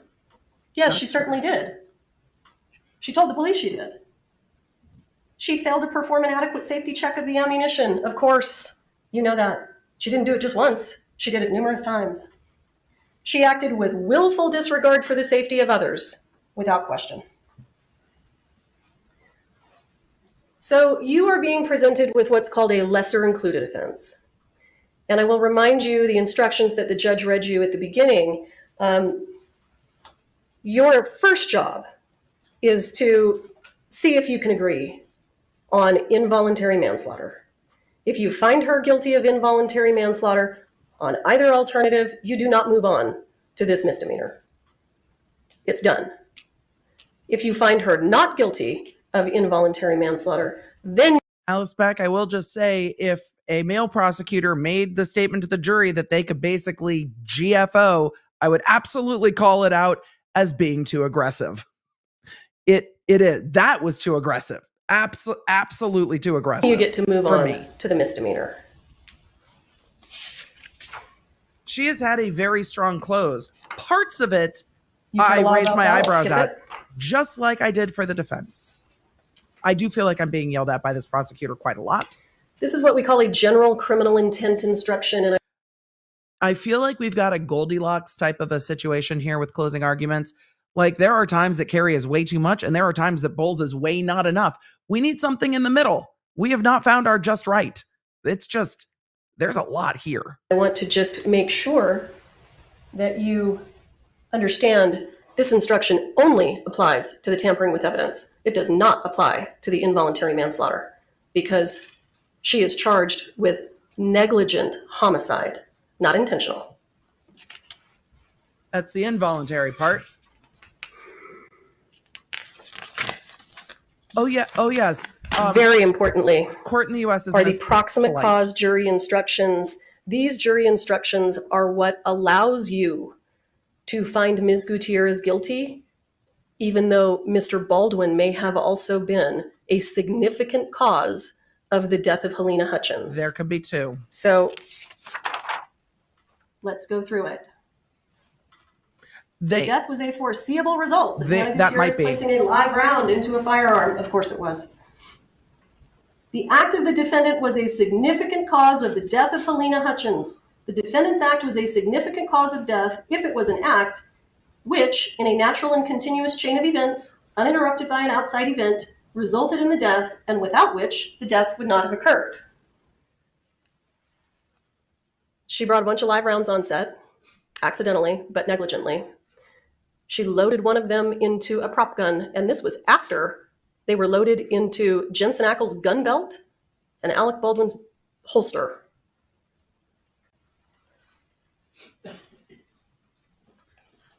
And that's true. she told Dave Halls this is a cold gun.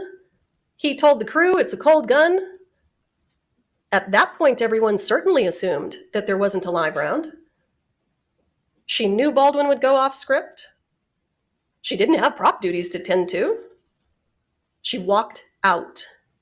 And even if she had been there, it wouldn't have made a difference because you have seen the incredible lack of control that she exercised as the only person on the movie set in charge of firearms. There is no intervening event. If you think the intervening event is that Baldwin manipulated the gun, Don't yell at the jury. that was that's the whole purpose of the prop. He's going to manipulate it. You saw a bunch of other actors do it. Very importantly, there may be more than one significant cause of death. If the acts That- of two or more persons significantly tr- contribute to the cause of death, each act is a significant cause of death. That's an important instruction. If you think Baldwin's act was a significant cause of death, that's okay. You can still convict her.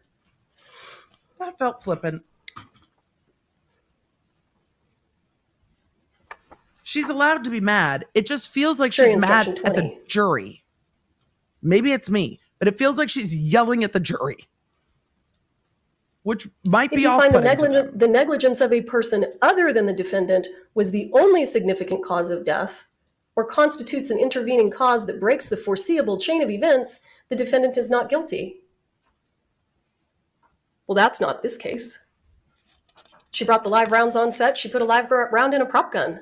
That's the reason that Ms. Hutchins is dead. One of at least two reasons.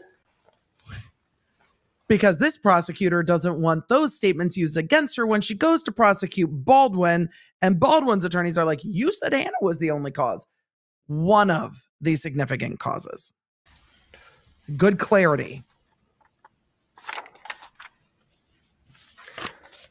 I will again thank you very much for your time and for your attention. I Where are Hannah's words from the police interview and why are we not bringing them up? know that this has been hard work for you folks. Um, I will ask you to find Ms. Gutierrez Not going to use it guilty then. of involuntary manslaughter and tampering with evidence. And I will ask you to bring some justice to Halyna Hutchins. Thank you.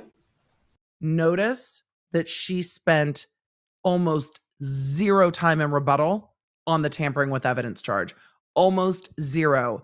I am shocked that she did not end her closing reminding the jury that Hannah told them in her own words that this was her job. Shocked. I'm shocked All right, that thank you. she didn't use that. Instruction number 22. I These are the final jury instructions. I'm going to leave them sped now up ask you to retire to This the jury's jury gonna room to begin deliberate deliberations. right now. You will be provided a copy of the jury instructions and the exhibits introduced as evidence will be made available to you. Prior to beginning your deliberations, They're you will going to need go back select to one of you deliberate. act as foreperson.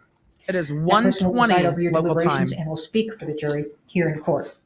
Forms of verdict have been prepared for your use. You will take these forms to the jury room. When you have reached a unanimous agreement as to your verdict, a foreperson will sign the forms which express your verdict. You will then return all forms of verdict, these instructions, and any exhibits to the. Miguelina, let's end the poll. I want to put up another are one. 12 that deliberate. There are four alternates on this jury, given the long uh, length of this jury.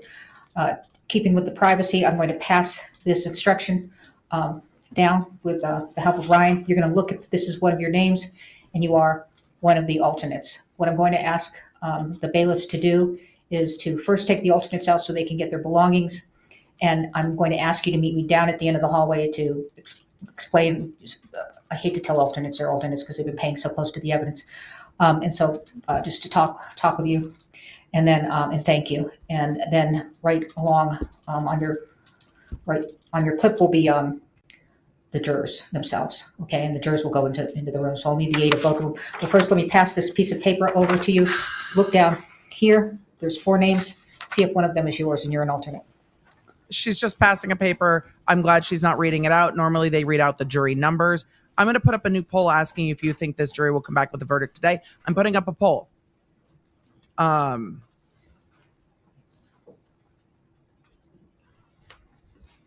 It's at the bottom. It's not unreasonable to me, but I want to know what you think. I'm going to zoom, zoom while they watch the disappointed faces, discover if they are alternates or not.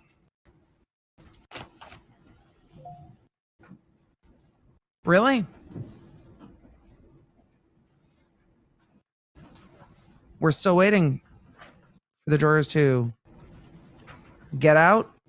So, oh, All right, so, oh, follow, the um, the alternates follow. Brian, I'll meet you down at the end of the hallway after you get your belongings, and then you'll follow with the jury. I'm putting us back at regular speed. Ladies and gentlemen of the chat, Law Nerd friends, we're going to be on jury watch in just a second. If you don't want to miss when I go live with a verdict, you're going to need the free Law Nerd app. We will let you know the second we are getting ready to go live.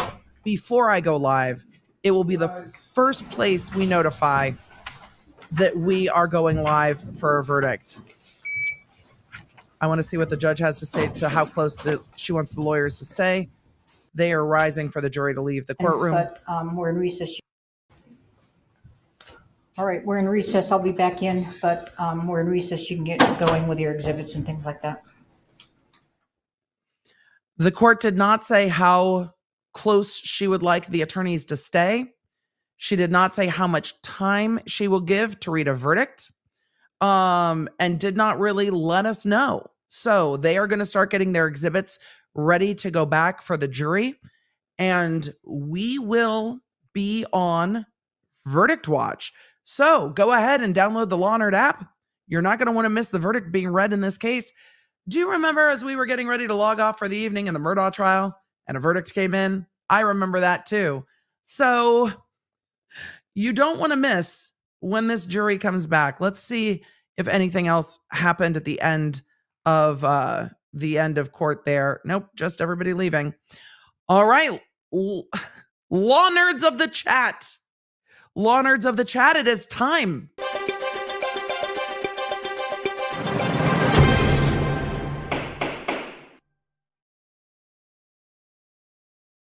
We're on verdict watch. I'm going to do a quick summary of today. Miguelina, at some point, me thinking out loud, at some point, we need a little like bumper to put up in our StreamYard up here that we are on verdict watch. We need to do that. So then we don't have to just pin a comment. So then the chat will know. We we should do that at some point before our next trial. All right. Law nerds of the chat. We are going to do a quick summary. Um I am going to uh, get us going to lunch after that. We're going to answer some questions, do a quick summary, and then get us out of here to lunch. If you want to know when I go live for this verdict, you are going to need the Law Lawnard app. What's the shortest amount of time a verdict is taken? I mean, I had a case where it took like seven minutes. So no, it it it could be it could be 15 minutes. It could be four hours. This jury might want to actually eat lunch before they start talking about this. Um, it could be days. We don't know. And because we don't know, you are going to need to know when we know. So do the likey, subscribey things. YouTube will notify you. I'll notify you. Um, 40 odds to freedom, 40 ounces to freedom. I bet that's what that meant. Question How can Dave Halls be the only person to testify that Hannah Gutierrez was in the church at the time of the incident? He didn't. And the only one to hand AB the gun. I'm so confused. Um, he testified that Hannah handed Baldwin the gun and then left, but was not in the church at the time of the incident. That's what he said. So I don't know. Dorky Dane said, vote for Hoeg for the Stroke Hero Awards. I'm going to share that out on social and I'll share the links on social. And then we'll grab the link and put it in the description too, because my friend and yours, Rick Hoeg, is up for the Stroke Hero Awards. Um, and there is a lot more information about that on his YouTube channel, but I will link those things. Carrie said, Family Law Paralegal celebrating one year as a member. Congratulations. And thank you for the work we do. Teresa said, What exactly were Hannah's duties that day? Was she the armorer that day? The day of the incident, she was the armorer that day. Donna said, EDB, no matter the outcome of this trial and others, do you think that there will be a civil suit against Hannah and others on behalf of the Hutchins family? There is. I've covered it on the channel. You know what? Let me um chat, beg my indulgence. Let's stretch for a minute. I'm going to pull up the lawsuit. I don't remember if the family is suing Gutierrez or just Baldwin and production. So I'm going to pull up that lawsuit real quick. We can all take a stretch while I pull it up because I'm going to go look. I want to have the exact answer for you. And we're in verdict watch. So, like, We have a minute, don't we? Stretch. Stand up if you can. It's hydrate. We're all gonna need to go to the bathroom soon. I sure will.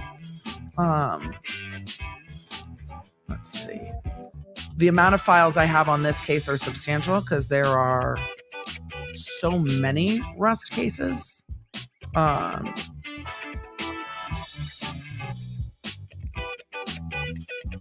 that's not the right one. All right, Hutchins family law. There, this is what I have in my folder, and I don't have them all. I have the two criminal cases, the script supervisor lawsuit, the lawsuit between Hannah Gutierrez and Seth Kenney that has since settled, the Baldwin defamation suit that I haven't circled back on that kind of happened around this time, the Sh- Cheryl and Schaefer lawsuit, the Hutchins family lawsuit, the OSHA report, the Serge Svetnoy lawsuit, and, and the other wrongful death lawsuit. There is a wrongful death lawsuit from Halyna's husband, and then there is her family, mother, sister's wrongful death suit. So I'm going to pull up the Hutchins family lawsuit, and this is um, the Hutchins family against here. Let me just pull that up on screen real quick so I can answer your questions. Um, let me move this. Emily, do you have to rearrange which screen is being shared? Yeah, we do. Are we going to do that smoother than these prosecutors in court? Hopefully. Hopefully we are. Hopefully we will. Let's see how it goes. Um, where's that lawsuit? There we are. Come here, lawsuit. Let's put you on screen so I don't misread anything. Eh. Emily, you spoke too soon, girl. You in danger now. Where is the screen share? Thank you. oh, it's so fun to get to fumble with technology in front of, you know, I don't know, 24,000 people. It's just my favorite thing ever. Being a live streamer is literally my favorite. All right. I'm not being sarcastic. And then that was actually uh, very truthful. Let's see. I'm trying to make that in biggin. Ugh. I have my not normal setup going because we were watching trial. This is Halyna's family versus Rust Movie Productions, Baldwin, Eldorado Pictures, Ryan Smith, Langley Cheney, Thomasville Pictures, Anjul, Brittany House Pictures, Hannah Gutierrez Reed, she's in there, Sarah Zachry, Seth Kenney, PDQ, Dave Halls, Nathan Klingler, Ryan uh, Winterstein, I think he was one of the production guys, Short Porch Pictures, Matthew Di Piano, Del Piano, Calvary Media, Gabrielle Pickle, Third Shift Media, Catherine Waters, Chris Sharp, Jennifer Lamb, Emily uh, Salveson, Streamline Global, and Unknown Does. So this is uh, this is Halyna Hutchins' parents and sister suing everyone that we just listed for battery, IIED negligence, and loss of consortium. Not the wrongful death. Her husband and her minor child are suing for that wrongful death. Hopefully that clarifies is Hannah being sued? I yeeted myself. Hannah's being sued in other lawsuits with regard to this case as well. This is not the only one she's being sued in. She is being sued in several of these, but there are multiple lawsuits. Baldwin is being sued in a bunch of them. Baldwin has taken production to mediation to argue that production should cover all his civil lawsuits because he's a producer. The amount of civil lawsuits is substantial, is substantial uh, in this case. Um, Little Dark Wishes, thank you very much. Donna, I hope that answered your question probably more thoroughly than anyone needed me to, but we did it. Um, let's see. You're allowed to tweet from the courtroom. I I mean, I'm not, but the media was allowed to in this case. What's the difference between misdemeanor and a felony? Paula, generally the significance of the crime or the harm of the crime and the sentencing and how it reflects on your record. Being convicted of a misdemeanor is easier to expunge down the road. You don't lose voting rights. Being convicted of a felony has a lot more restrictions, a lot more potential implications on your life and future employment, and the sentencing is higher. Emily, please talk about yesterday's witness who pointed the gun at the judge. Um, I lost my mind adequately, I think, and and saw a few very very few comments on the video like Emily, you're being dramatic. I'm like, I'm not dramatic. This shit should never happen in a courtroom. It was ridiculous. I don't have really much more to say other than that never should have happened. And there's a reason the defense left that dude out of their closing fucking entirely. Like there's a reason the defense mentioned that guy literally zero in their closing. Good good choice Bowles. Solid solid decision uh on that. I'm to make sure that I've got court in the background just in case anything happens. Hey, Emily, have you ever tried Five Daughters Bakery in Nashville? Yes. And I go to the one in Franklin at the factory because I love the factory. Heather's budgeting says, I'm questioning if production would have even stopped if Hannah had said to. I don't know if they would have. Honestly, I don't know if they would have. Um, I have a Fred and George. What if it's a hung jury? What a hung jury means, and we're not even close we would go days and days and we would generally see questions that indicate the jury's having problems. Um, but if there is a hung jury, the prosecutor will decide to do a trial or not again. The prosecutor will decide to offer a plea deal or not, or choose not to prosecute entirely, which is unlikely here. It will depend on the split. If it's a hung jury that's like 11 to 1 for guilt, different decision than if it's like 11 to 1 not guilt. The split becomes very important wearing my laundered lip gloss and sipping from my tumbler. Cheers, Leslie. I love these tumblers. I have been pacing my Girl Scout cookies. then discount Custer pulled out a revolver and I stress demolished the rest of the box. There goes blood pressure and diet. Um, discount Custer stressed me out as well. I was very stressed yesterday. I was very, very, very stressed yesterday. Thank you for being the best professor ever, Juliana. Thank you. The the you know, Law Nerd University up in here um, uses cursey words in place of legal jargon so that we can all understand. We have our own dictionary. Anna said, if you would have asked me five years ago if one day for fun I would listen to a purple haired lady read statutes while building a new chicken coop, I would have laughed. Life is interesting and I love it. Anna, if you had asked me five years ago if I was going to be a purple haired YouTuber, I would have said no. Probably not. Probably not where we're headed. And yet today we've been like number two on live trending and have beaten all the legacy media coverage of this trial because you've proved again, Law Nerds, that this is the number one place for live trial coverage. Because it is. I mean, because it is. Um, one half chaotic elf said, legal secretary for a DA here. My attorney and I love you. Are you losing your minds over this case? I've lost my mind. I need to know why Bullion left the defense. I need to know too. We're not going to know because they're because that's attorney client privilege information. I'm so I'm so mad that we're not going to know, but we're not going to know unless she like sues him or something and then maybe we'll find out. Tchaikovsky actually wrote Cannon Fire into the score of the 1812 overture. I wouldn't personally call that LARPing.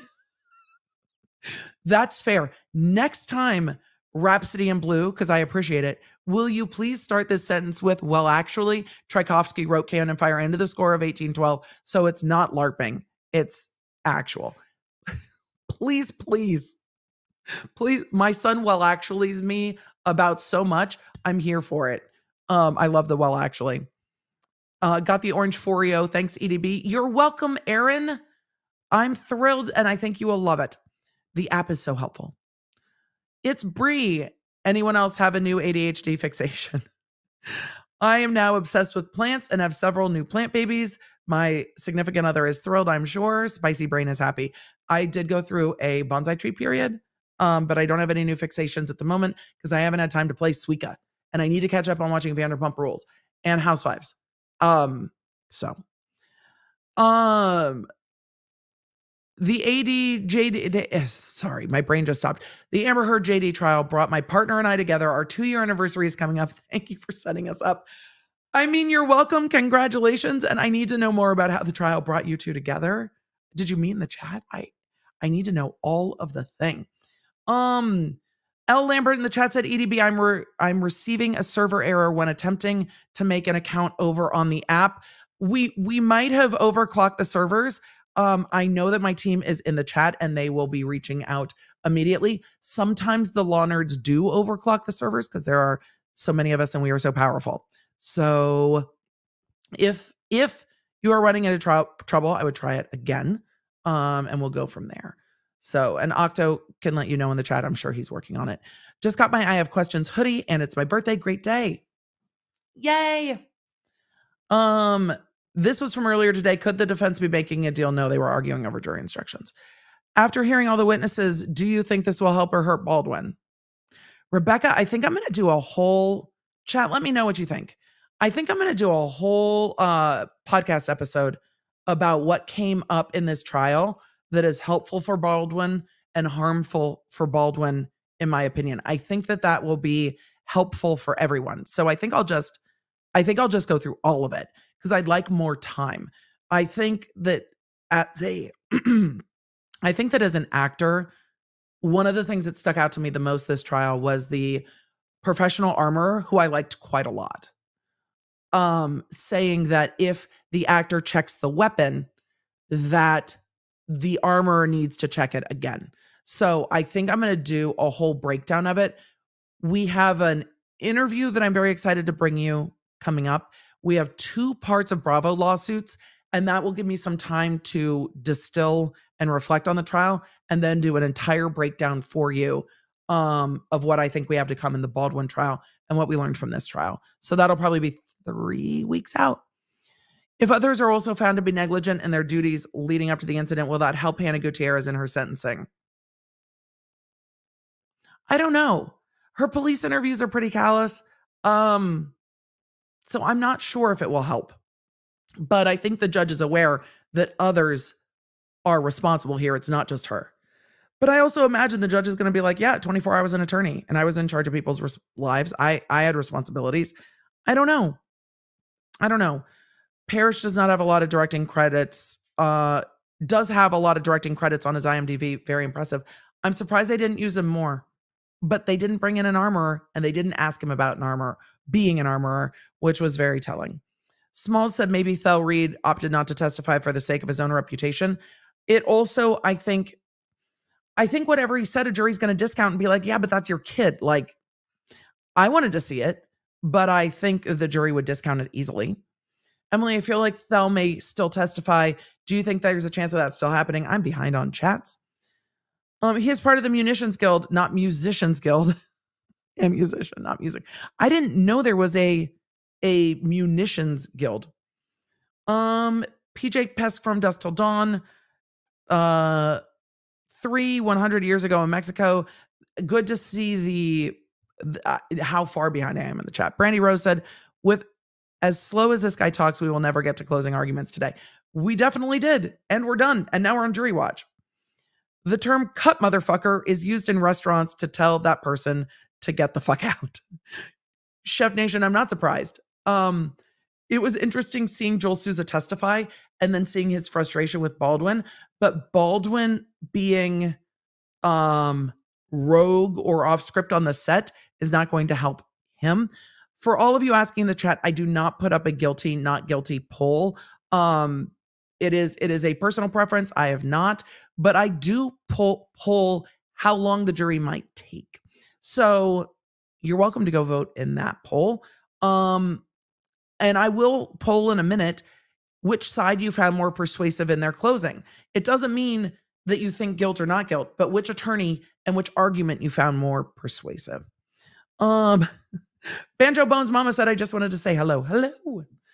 Is it just me? I'm wondering why he's doing this and who is on the witness stand. It's weird today and yesterday. Abby said they're roasting the first AD, but he's technically been held accountable. Not sure how this helps them. They are roasting the first AD and they want it they want to remind the jury that it was also his job. And the prosecutor's like, yeah, it's his job. And he took responsibility for it. And now we're on to Hannah, who didn't. Uh, Jamie with all the Jamie with all the questions with the question. Why haven't defense entered Hannah's emails where she complained of safety issues? I don't know. They have them. They had the witnesses. They had Gabrielle Pickle on the stand. They could have introduced him with Gabrielle Pickle. Um,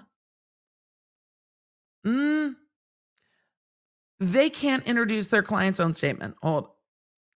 They can't introduce their client's own statement because it's not the statement of a party opponent. So the prosecution would have had to have entered them, or they would have had to call Hannah. My brain stopped at the end of the day. So that's why. Um, they could have asked Gabrielle Pickle about it and tried to get it in through completeness. I think the prosecution probably would have fought them on that, but you never know. So that's why the prosecution would have had to done it, had to have done it, and they should have done it with Gabrielle Pickle or tried. Another creator said Bowles is normally a real estate attorney. Is that true? I don't know. I didn't. I don't dig into these attorneys. I let it play out on the field. Um, so I watch it play out. And Miguelina, will you let Warren know that the chat is indicating that the app is the app is struggling under the the uh the interest of the law nerds? Thank you. So that's where we're at. Um, let's see. Is defense new here? Bad call. So uh, yeah. Oh, what I was saying is I don't dig into the attorneys. Um, and I don't I don't look up their histories, their backgrounds, their social medias, anything like that. I want to literally give the commentary about what I see playing out in front of me. Um, later, if people help add context, that's fine. But uh, there was more. There was more fire to be brought that was not brought. Thank you for keeping me company after emergency gallbladder surgery. Yikes, Tammy. And we're here. Don't laugh too hard. Watching from the hospital, not understanding the purpose of this witness at all. Mm. Baby Gator said it was her responsibility to make sure a live bullet didn't end up in a gun. I don't care about issues on the set or what other people did or didn't do. Fair. Um recovering from surgery and able to attend live. Law nerds, all of you recover well. Jamie with all the questions. Why hasn't the defense entered Hannah's emails? We got to that answer. Um, and Runkle was in the chat supporting my brain that is buffering in that they would have had to introduce Hannah for that right? Because it's not a statement of a party opponent and the state's not going to help with that. Um, but they did ask Gabrielle Pickle about whether or not she um about whether or not she had those concerns raised to her and she said no. So they could have impeached her with you said she never brought it to you. Does this email rec- refresh your recollection that she said that to you? They didn't impeach her with the emails, which probably would have been the appropriate way to do it and they didn't when Gabrielle Pickle said those things were not raised to her. So it should have been impeachment there. And I think they could have used them that way. They couldn't have read them in, but they could have used them to refresh. Aaron said, this witness needed to be before OSHA. Ideally, anyone can stop, but anyone who works in safety heavy fields knows bad management quashes that often. And that's fair. Tinsley, good to see you. I will be honest, Hannah Gutierrez Reed's attorney is infuriating. I feel like he has done more harm than help. And oh, hey, my friend. Hey, friend. Um, there were things I would have liked to have seen him argue more, especially how much the state was reaching on that tampering charge. The state kind of dropped it in their rebuttal. They were like, eh, they're gonna let the verdict, they're gonna let the jury split the baby. Like if the if the jury feels bad for Hannah, they might say, yeah, I mean, she did she did cause the death of a woman. But this tampering with evidence is just too much and they might convict on one and not the other. So, um if only the defense prepped as well as the lady beside Hannah. I I don't I don't know maybe. Uh but I don't know. Swiss Army nerd said, "Emily, I need a nap. Can you play a really loud alarm sound if a verdict comes in?" Set your app notification to a really large, uh, really loud alarm sound. Stacy Matthews asked, "What are the charges for Baldwin?" Involuntary manslaughter on two theories. So, if you watch my podcast where I cover involuntary manslaughter, um, that's what that's where it is. And if you guys are having trouble accessing the app, search it in your app store for your iOS device. Octo in the chat said that that would help. Um, Oh, I thought jury instructions would be after closing arguments. Nicole, it depends on the judge. I actually prefer they go before because then the jury hears them twice. Not since Depp v. Heard have I seen a defense attorney destroy their entire argument themselves. This is truly a bold strategy. Well, we'll see how it works out for them. But showing the video of Baldwin and arguing that it was not foreseeable that Baldwin would wild out was a cell phone. Wait, the Real Housewives of New Jersey trailer dropped. You guys, we got to go. Bye. No, I'm kidding. I'm going to finish answering your super chats and questions, uh, and then I'm going to go watch it. I really, I got to spend some time with Dolores Catania at BravoCon, and she is just the loveliest human. Do you think Bowles will be found as ineffective counsel? No, I don't. I saw this question a lot, Ashley, from from you and others in chat. Will she go to jail today if she's found guilty? It really depends on the judge but she's been out on her own recognizance. I would be surprised if she was remanded immediately. I think they would give her time for remand. She could be remanded immediately, but I would be surprised. It's going to really depend on the judge, the jurisdiction. Um, I would be surprised.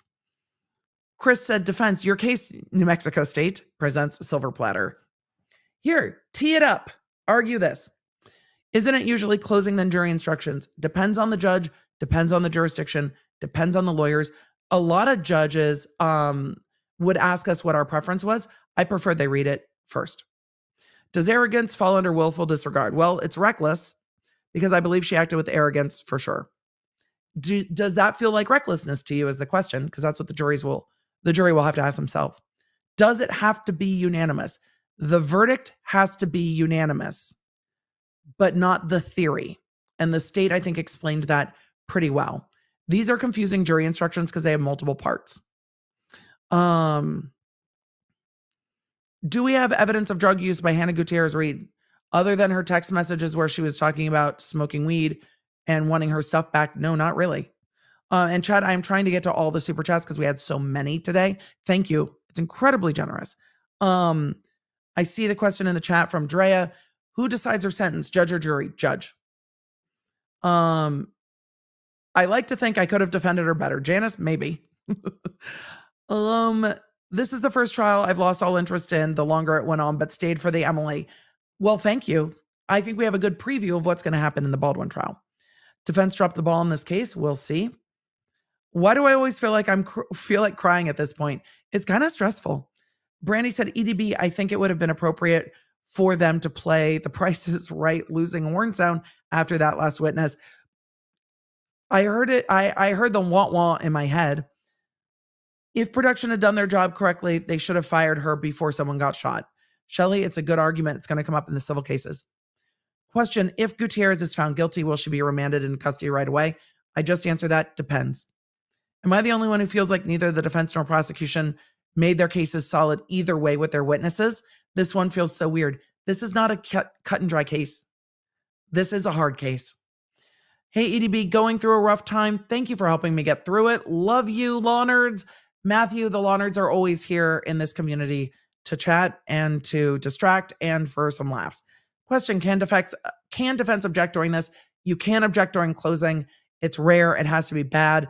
And I really, I will have to go back and watch what Sarah Zachry said about Hannah taking gun belts out of the prop truck.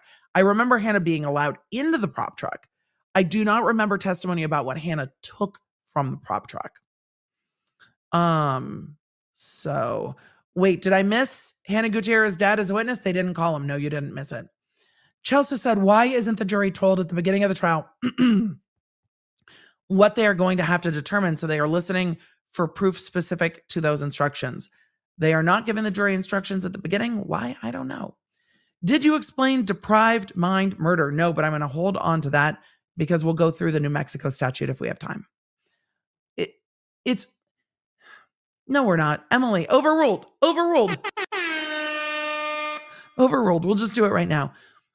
Different states call premeditated murder different things. So, like your first degree intentional, premeditated murder are often in jurisdictions, depending on when the law was written, called depraved mind murder. The depraved mind being, hey, I'm going to murder.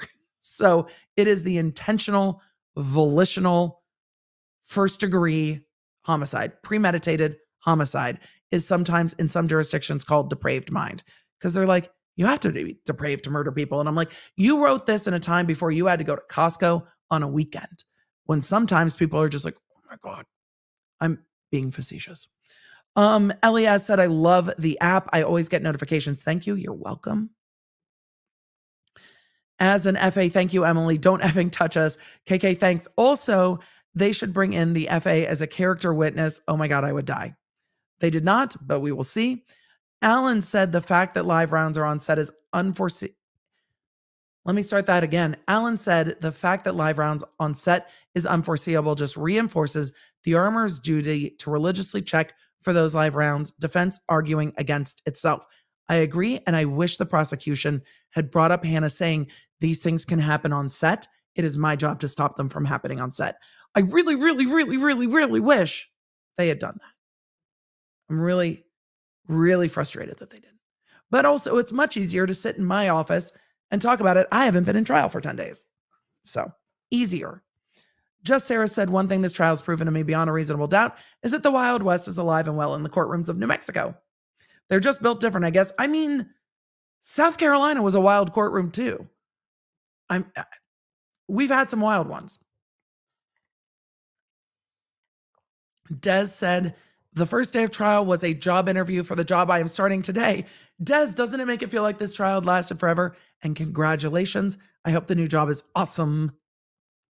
How long do closing arguments last? As long as they do, but not longer than they should. These weren't that bad. How long did these last? Chat. I have no sense of time. An hour? An hour and a half for all the closings? Uh Brianna Brina Brina Bumpin said, I don't like the possession charge. The whole charge and evidence is hearsay. It's one witness, it's circumstantial. It's not hearsay because the witness testified to it. It is circumstantial. I have no idea what idea was even entertained. Fair. Um, N7 Cubone, love your Cubone. As a forklift mechanic, the omissions equal willful hits home. If I omit a part of my service and an accident happens because of what I omit, then it's on me. And this is where the jury's individual experiences come into play in court because they all come to court with their own experience, their own life experience. So some of them that have jobs where somebody can get hurt are going to sit there and be like, yeah, fair. Why did Baldwin aim and pull the trigger at the director, though? He said she told him to. It wasn't in the script. We're going to hear a lot about that in Baldwin's trial. This case was bananas. IMDb says the guy studied with Thell Reed for 15 years. The last witness. Interesting. Can she change her plea to guilty at this point? A court might not allow it, but yes, I have had defendants plea in the middle of trial. Um, I've seen people plea after the jury goes back. I've seen people try to negotiate sentencing and and get a, a, a sentencing negotiation after a jury's come back. Court's fluid. Um, Sarah said, My husband, who doesn't watch court, knows about the bonkers gun expert from yesterday. Uh, the Boy Scout LARPer. Yeah. Kendra Starr says, As someone who worked on film sets in my early 20s, it's unfortunately not surprising to me that there was naivete of the seriousness of the job from Hannah Gutierrez. She was absolutely reckless and irresponsible. P.S. Love you, EDB. Thank you. Kendra, you're welcome and thank you. She failed to take the time to inventory the rounds to ensure that the rounds were safe. She didn't have that many to check. No evidence that uh, she tried. No evidence that she tried, and she had hours this day because the camera crew walked off. She had hours on set that day. Hours. Just my opinion, but those primers appear to be dimpled, dead. They might be. The silver primer and the pick of four rounds look dimpled to me. A number of you said that. Um, I must have terrible eyes, but the angle and lighting, I'm having a hard time seeing the difference. Fair enough. And some of the jurors might too. But even if they came from Seth, that doesn't negate that she was still negligent. Agreed. Absolutely agreed. Sharon, thank you for the gift of membership. LOL, I just figured out her fidgeting with the reader glasses. She has been M trying to read the law in her chat. She yeah, she uh, keeping it on the keeping it on the side. Keeping it on the side. Um let's see. Six bullets, just six to check. Yep. Um, Runkle, good to see you in the chat, friend, especially when I can get the prosecution to agree that one charge is done, but there might be another charge that is stronger. Uh, I hate, I really do hate that uh that tampering charge. It's dumb. Not all dimple primers are dead. She still has to check them. Agreed. Ag- agreed, agreed, agreed. I'm going to keep answering some questions. Uh, did she just diss Mr. Reed? I don't remember when that was from. I hope the defense actually do their job and zealously advocate. The end the end was strong. There were points I would have made stronger. But if the jury is inclined to feel empathetic and like she's being scapegoated, especially with how much Sarah Zachry was talking to Baldwin and talking to um talking to Seth Kenney, it feels that way. And it can feel that way. But that all happened after she loaded the gun. And that's where I get stuck. Because that all happened after she loaded the gun. And her own testimony is that she loaded the gun. That is what Hannah told the police. She loaded the Baldwin gun. She unloaded the Baldwin gun. And you can't get around that no matter what else anybody did. They can all suck too. Problem Hannah is not the person who destroyed it. Rebecca was. The handing it off is what is considered the tampering or what the prosecution's considering tampering. Um, Cumulus Cloud, thank you. I see your super chat. Um, Abigail said, I spend my days making recommendations for patient care, but have absolutely no power to actually change anything. I think Hannah was set up to fail and could have done better, but I'm not sure I get to reckless gross negligence. Abigail, completely fair. And this is what jurors are going to do. The conversation that we're having, they should be back there having a conversation. Aaron said, question if the tampering charge wasn't there, do you think that it could still have been presented against her character and impair judgment? I don't think so. I think it's too far afield because it's so speculative. Um, question Have you seen jurors base their perception of the lawyers arguing these cases? To be honest, the prosecutor really put me off. Oh, you can absolutely see jurors shut down when they don't want to hear what an attorney has to say. You can see their face just be like, you again. You can see when what the jury is hearing is like, wah wah, wah wah wah wah, wah wah wah wah. Sometimes there's there's testimony from witnesses, and the jury's just sitting there like this with like their head against the wall, like, are we done yet? You can definitely tell. You can definitely tell. And yes, when jurors are put off by an attorney, they will sometimes just shut out what that lawyer is saying. And lawyers have to be mindful of that. The way you present in court matters because jurors are sitting there judging you for 10 days. And if your face starts to annoy them or your voice starts to annoy them, it's a problem. Can Alec can Alec's defense use her closing to downplay his role? I think that's why she was so careful.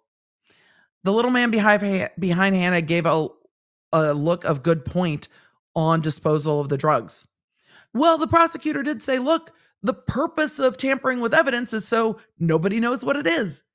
It makes a fair point. Like Hannah's behavior is circumstantial with the tampering charge. I don't like the tampering charge, but Hannah, the evidence about the tampering charge is circumstantial.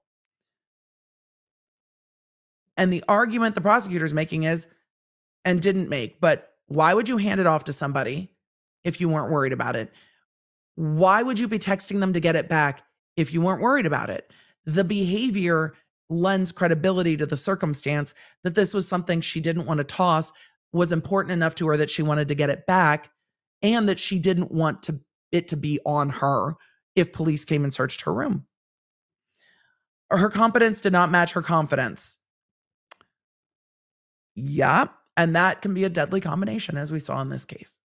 I always find that the most effective lawyers are the ones who are not super confident, but are super competent. And there are plenty of lawyers like that who are like, I don't know if I'm doing a good job. It's like, you are one of the best lawyers I've ever seen. Stop doubting yourself. Question Does every lawyer desperately want to scream, you can't handle the truth in court at least once? I mean, lawyers in the chat can answer, I can't speak for all lawyers, but I think I have wanted to say in court, um, lines from Legally Blonde more than um than you can't handle the truth, though it is tempting. It is tempting. Dominique said, "M, I just wanted to thank you. I had to give a victim impact statement yesterday. Dominique, I'm sorry. That must have been hard. I hope you felt powerful. And all I've learned from this channel and the Law Nerd community got me through it. Thank you so much. Good for you. It is not easy to do. Um, and I'm glad that you were able to do it. And I hope you felt more comfortable in court because of how much court we've watched. I really hope if covering live trials and me yelling at lawyers about their job helps humanize court. Lawyers aren't perfect, jurors aren't perfect, judges aren't perfect. This is there is a very human component to our court system. And if you are a human that has to engage with our court system, remember they are all also human. You are allowed to ask questions, you are allowed to stand your ground. We are all just humans trying to do a job. Owling, thank you for the super chat. Why didn't they argue that it could have been the powder from inside the live ammo?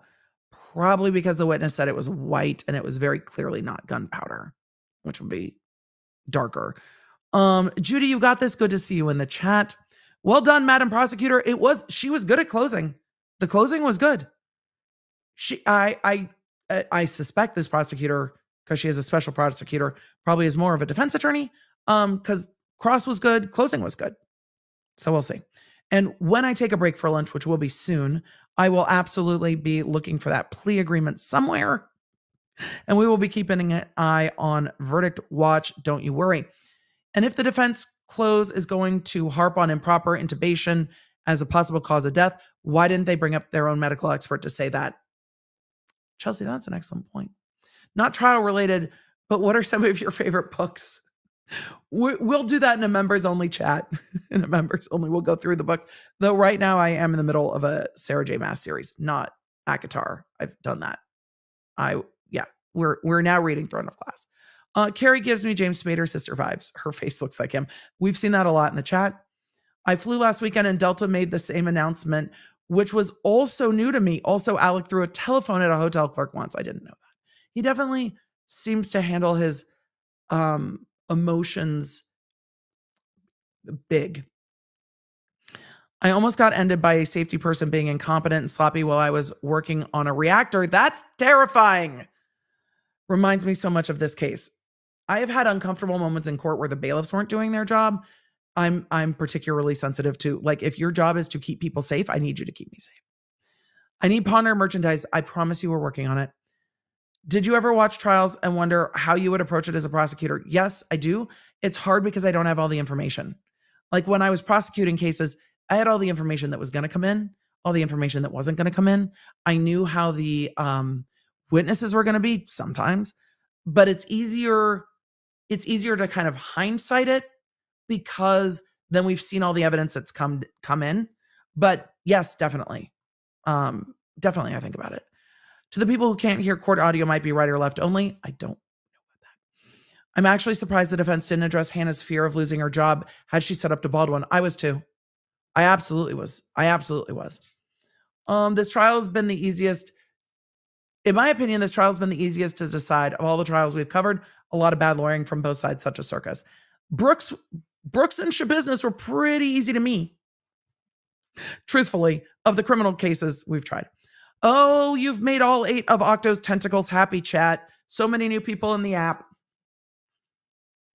You've you've made Octo, you've made Octo a happy a happy octopus. Um, for sure. Kelsey Nicole, I can prosecute you if you want. Yeah, but you have to say it like the prosecutor. I, Emily, note to self. I mean, I can prosecute you if you want. Like, I'm going after Baldwin next week. I mean, we can circle back. T- tentacles, I'm sorry. I'm not being a good representative of the octopus. My brain is very tired. My brain is very tired. I do need a little like here, hold on. We're going to do this. Um verdict watch get the law nerd. I'm going to put an overlay. I'm going to make an overlay when we take a break. For now, we're doing this. StreamYard gives me too many options and I just want to play with them um, which is why I use StreamYard to stream because it gives me too many options and I just want to play with them. She would have been in a better position if they had rested after the state did. Almost everyone they brought for the defense pretty much screwed them. I think OSHA was, I think OSHA had to come in, especially since the prosecution really wanted to keep it out. I think OSHA had to come in. I think OSHA was good evidence for the defense. They probably should have stopped there. They probably should have stopped with OSHA. I'm on the fence in this. To me, it's razor thin reasonable doubt and and there's a possibility this jury takes some time because i think there is room to argue uh, uh, especially about the osha stuff. There's going to be some jurors in there going who loaded the gun though? Who loaded the gun though? And that's what's hard about this case. Um it doesn't matter what seth provided to Seth. ultimately at the end it was hannah's responsibility to do all the safety checks. Yes why do Bowles and Morrissey's give me the energy of two people who broke up and are first to work forced to work together? There, there really is some like headbutting tension for sure. The way I see it, Hannah was irresponsible, but the law is on her side. Fair enough. Um, oh, I didn't even pull that one up. I just read it. I'm sorry. Fair enough. Even if different guns, what if they were live? That's fair. It would have shown that she's more negligent, I guess. Close is make me more sus of the defense's take. Um, Ice Cream Sunday said, as with yesterday, this is just more proof that others should have been prosecuted alongside Hannah Gutierrez. Yes, it doesn't absolve Hannah Gutierrez. She still loaded the gun. Prosecute everybody. Jasmine said, I don't like um the well she should have quit response people have bills and families to so easily quit jasmine i understand that and i think jurors will be empathetic to that too was she in a position to walk off set but the other expert said that that's literally the job and that's hard tinsley good to see you he's doing pretty good so far i liked some of bowles's closing there's stuff i wish he would have done what clip has someone telling hannah where to go i don't know I don't. Chat might know. I don't know what that's referring to. Teresa said it all comes down to live round was in the gun. In my humble opinion, without that, no death. Agreed. Uh, Kathleen, it doesn't fucking matter if she had checked the gun, which is her job. Uh, if she had checked the gun, which is her job, none of this would have happened. Yep. Um, I've always alleged Hannah Gutierrez wore an unwashed garment to set that day, something with pocket rounds, state solidified with five primerless pocket rounds. Um, and those rounds came out at the police station. It could ar- be argued Baldwin didn't hear cut though for that one scene. It could be. I don't know if he has something in his ear or not. Defense is doing their job because I'm confused, and that is part of the job. Does he know Hannah is his client? Off topic, Emily Rick is up for an award about his stroke story. You can vote for him on the link on his YouTube page. Yes, and I will be putting it in the uh I will be putting it in the description down below. He's incorrect in this. Uh this is from Elliot JN. He's incorrect in this. Yarmer said he'd had the same scenario and shut it down and checked everything. Yes, and didn't walk off set. Um, he is convincing me his client did not do her job. That's not what the defense attorney wants you to take away. not at all. Not at all. Not at all. Um, EDB, no clip, which is the point. There's nothing about Hannah being told to leave. Oh, Moon Goddess, thank you. Yeah, there's nothing that showed Hannah was told to leave the church. Question Wasn't gun supposed to be checked again when handed off to AB for safety? Yes, it was. Dave Halls or Hannah, somebody was. Could jury nullification come into play? I don't know if nullification per se. I think what we'll get from this jury, if anything, is they'll split it and be like, either either they will downplay it and give her the misdemeanor negligent use of a firearm charge um they will split it and give her the involuntary manslaughter and not the um tampering charge or they'll just all in or all out so there's a couple ways this jury can go but there's room for the jury to not convict her of everything and for those verdicts to make sense uh, becky r said former tennessee nurse uh RaDonda of I think it's Vaught found guilty in woman's death after accidentally injecting her with wrong judge drug. Yes, she was uh, because there were all the safety checks. I believe was the the underlying cause of that. I did not follow that case closely. Sean said, "Oh my God, when my folks were in the Air Force, they knew a nurse who went to prison for involuntary because she gave the prescribed dose and didn't catch the doctor's error. His example defeats the argument." To anyone who's well versed in medical, yes. To the jury, it just seemed I don't know. We'll see. If there's medical personnel on the jury, it's not going to work. My client was so bad at her job that she had no idea what was going on and therefore not guilty. It really was. She couldn't have foreseen live rounds on set, y'all. Guns, live rounds are possible. That's like why you check them all. And she said it in her police interview. That's why you check them all. I just wish the prosecution had circled back around and used those interview words. Ah. Anna, thanks for your coverage and interpreting all this for us to understand. P.S. Did you get my email Friday night regarding the Rachel lawsuit? Um, I'm sure my team got lawsuit emails. I have been traveling. I am covering the Rachel Vanderpump Rules lawsuit in the podcast that'll be out tomorrow. Possible she can get an overturn because he's bad. I don't see IAC here, which is the question. If she's convicted, there will be an appeal. This record's an appellate disaster this record's an appellate disaster. Half the time there are objections and no rulings. This record will be kind of messy for an appeal. Illustrations are a wonderful thing when they make sense, not when the illustration is so painfully different from the situation at hand. Mallory said you get what you pay for. I will only disagree in saying that when you have public defenders, you are generally not paying for them. And I have found that the most, most of the public defenders I have worked with, and this is true of DAs too, have been some of the best attorneys I have worked with. These are their courts, these are their juries. This is what they do day in and day out. This is their job. And it's not just their job, it is their passion. So I have found that a lot of public defenders choose defense because they are passionate about making sure A, the government doesn't overstep, and B, people are represented zealously. So, would Hannah have done better with a public defender? Maybe in this case, someone who knows who knows this. Hannah's lawyer was privately retained and I think is doing it pro bono. That's what I've heard.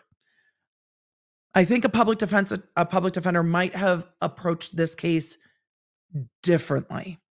So, um that's my only quip with criminal cases with you get what you pay for because I think public defenders get unfairly maligned um truthfully. This should be on the film industry for not ensuring qualified individuals are handling weapons. I think we will see that change. The safety officer should be watching the use and distribution. I agree with you. And he was prosecuted for a misdemeanor. You know I don't like it. You guys are like, Emily, keep reading. I'm, I'm trying. Angela said, PharmD here. If pharmacy mislabels a clear IV, med nurse would not know. You can visually hear and see the difference in rounds. Not the same. Very good point. Have we all forgotten that Kenney said he was short of ammo and it was a struggle to get enough for Rust? No because he said all of his stuff was going to the other uh the other set of um uh Yellowstone 1880 whatever. My brain has stopped. Runkle I mean both you and Natalie Lawyer Chick um up here on the YouTubes are public defenders who who do incredible work and I think would have defended this case differently. That's the video I want Runkle to make. My client is Hannah Gutierrez. What I would have done differently. Um, do they always make burn books in closing? Oh my God, Ashley, this is the most accurate statement ever. The defense's PowerPoint was totally a burn book. It's like, oh my God, don't trust her. It totally was. Also, yes, I want Runkle to make that video. Sorry, Runkle, to give you work to do. I know you have other work to do, but you know, the defense of Hannah Gutierrez Reed, what I would have done differently. Lawyer reacts or whatever. I can see it. John said, I said it guilty, but I feel other people should be in her spot too. Yep. Is it okay to render not guilty because I don't believe justice is being served by letting her take the fall? That would be jury nullification, John. And it happens. The jury nullification would be like, I think she's guilty, but like, fuck everybody. It's not fair to just convict her. Like, I think there's enough evidence to convict her, but like, fuck this shit. I think they will split the verdicts before they would do that. And I think they would also um, come back on the lesser included misdemeanor before they would do that. But we'll see. Owling Dog Design said, I am a nurse. I am responsible for pharmacy errors and physician errors. If I give the wrong medication, the buck stops with me. Uh, as a DA, I was responsible for law enforcement errors. If they didn't turn over evidence that I didn't know about, the buck stopped with me. I wish I had found you long ago when I was deposed. Vintage Willow, we are all here now. Thank you so much, Cumulus Cloud. Um, Anne said yesterday I announced to my friends and family that I have entered hospice. Anne, I'm sorry to hear it. Thanks, EDB and Law Nerds, for the support. Anne, we we want you to be in our chat forevermore. I I'm thankful that you shared that with us. I'm sorry that that is where the journey is at and please please know that there are lots here um to love and to chat and to support you because we are here. There was a paw nerd mug at some point, Gen V, and I will get there again. Do you think Hannah will testify against Baldwin? Loretta, I'm going to wait for the verdict before I tell you what I think. Um, Rickle said, I was busy for a brief moment. I missed the defense's whole case. Po- possibly. Law Nerds, I love seeing all the love in the chat. Thank you. And I hope you're seeing all the love in the chat uh, as well. Michael's like, why did the defense pick on me? Nurses are the band aids of the world. 2.5 years. Wow. We love you, EDB. Love you too. Catching Kane Brown and Pink from South Carolina yesterday. Um, Cumulus Cloud said the fact that Kari was ranting about three free hours shows she never cleaned multiple guns at once. There wasn't enough time. Um, Samantha said, why didn't the protection production use her removal of ammunition and gun belts when they accused Hannah of tampering with evidence? I don't know. I don't know.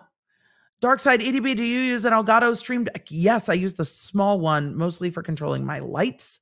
Everything else I do by hand uh, because it's easier for me in StreamYard to change like the screen layouts by hand. But you can connect those StreamYard screen layouts to an Elgato as well. I mean, it does everything. But yes, I have the little the little Stream Deck. do we think Baldwin is watching EDB? No, not at all. Um, I ran a care home for developed disabled uh, clients.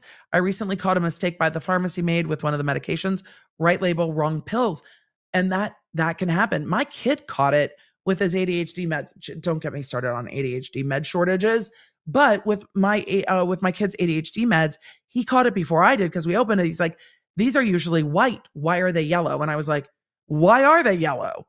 And we called up the pharmacy, and they had switched manufacturers and it was not it was not great for us. So we switched things. But he caught it. He was like, "Why is this not the way it should be?" Uh, the Larnard Soph said the trial I was clerking this week, each closing submission took a day each. Larnard Soph, that must have been a long trial if they're taking a day for closing. Question Who is the burly guy in the gallery trying to distract the jury by picking his nose? I have no idea. No idea. No idea. Um, have you ever been in a courtroom where after every objection you had to approach the bench because the lawyers were acting like children? No. No, but they used to at the beginning, the lawyers were allowed to make objections. And then the lawyers snarked at each other on day four or five and got into a fucking pissing match in front of the jury. And then the judge was like, I let you have coffee. And now you're fucking around like children. So now you must approach. You're not allowed to speak. And that's why. Kyla said, I can't say I learned in this trial since I was taught this by the Ying Yang twins, but I was reminded to shake it like a salt shaker.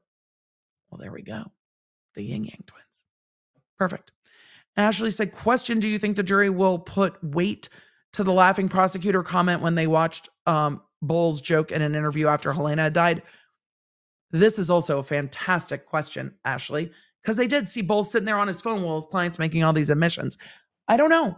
And I don't know if he was talking about the prosecutor or the lead detective or both. Um, but there, when you start pointing the fingers like that in court after your freaking weapons expert pointed the barrel of the gun at the judge when they were manipulating it, it's not going to go well. Um, Felicity said prosecution is wrong. This is an alternate reality where expert witness totes guns like Yosemite Sam or Elmer Fudd. Uh, like Queen said, if Hannah had done her job, there wouldn't be any live ammo on set. She would have found them at some point and pulled them out. Um, Princess Claudia, thank you for your for that. Um, Tommy said Brandon Lee died from a projectile getting stuck in the barrel, and the blank was fired with the powder of the primer, causing the projectile to eject and kill him guns have to be thoroughly checked, even if blanks are used. Tommy, and she seemed very cognizant of that when she talked about how often she checked the barrel. Here's what's terrifying to me, chat. Let me know what you think. Was Hannah looking down the barrel of this weapon while it was loaded with what she thought were dummy rounds while there was a live round in this weapon? Like, I think Hannah put her own safety at issue in this case more than once because she was saying they were saying she was checking the barrel without unloading the gun. I mean, that's fucking terrifying all the way around with what we know about this case now. So, uh, let's see. If she is found guilty, what is the possible sentence? It depends if she's found guilty of both charges, but up to 18 months on the invol. Um, Wedge, good to see you. As I've stated earlier, you would think that after the Brandon Lee incident, movie productions would have learned a thing or two about gun safety. It seems that the takeaway from Hannah was check the barrel more. What is the name brand of your earbuds? The the in-ears I wear in court are Shure's. They are on my Amazon store. That's linked below. I'm not Shure exactly what model, but they are linked. I am going to get custom molds though. But they are They are the sure in ears. Um, I think that was a suggestion from Nick Ricada. I think that's that's who suggested these to me. They're great. So uh I can't stream in over ear headphones. It squishes. It squishes my glasses. and when I do television appearances, you can't see them. So they're perfect for me. And they don't run on battery, so they don't run out. But with long streaming days, they do get a little uncomfortable. So I'm going to go get custom molds made because I live in Nashville and that's a real easy thing to do around here. Um, I agree. Carol's with the kid actors' parents must feel ill after this. Agreed. Um, so yeah, that's what I use. I need to go get custom molds. Anyone else here? Scotty doesn't know every time. Yes. Scotty doesn't know. Scotty doesn't know. Scotty doesn't know. Don't tell Scotty. If you don't know what I'm referencing, oh, I need I need you to just Google it. Madeline said, I am thinking, um, did she know exactly what how to do her job? She thought she was. Well, here's the thing. She she said in her text to Thell, her father, and to Seth Kenney, you guys didn't tell me this. You guys blow. Like I I think there might be some truth in that. The problem is she is ultimately responsible. It's just like if I go to court and my supervisor this this was happening at the LA DA's office not that long ago. Um but if you're the DA in court and your supervisor tells you to do something that contravenes the law, your license is the one on the hook, not your supervisor. It's your job to tell your supervisor no go do it yourself. And I know plenty of DAs who have looked at their supervisor and said, if you want that to happen, you go to court and do it. And go ahead and try to fire me. Go ahead, I'll sue you for retaliation. Mount up. Because at the end of the day, when you walk into court, it is your license. And there are DAs that are 24, 25, 26 years old. You have to know when to put your foot down. It's not easy. I put my foot down at the DA's office um, with my health when I was pregnant and had a supervisor tell me, you know, if you do this, you're never going to get promoted, right? It's like, ma'am, I would like to not die during this pregnancy. So, um, yeah, I'm well, I'm well aware. I'm well aware. Uh, but you have to put your foot down when you have to. And sometimes industries suck and they're hard. That's not unique to the movie industry. That is that is a lot of industry. Emily, could you be a special prosecutor? No. Not anymore. You can't pay me to be at court at 8:30 in the morning. I want to curse about trial on the internet. There is not enough money in the world to not do this. It's way more stressful. Question Did she say you guys blow in reference to? I missed that detail along the way. Um, I'm trying to remember what witnesses came in with. I'm not remembering exactly what this came in with. No, I do remember. This came in with Seth Kenney. Seth and Hannah were texting about her asking for reimbursement for the things she brought onto set. And she was saying in a group text with Seth and her dad, You guys didn't even tell me that. And Seth Kenney made the wild and kind of appalling, like, uh, you're a naughty child. I'll let daddy handle this one. I think in a group text referring to Thell, but ew, it gave me the ick. And she said, whatever you guys blow. Like she was trying to say, you guys haven't told me this. I need to know these things. And then they made fun of her and she said, you guys blow. And I agree, they do blow. Uh, or at least it seems that they do. Uh, what color do you use on your lips? It depends on the day. But we have Law Nerd lip glosses that I think are in my bag from traveling still. So today I have been wearing Lawless Velvet. Um, most days I wear Facts and Objection from the collab. It's linked uh, in the in the description. Matt B said, I have to say the defense buried Hannah. Um, she had a job she failed at it when her counsel says she couldn't have foreseen live ammo on set, literally her job. Agree. A snake named Michi said, I have a bad migraine right now. Good distraction. Thank you for covering. I hope my yelling is not hard on your migraine and you are getting to sit in the dark. Um, I enjoy your case coverage. Couldn't watch a trial without it. Will you scream at Alec's trial? Yes. I will be here court casting Alec Baldwin's trial. Um, Dad gave me these bullets, so I didn't check them, possibly. The gun being passed to Dave is why I couldn't say guilty on a felony. He was the one in between and should have checked. I could do guilty on the misdemeanor. Southern Heathen, it's a very fair point, and the jury, the jury might be there too. Is there a place to make suggestions to improve the Law Nerd app, like maybe a PDF gallery of what documents you can find from public filings for the trials that you are covering for easy access? Um, generally, help at. We will ask the members in the member spaces for recommendations when we're ready to expand the app. Um, we want to just make sure it doesn't crash, which you know the law nerds can can crash a website like nobody else, but it's where you need to go to stay in touch with trial coverage. But yes, we will be expanding the app down the road. The plea deals given in this, I think, are injustice. I didn't like it either. I think they were focused on, I think they're focused on Baldwin though. Are there any cases online where we can watch you in action as a prosecutor? No. No, blessedly, I was not in any cases that were streamed or recorded. It would be very, very stressful. And I can't and often don't give enough credit to the lawyers about how stressful that is. Um, so Shannon said, just started working for my local DA as an advocate. Love the bits of knowledge I have from this stream. They have come in handy. Shannon, I love that. You do very important work. Thank you for the important work you do. The DA advocates in the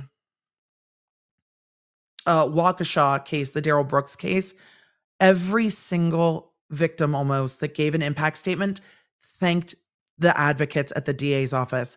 It was really incredibly touching to see. That was a huge case with so many victims because of that parade route.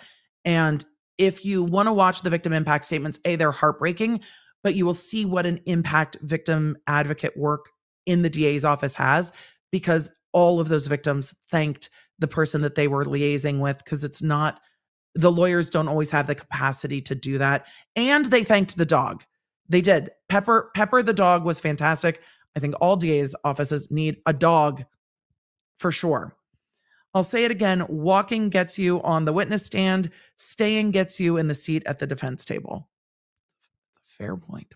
Scott Family Adventures. Scott Family sent you a box of self care, but ADHD left the card on the counter. We hope you enjoy.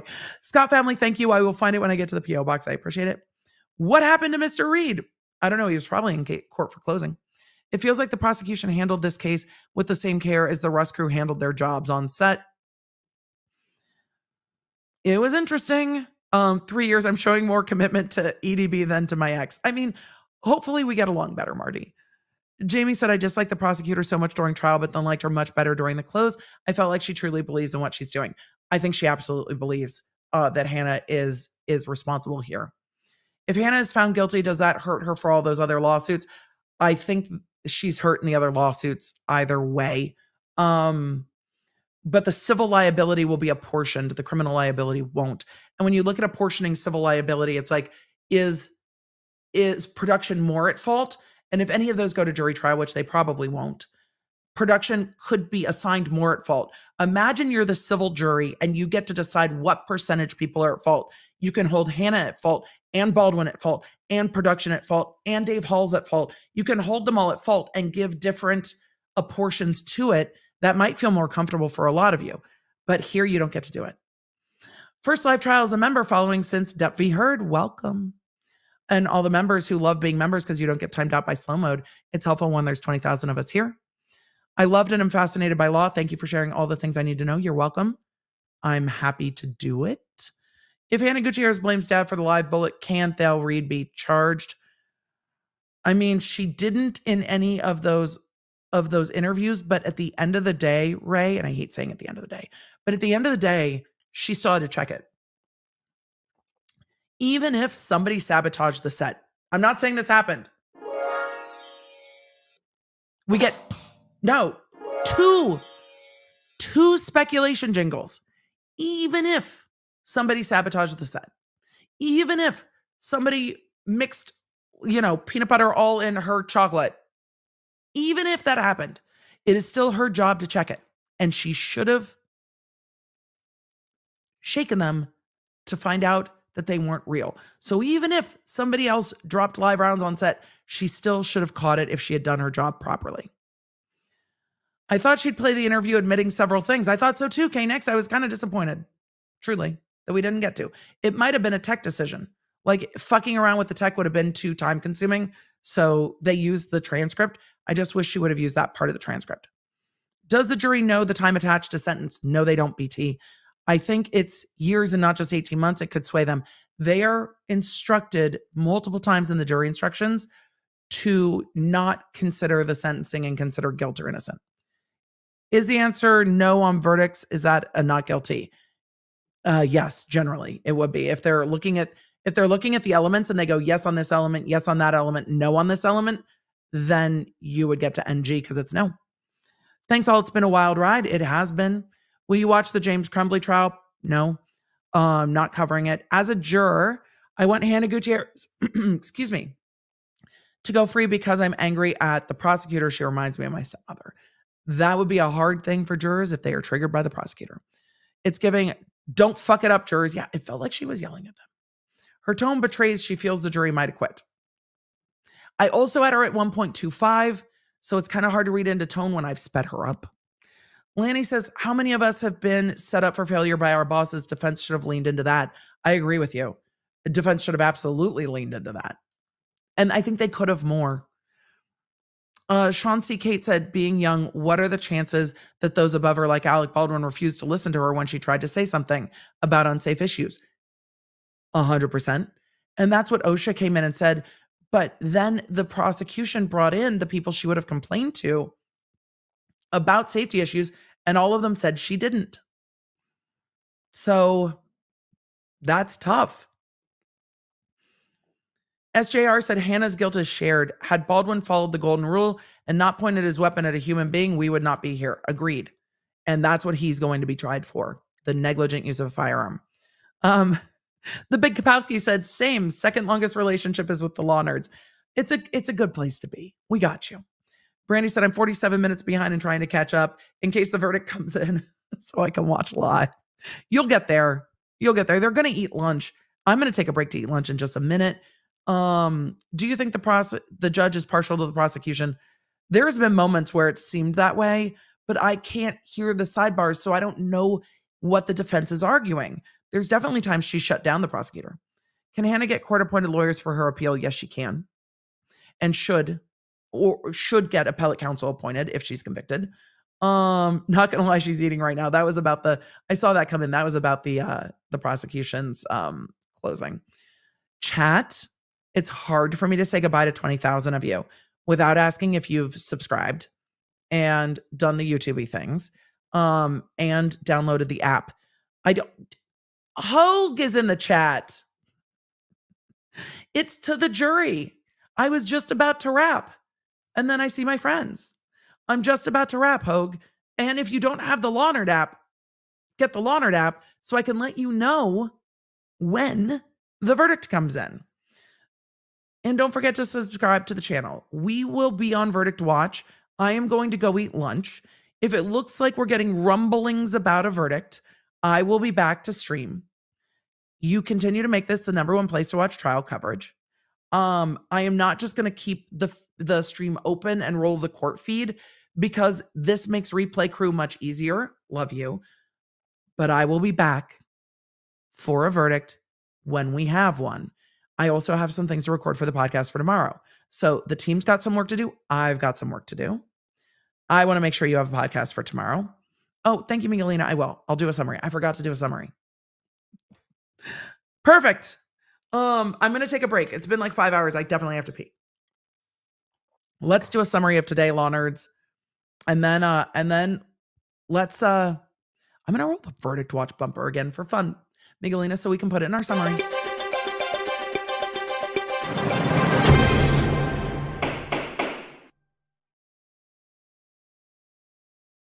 Law nerds of the jury, we are on verdict watch on day 10 of the state versus Hannah Gutierrez. The defense called a director witness for their first and last witness of today. They did not call Hannah's father, Thell Reed, and the witness did not add a ton, but on cross examination seemed to undo what OSHA testified to. Because on cross examination, the director admitted that at the end of the day, it's the armorer's responsibility. The armorer is the boss when it comes to the guns on set, not production, not the director, not the first AD. The armorer is responsible for the weapons on set. And then we got into closing arguments. The state brought quite a lot of exhibits into closing arguments, photos of where the silver primers were. And the state really leaned into the fact that the dummy rounds that came from Seth Kenney arrived on set with Sarah Zachry October 12th. And those dummy rounds did have silver primers in them, but they were antiqued. They were patinaed. They were darker. They were not shiny brass. And the bullets or the rounds that we see with shiny brass and silver primer primers in Jensen Ackles' gun belt, in Alec Baldwin's bandolier, and ultimately in Alec Baldwin's gun that shot and killed Halyna were not brought onto set by Seth Kenney. And she said they were in the same box that Hannah brought onto set, arguing again that Hannah is the one who brought the live rounds on set. And the prosecution showed the um, enhanced photo of that styrofoam insert with all the rounds in it on her lap from October 10th, two days before Seth Kenney's dummies are on set, showing the silver primed round that is not patinaed and tying that all together to show that the prosecution believes that Hannah brought the live rounds onto set and failed to do her job by finding them in all of her safety checks and ended up loading them into the weapon that killed Halyna Hutchins. In their closing argument, the defense argued production, production, Baldwin, Sarah Zachry, Seth Kenney, Dave Halls. They didn't do their job. But where I thought the defense stepped in it in closing is they played that video of Alec Baldwin shooting like, you know, this on camera. And then Joel Souza yells, cut. Baldwin fires another blank. And Joel Souza goes, motherfucker. And then the defense used that video to argue that it was not foreseeable to Hannah that Baldwin would go off script and point the gun at the church at Halyna Hutchins. I think it proves the exact opposite point that Baldwin pointing a weapon somewhere was foreseeable, that live rounds showing up on set were foreseeable, and it was Hannah's job to check them. However, the jury instructions on involuntary manslaughter are multi stepped and complex. It's going to take the jury time to walk through them. We also learned in jury instruction that there is a lesser included charge. They are allowing the jury to decide between the involuntary manslaughter and the misdemeanor negligent handling of a firearm. So if the jury feels empathetic for Hannah, even though they're not supposed to let empathy sway their opinion, but they are human, if they feel that production didn't allow her to do her job well, they could use that lesser included crime. And then we saw the prosecution and defense arguing over the tampering with evidence charge the prosecution never really argued how the tampering with evidence was evidence of the involuntary manslaughter. The defense brought it up in closing. The prosecution didn't even touch it or try to explain it in their rebuttal and seemed to let it go. I think in this case, though the defense is arguing Hannah Gutierrez Reed is the sacrificial lamb of production, I think the sacrificial lamb of this charging document is the tampering with evidence charge, and that uh, the prosecutor's like, yeah, if you guys want to throw her a bone, just give her that one. Don't convict her on that one. What the prosecution wants is that involuntary manslaughter charge. And we will see if they get it. The jury is out. And we will be back when the jury is back. Make sure you have the Law Nerd app because it could be hours, it could be days. All right, Law Nerds, let's finish it up. Jury, we want to hold off to get pizza. Oh, the jury definitely ordered lunch on the court's dime. They've been sitting there for 10 days. They want to chat. I just don't know how long the court will run through um, to allow the jury to come back. I don't know if they'll work late into the day. But if they do, the Law Nerd app will keep you in the loop. And with that, I'm going to rest my voice. I'm going to get some food. We're going to get some work done on Team Baker, and we will be back whenever we have a jury. in the app, when the jury goes home for the day, I will let you know so you're not on high alert. I will let you know when the jury goes home for the day if they don't come back with a verdict today. Law Nerds, thank you for being here. Get the app. Do I sound like a broken record? Get the app, get the app, get the app. Because you don't want to miss the verdict in this case. I'll see you soon. You can stay up to date with everything I'm covering and fast notifications on our free iOS and Android app at lawnerdapp.com or search the App Store for Law Nerd. You can also follow me around social media and don't forget to check out my podcast, The Emily Show, with quick bits dropping every Monday, summarizing everything I do here on the live streams on Tuesday and Thursday for when you just have time for the quick bits. Thanks for being a Law Nerd.